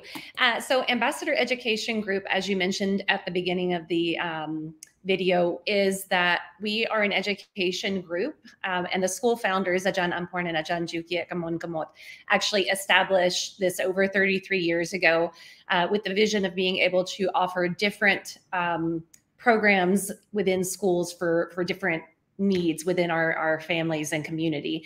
So, throughout AEG, um, we have three international schools. Two of them um, use the American curriculum. Unity Concord International School, which we've we've spoke about in quite detail. Uh, the other one is Americana Chinese International School.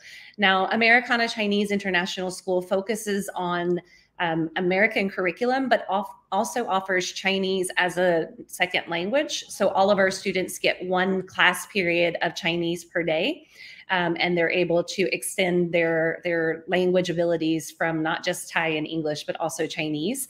Um, and they also have an, a pretty extensive STEM lab. Which allows the students to be very creative when they're working in the STEM lab. Um, a fantastic STEM teacher uh, who challenges the students to create different types of projects. And it's really exciting to see when they present those projects. Um, the other school that we have, I know yesterday you guys presented the British curriculum the other um, international school we have, British Concordance International School, actually is a British curriculum, but it is the newest school under the Ambassador Education Group. So we are um, growing in student numbers right now. Uh, currently, we accept students there from preschool for the early years through year seven, and then we will ex- expand later for uh, through year 13. Now, ACIS accepts students from preschool through grade 12. Um, so they're they're accepting students fr- pretty similar to Unity, but the student population is is less on that one. So with the two schools, when we're talking about the ambassador education group for BCIS and ACIS, I know that we put we put up there the five percent tuition discount. Um, that's the standard amongst all of our schools.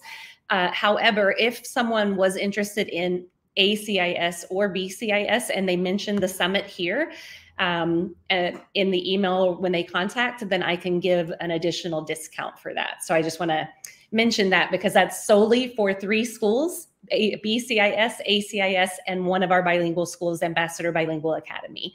Um, now, the two bilingual schools, ABS is the biggest uh, with over 12, uh, 1,200 students. Um, it is a bilingual school that accepts students from preschool through grade 12, and they have had 10 graduating classes already. So, this last group that just graduated last month, uh, there were 61 students that graduated, and some of them have been accepted to universities in America, um, also Australia, and throughout Thailand as well. So, we're really excited to see where those students end up going. And then, of course, um, Ambassador Bilingual Academy, which is it was formerly Little Stars, and we rebranded uh, to Ambassador Bilingual Academy because we built a new facility. It is a huge facility. Uh, the campus is amazing, um, and it is a bilingual uh, program that accepts students from preschool through grade 12 as well. Um, and that's one that I think that when you come to, if you come to see the schools, you'll really like the campus and the spacious facilities that we have there at ABA. So that would be all five of the actual schools that we have. But we also have um, two locations for CEC, which is a language and tutoring school. So we kind of cover everything. We go from bilingual schools, international schools, right on to being able to study languages or also uh, tutoring for students that want to do uh, tutoring for IELTS, for the SATs, um, HS, HSK for Chinese students, and then also foreign languages. So we do Thai as a foreign language, but we also offer Chinese, French, Spanish, um, and Russian. So there is a lot of options for people who are interested in um, joining or learning more about any of our schools. Now, I would like to say right now um, for our bilingual schools, ABA and ABS, they are currently doing their summer camp program. And we do have special promotions for the summer camp if somebody wants to come and try the summer camp first to see if they want to join the school later. Um, they're doing summer camp from now through April. So if if there is somebody who's interested and they mention again that they mentioned from that they attended or watched the summit, then I will be able to give a discount on on that. And then for uh, Unity, ACIS, and BCIS, we have our summer camp in July. Um, and the summer camp is a four week program. And um, it's an opportunity because for for international schools we don't accept students for short term. So the only time that they can come and see if they like the school and try it is during our summer camp program. So it's a time that they can kind of see the campus be able to see the community the atmosphere and attend the summer camp programs. And we've got some pretty exciting summer camps this year. Fantastic. That's great. I was actually just going to ask do you like what what would the what would the student body of like a of a summer camp look like? Is it a hundred students? Is it a couple hundred? Is it like what are we looking at? Uh, the goal is um, before COVID, we had between six and 800 students for the international schools. Um, now I'm for the international schools, that specifically I'm looking at Unity for that number. Um, mm-hmm. But for ABS and ABA, the bilingual schools, between two and 300 students for summer camp. Okay, awesome. I, I, I, I, I, really was interested in knowing that because, as you said, that short term, that taster kind of yeah. piece, I think would be is a really interesting thing, especially for those of us in uh, sort of the international lifestyle. I mean, like that. Well, yeah. Thank, thank, you very much, Heather, for explaining the Ambassador Education Group to us. I, I definitely put some perspective on it. And I got to be honest with you, that is a very comprehensive offering. And so I hope that um, with the additional promotion that you just put there, I'm actually going to put your promotion on the screen right now. So I'm going to thank okay. you for joining us today and thank you for your time. But then I'm going to put the promotion up on the screen and I'll explain it to everybody. All right. Thank you, Stephen. Have a great day. You too. And so, as you heard, um, Unity Concord International School as well. If you are registered for the uh, Virtual School Summit here, they're offering you a 5% off their tuition fee. Uh, and then, as Heather just said, that if you, you know, if you send her an email, maybe mention this, maybe mention this virtual summit, she has the ability to maybe give you a little bit more there as well. So that's a very exciting uh, opportunity now through March 31st. Uh, 2023. So thank you very much to Unity for that. And thank you very much to Heather for her presentation. Now it's time to bring our next school up, which is the American School of Bangkok in Bangkok in Sukhumvit. Excuse me. Established for nearly 40 years, the American School of Bangkok Sukhumvit is a highly regarded international school in Thailand, which propels students to excellence in an American curriculum with an international perspective. It features rigorous academic programs, advanced placement courses, and capstone diploma offered and capstone diploma uh, offered that have created educational pathways to academic success for almost four decades. The school curriculum continuously integrates the necessary innovation for students to become exemplary scholars today and successful leaders of tomorrow. The school just partnered with XCL Education, a forward thinking premier education group in Southeast Asia. XCL Education will bring experienced educators to the ASB administrative team, significant upgrades to the school facilities, innovations to school programs, and increased opportunities for students. And now here's a quick glimpse of the middle school teaching and learning at ASB. So I am bringing up now, with no further ado, Dr. Jenny Sabin. Is it Sabine? Sabin? Sabin? Saban, like the football coach in the United States. All right. I you know it's the emphasis on the wrong syllable. That's what that was. exactly. Yeah. Dr. Jenny, it's so nice to meet you. Uh thank you for, you know, taking time out of your day to talk to us as a school principal over there at American. I, you know, I, have seen your signs, you know, out there. So as I've offered to others, um, I would love for to give you the opportunity, you know, rather than what I just read out about American School. What does it mean to you to be at the school? What's the heart of the school for you, and and you know, what is it that you espouse to people when you meet them?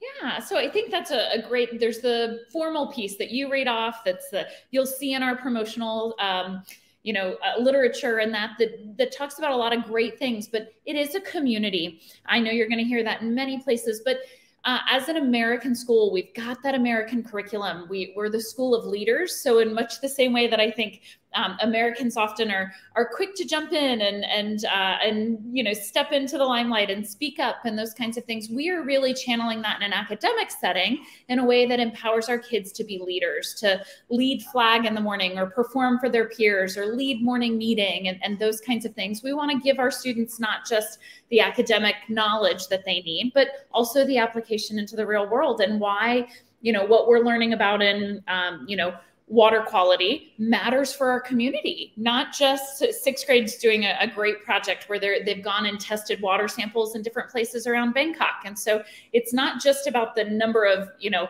uh, sulfates that they find in the water but it's actually about what does that mean for our community? How do we make the world a better place and how do we lead uh, and what's our place in doing that? And i think you know, um, there's grades and certainly all of those good American things that we need, and we're preparing kids for college. But the the so what of being a good human being goes far beyond that. I think. Hmm. So tell me about the human beings that are there. What's the diversity on the campus? What's this? What's the size of your student body? What is it? What's the actual yeah. campus look like if I walk on? So we're uh, nursery all the way to grade 12, and we have around 530 students, 528 today, actually. Um, and our students really are quite diverse, 42 countries. Um, and I would say that is a, a, representation of where we are in the city in particular, right? So uh, between Sukhumvit 39 and 49, and it's right in the heart of things. So, uh, you know, I, I live close enough nearby that I get to see our, our students and our families outside of school hours, but it is a representation and a reflection of the community here in Bangkok. So we have many embassy students that are here, but we also have, you know, a, a lot of, uh, we have, I think we're about 20% Thai.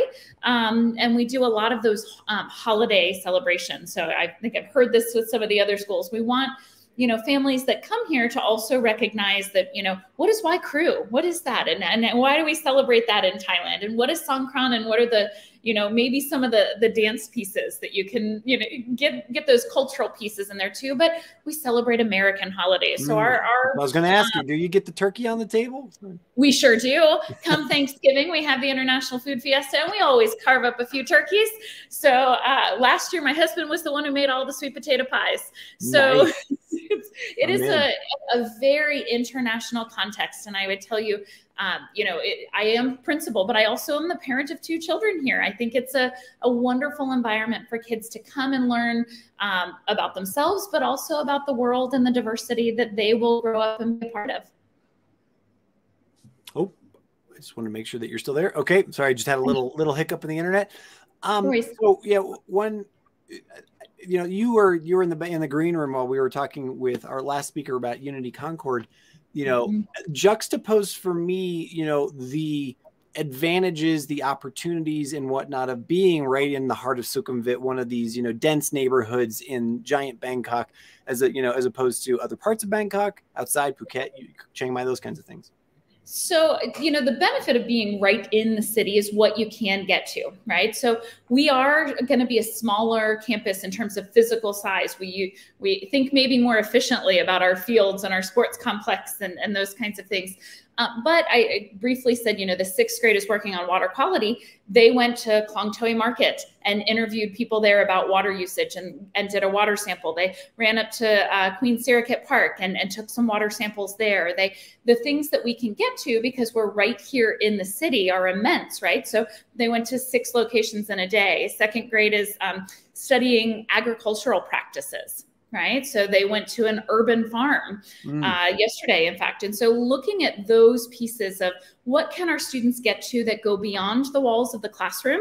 It's great when they can do math and a workbook, but when they actually can see, oh, how many seeds do we plant if there's 15 rows of cucumbers, right? Like if we know that 10% of those aren't going to grow, how many do we need to purchase and buy for? And, and understanding that um, the learning has application beyond when you're in a context of 10 million people up close and personal as your neighbors, you really have access to getting to those things. So from performances, you know, at EmQuartier, our students sometimes go over and, and have musical performances or dance performances to the academic uh, connections for field trips. And um, our design tech, I think it's our high school design tech, um, took on a project in our local um, like street cart community um, to help them design their menus and translate them as a service project. So mm. outside of school hours, beyond just making a logo for them, helping to translate that and make it um, a, a better business application for the, the local community that's near us, but also make it more international and use all the languages that our student body helps to represent. Fantastic. Yeah. We have a question from you in our chat from Jacqueline, actually two of them. So the first one is, does the school have any plans to offer IB as well or Yeah. as well AP levels? Yeah, so we do offer AP right now. Um, the you, in the intro, you briefly hit on the capstone program.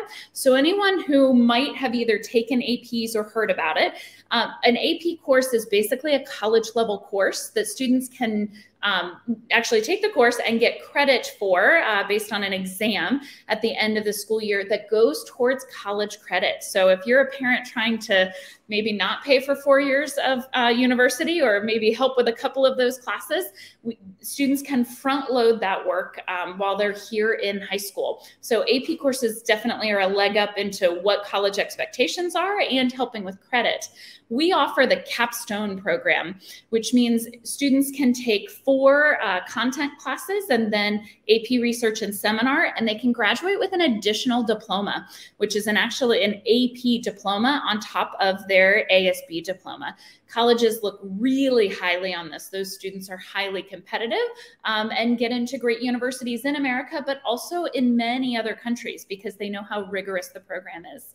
We do not have any plans for IB um, at this point. We have researched and looked into those things uh, before. Our high school student body is around 140 students.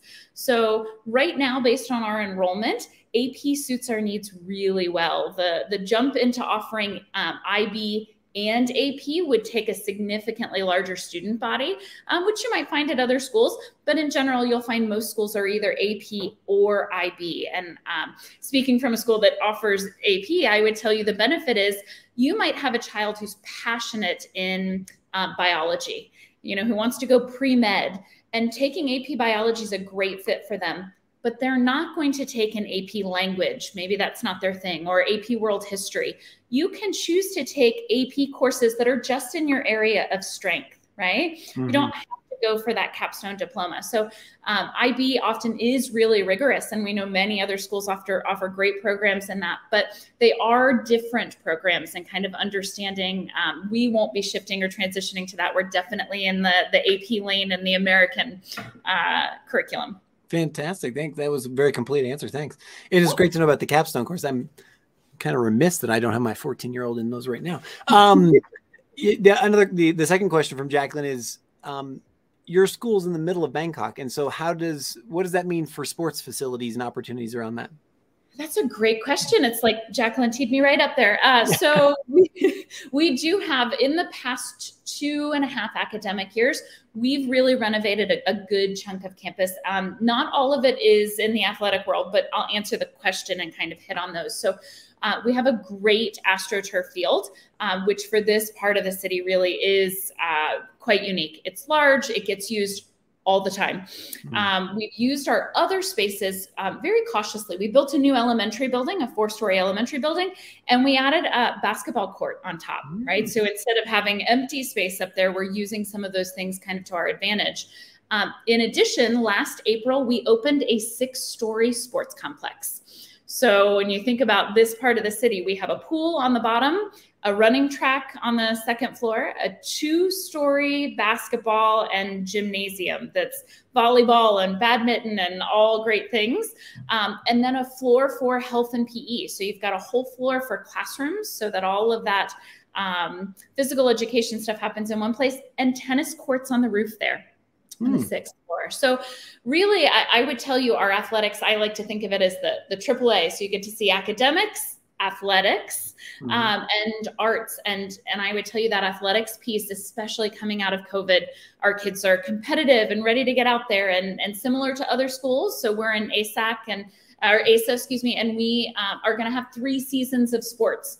Our sports start as young as second grade, right? So in the younger grade levels, you- you're learning a lot of core skills, right? Like coordination and how to kick the ball or how to, you know, do some of those things. And then certainly by JV and varsity sports, we're highly competitive, uh, doing tournaments within our um, our division, but also looking for other opportunities. So our kids Um, our volleyball went to uh, Pattaya and had a, a big competition there with another series of schools. So lots of great athletic opportunities for our kids. It's uh, one of the big busiest schedules that we have on campus is the athletics for sure. I'm sure, absolutely. And what about your arts program? Is there a full theater there, and do you do the musicals and all that stuff as well? Of course. So we have a, a great theater that's uh, the top story of our middle school building. Um, and we offer two different musicals. So this year we're doing uh, Little Mermaid, which I saw a little bit earlier from another school, um, and Encanto. So we really offer that's broken by age division. Um, but our kids are singing and doing drama and dancing uh, and getting out to do those things. And um, our, our visual arts team is helping with the backdrops and props and those kinds of things. So it really is a wraparound. Not everybody wants to be on stage. Sometimes you have the tech folks who are more interested in the technology aspect to that. And I would tell you there's great crossover between our design tech and our arts folks to um, you know, integrate and, and explore passions for our kids. Again, when we talk about those real world applications, you know, it's not just that I design something for my technology class, but that I know how to run lights for a musical or a soundboard or those kinds of things. So, uh, yeah, we do musicals, and our, our kids are stars of the show for sure. Fantastic. Talk to me about the, as I was reading um, the interviews, what is the XCL Education Group and how does that play into um, ASB? Yeah, so I actually jotted it down. We just say it as though you're saying the, the word Excel. Yeah. yeah. I didn't want to chance it because you know you never know. Correct. If you get it wrong, you're, you know? you're, fine, Stephen. So uh, XCL's been a great partnership for us. So uh, a little bit of what I'll go to Design Tech as one specific example, but they are a, a grouping of schools then that are all in Southeast Asia. We're the um, first partnership um, here in Thailand. Um, and basically, what they allow us to do is partner with other schools. So, hey, we're um, doing VEX robotics competitions. Our kids went to nationals this year, right? We're super excited and proud but we want to do some other you know competitions or share that knowledge as a grouping of schools. And so uh, we've been able to reach out. There's a, a, a garage studio um, of the robotics in, in the school in singapore. And so we've been able to uh, video chat our kids together and share some of those resources and ideas. Uh, we have kids in june who are going uh, to an XCL's got talent so our kids from an artistic standpoint get to kind of same way you would see, you know, Britain's Got Talent or America's Got Talent. Our kids, we did a competition here on campus. I got to be a judge and see a phenomenal number of students showing their gifts. Uh, and then we'll uh, send them off to Singapore to compete against other XCL schools. And we'll have a mirrored activity uh, for athletics. So it's like a decathlon We'll send teams uh, over to compete against one another in June for athletic competition. So it becomes another layer of the school community, right? So we have other partner schools that we can join in and share resources and knowledge and professional learning with uh, when we talk about job alikes and those things. So uh, it doesn't change our day to day here so much, but it is uh, nice to be part of a larger community that we can tap into. Fantastic. So, final question for you before we move on to your video. Yeah. As a school that I mean, you've really characterized it well that you don't seem confined by the you know you can't expand right you're in a place that's that's developed mm-hmm. so what oh, you know what is the near term the the 12 months the 18 months in terms of new building development expansion of the of the campus or the student body or you know continued growth of the school or maybe those aren't on the on the table yeah, so I would say we cap we captured a lot of that COVID time to do a lot of the upgrades. So we now are growing into the space that we've built for ourselves. So the elementary building, every floor right now, I have one or two classrooms that are still they're overflow rooms. We're using them when we want to break out in small rooms or small groups, right? I we're not using every single classroom the way that we know we'll be able to when our uh, enrollment jumps uh, probably another chunk here. So we've grown last year into this year by probably more than 100 students. Wow. Um, and we want to continue that growth into next year. We have the space here on campus. And so a lot of that push for us in that next 12 to 18 months is to tell folks around about the great facilities that we have for them to come and see them and, and come join our community. So I think um, we'll continue to, you know, upgrade the playground and add, you know, more sports equipment and, and those kinds of things. But it really will be more about um, getting folks into our community so that we can use the spaces that we have. Fantastic. Dr. Jenny, this has been a fantastic conversation. Thank you for telling us about American, and we'll move on to your uh, video now. But thank you so much and have a wonderful day. Thanks, Stephen. You too.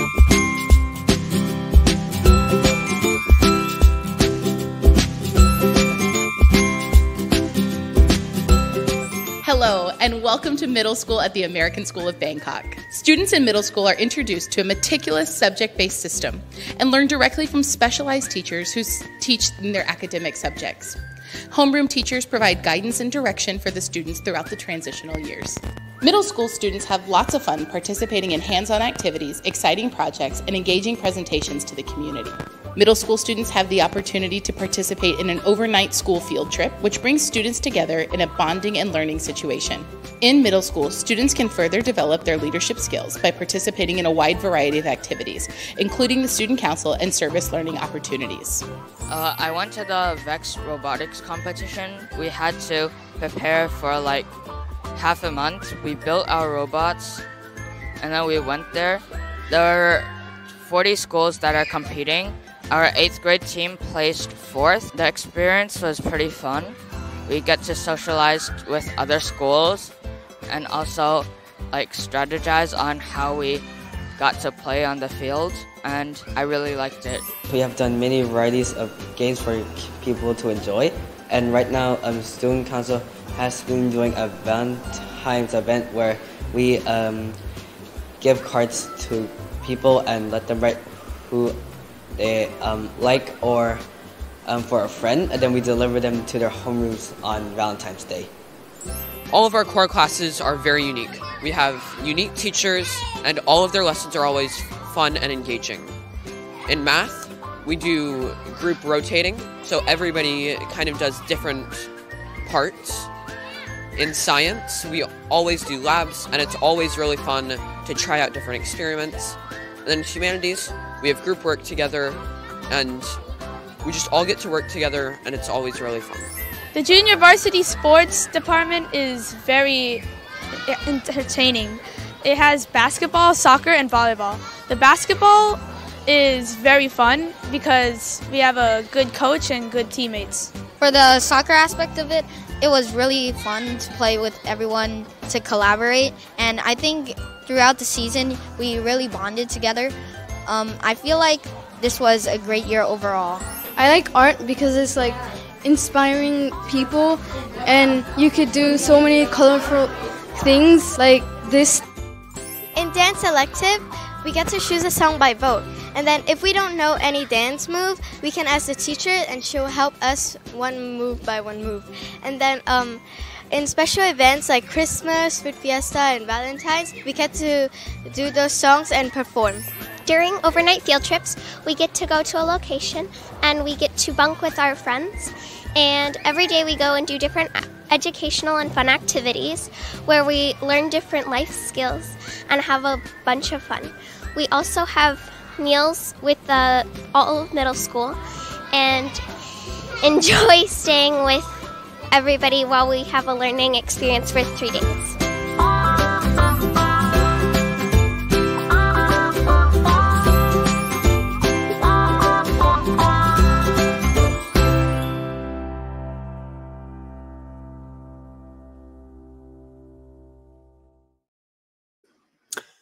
Fantastic. And the, as as several of the schools have had here on the virtual summit, uh, we the American School of Bangkok, the Sukhumvit campus, also has a promotion uh, for people who have registered for the summit this year. And you can see here on your screen right now. The promotion is the a full registration fee waived if you mention that you saw it here on the virtual school summit. So I don't think that you uh, go right to Dr. Jenny, but you can contact the American School Bangkok uh, admission staff and, and tell them that we sent you there, which is absolutely fantastic. And it's now time to bring up our next school. And our next school is DPrep.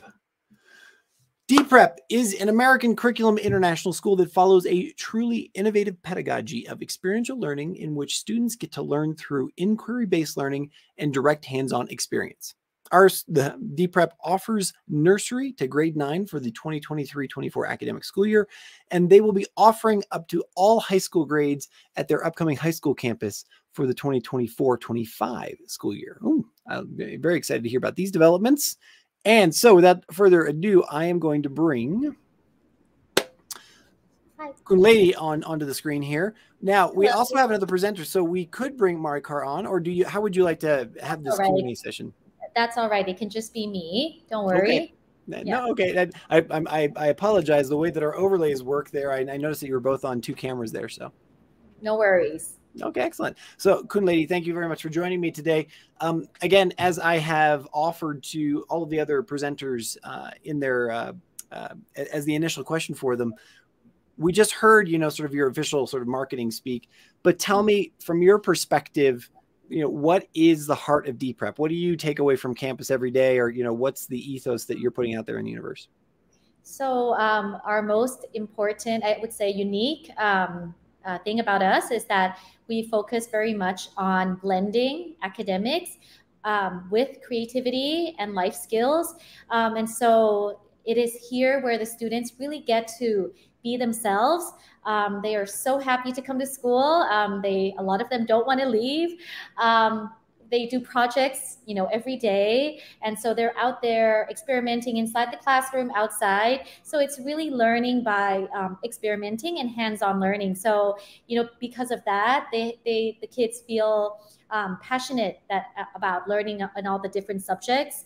And so we feel that it, teaching and learning this way allows children to uh, succeed academically but at the same time also develop all those important skills like critical thinking and collaboration and teamwork, um, complex problem solving, create, um, creative thinking. So all those soft skills that we feel it's really, really important in today's world, as you know.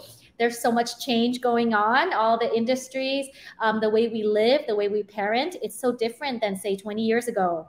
So we're trying to uh, make sure that the pedagogy is much more um, student friendly child friendly and in a it, it speaks a language that kids can understand. So for example we really integrate um, digital literacy you know using the ipads and chromebooks and also um, the coding stuff or the electric circuits. Um, all of that is integrated into the projects um, that the kids are doing. They're they're recording their voices they're doing video editing. So we really try to teach through so many um, a variety of mediums and so you know hopefully to to create balanced learners who enjoy coming to school Fantastic. So tell me about that that student population. Um, how big is it? What's the you know what's the size of it? And then so what kind of diversity do you have? Sure. So I think we're um, uh, it's your, our location. We're in uh, located inside of the Mega Bangna community. No, we are not inside the shopping mall. I was just saying, can I can, can I also go get inside the shopping mall at the same time? No, sorry. no, no. So it's actually behind IKEA. Um, but it's in the community of Mega Bangna. And I think around here, you know, the population around here is still largely Thai, the neighborhoods. So I would say that 70% um, to 80 are, you know, mostly Thai families. We have around 20-ish percent of kids, um, you know, who are uh, from Korea or are mixed nationalities. Um, but it is increasing. We are seeing uh, more of a trend in, in terms of like various nationalities in the last one to two years. Um, and so I think given our population, uh, we we understand that Thai and Chinese are languages are quite important to our families here. So you know, um, like any other international school, we are required to to be teaching Thai, but we do have that third language of Chinese um, built into the schedule from kindergarten onwards. Mm, fantastic. Mm. What about we have a question from one of our uh, our participants, and can you tell me more about your new campus and what would be different from the original campus?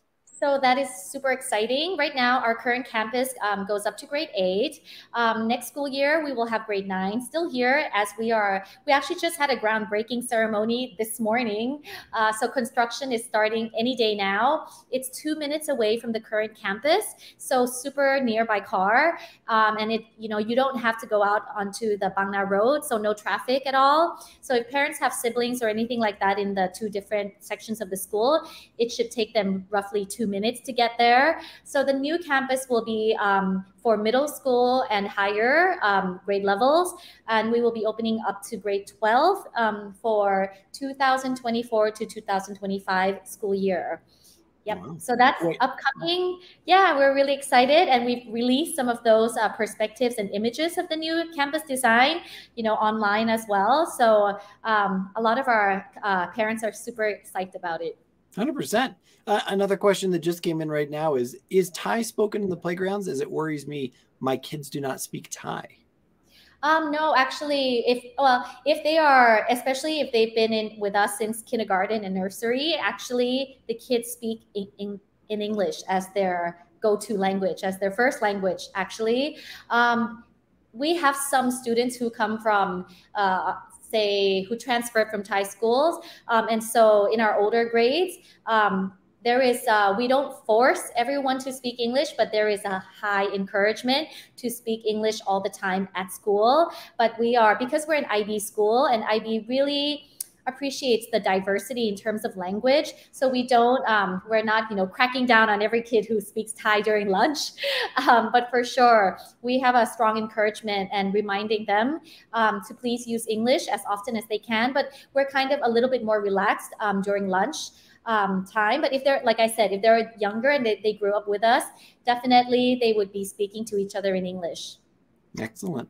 Mm. As a school that's going through grade nine right now, tell me about uh, things outside the classroom uh, or in terms of sure. opportunities, extracurriculars, yeah. after school, that kind of stuff. Sure. So, um, one thing that I really am excited about is that our high school will be a model. I would I'm, I'm not sure, but we might be the first school to have something that's called an internship, a work internship program starting grade 10. So grade mm-hmm. nine would be kind of like preparation for the kids in terms of how they will behave, what kind of um, expectations will we will have of them when they actually go out for internships, which we are still, you know, working on the logistics of that. It could possibly look like every Friday afternoon is when they're required to go to a nearby, um, you know, uh, company. Um, it could be a hospital, it could be a, um, a, bank, it could be businesses that are around the school area. In terms of that, we will be requiring um, 150 hours of internships for graduation. And so we're pretty serious about it because mm-hmm. we're um, we're really we I built this school based on the life skills and the career component because I felt growing up, um, when I went to school, I felt like, and a lot of the people in our generation or the older generation, we didn't really have hands-on experience in um, anywhere outside the classroom. Mm. So a lot of us as parents, we chose our college majors based on what we think um, would work or what our parents told us we need to uh, study. And then what ends up happening is that we don't actually get to work in what we studied, which I feel personally that it's um it's a huge waste of time, money, and investment. And so now that it's you know the new generation i'm building i've built this school with the purpose of making sure that the kids are able to learn through experience they are interning in different companies they do field work all the time going out to interview industry experts from all industries so that they can have like this kind of um, a lot of opportunities to to find out what they're good at, what they love. And so starting grade eight, we actually start preparing them for um, like career preparation, thinking of, about their passions. Grade nine, we prepare them to actually go out into these companies that we've set up for them. Uh, grade 10 and 11 are the the real internship experiences as they start to choose the majors that they would be applying for college or where they would be going. And I think one of the most um, important elements for us as a school is that if we plan early on, the kids can have a voice in terms of their career, but also university of choice. And we always tell parents to never cut out any opportunities because if, it, if we plan early on and the kids are involved, you should we should be able to get scholarships for our kids anywhere around the world but mm. the kids have to be in it like they have to they have to um, you know uh, make that as their ambition and their goal in order for that to happen. So um, for us, it could be financial based, it could be merit based, it could be talent based. But I think what we really stand for as a school is that we believe in the kids' um, potential and students' potential. And if that is um, happening early enough, all kinds of, um, you know, there are all kinds of possibilities for their future.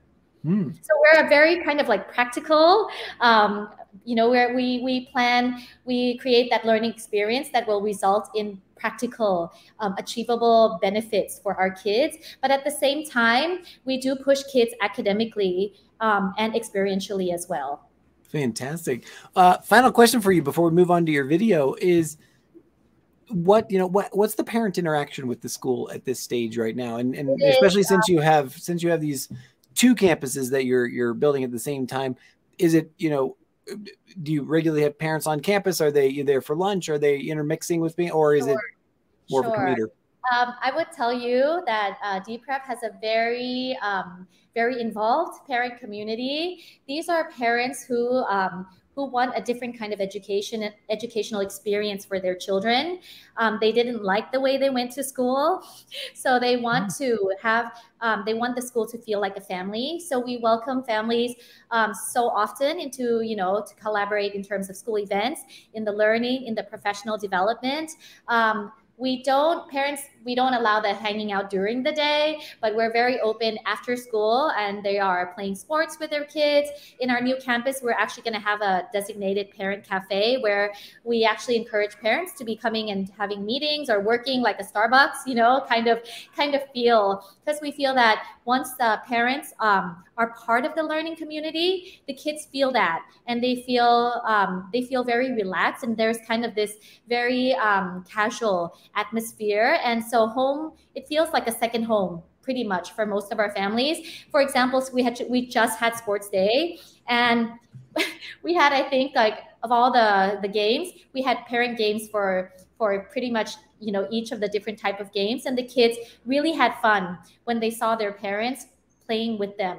Mm. so i would say that if you are if you're a parent who kind of really want to be involved and um, want a different kind of uh, experience for your kids, I think I think we're a really really um, a good potential school for your family. Fantastic. On that note, let's uh, thank Kap Kun Krab for you know sharing yeah. your experience here, Kun Lady, and uh, I wish you a very very good day. And uh, thank you so much for taking time out uh, in your obviously your very busy day running that school. And um, we'll now move on to your video presentation. Thank you. Thank you so much, Mr. Stephen. Have a great day. You too.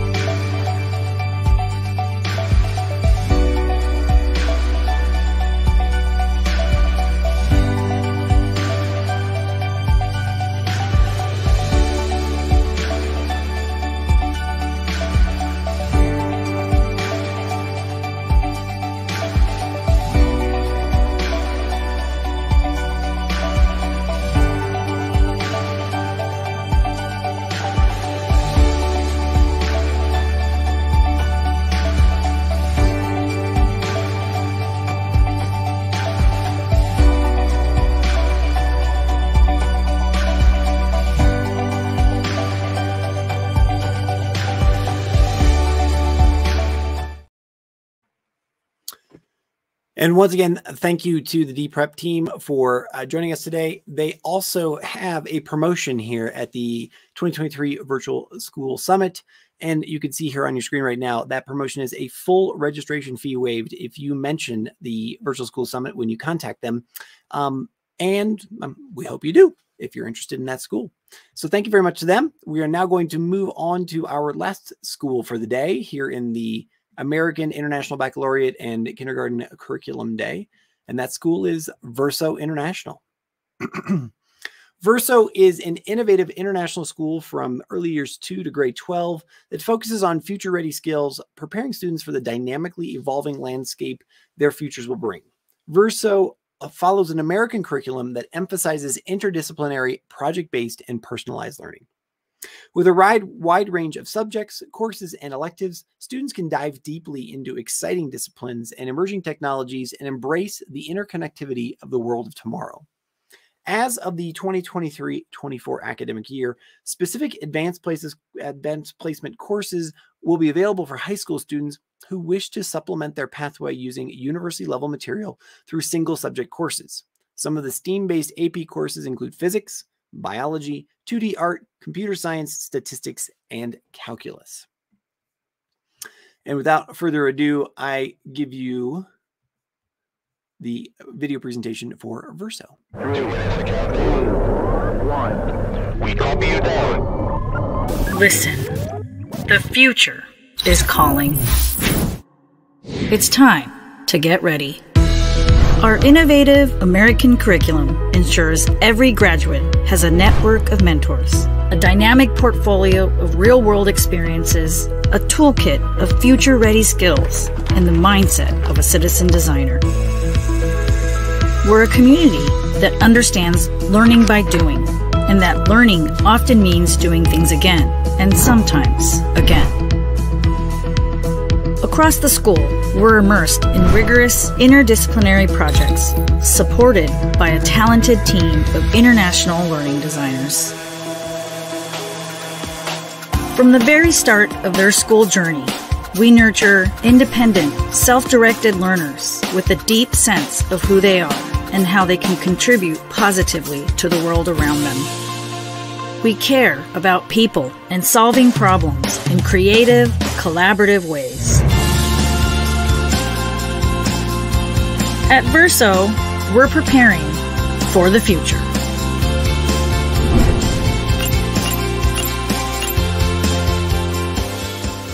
This is my underwater sea world. This is my swimming pool. This is my dance studio.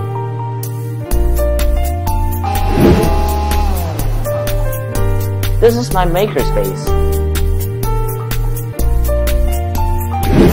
This is my learning space. This is my project. Can't wait for you to visit our school. We inspire everyone to be future ready. Come and find out more. Book a private tour.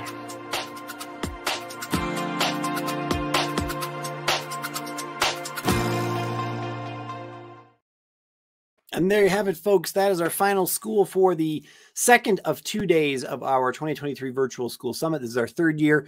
Couldn't have been happier and more pleased for everyone who joined us. Thank you for everyone for their questions and for all the presenters for you know participating and giving those unique perspectives on the differences between the schools because every school is that unique experience overall.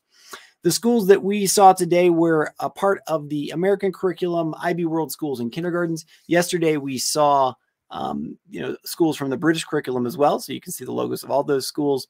But today, these are the schools that we were able to take part in, and you know this this presentation will also be available as a recording for you to review as well. There have been a ton of great promotions. Uh, so I encourage you to go back and review what those promotions were in terms of each school. And there's some of them are offering full, you know, uh, admission um, waivers, some tuition benefits, and and everything in between. So make sure you go and you check out those different uh, opportunities for the people who have registered for this virtual school summit. As a final note, just remember, you know, I'm from BKK Kids, and we all, you know, we do this not as a public service, but because we care about this community. We, you know, this is a service we've been offering for you know more than a decade now. Um, this particular virtual summit is our third summit, but we have a lot of different resources that you can use. The first of which is our activity and camp guide. Uh, our 22 2022 version is still available, but you know our 2023 version will be available in just a few short weeks. So head over to bkkkids.com or chiangmaikids.com, throw in your email, and we can send it to you for free. Second, uh, you know, our flagship product, something that you know, we're all very, very super proud of. We've been doing this for more than a decade. Is our uh, 2023 BKK Kids International School Guide. This is 150 pages of incredible information, not only about the schools, but you know, about the different curriculum, about different ways to prepare for you know education in Bangkok and whatnot. But as you go through each of the schools, you know, you'll find all that essential information around tuition, around um, uh, ECAs and, and different opportunities uh, for for learning pathways uh, around uh, curriculum, et cetera, et cetera. Each school will have a complete set of information. And then finally, uh, I don't have a slide for this as well, but I want to make sure that we also put on the table our uh, school selector service. And so if you are coming to Bangkok or you're interested in switching schools um, and you're not quite sure what you what you're looking for or you maybe don't have the time to, to select the right school for you, we actually offer a white glove service um, that actually, you know, you tell us what your needs are, what your preferences are, the type of curriculum, the setting, etc. And we will actually go out and present you with the schools that best match your needs and, and help you to apply and connect you with that school. So that's our school selector service. And all you have to do is write to us at info at bkkkids.com to get started. We will be uh, giving away several things for the people who have registered uh, for this virtual summit. And so, you know, look for an email from us, maybe if you are randomly selected for these $50 gift cards from Amazon. Um, if you may be selected for some of the eight tickets to Ivana Nava, the water jungle, or my personal favorite, the, that adult giveaway, the one luxury night giveaway at the So Bangkok. Uh, you know, who doesn't want that one night away um, just to enjoy a little mom and dad time. And with that, I will say thank you so much to everybody for joining us today and yesterday. Please do come over and, and, and visit us over at bkkkids.com or chiangmaikids.com. You can see all of our uh, different different places to visit us there. And obviously, if you'd like up to the minute updates or up to the second updates, visit us on Facebook, Twitter, or YouTube as well. My name is Stephen Laddick. I'm the director of BK Kids, and um, thank you very much for joining us. Have a wonderful day, and we'll see you soon.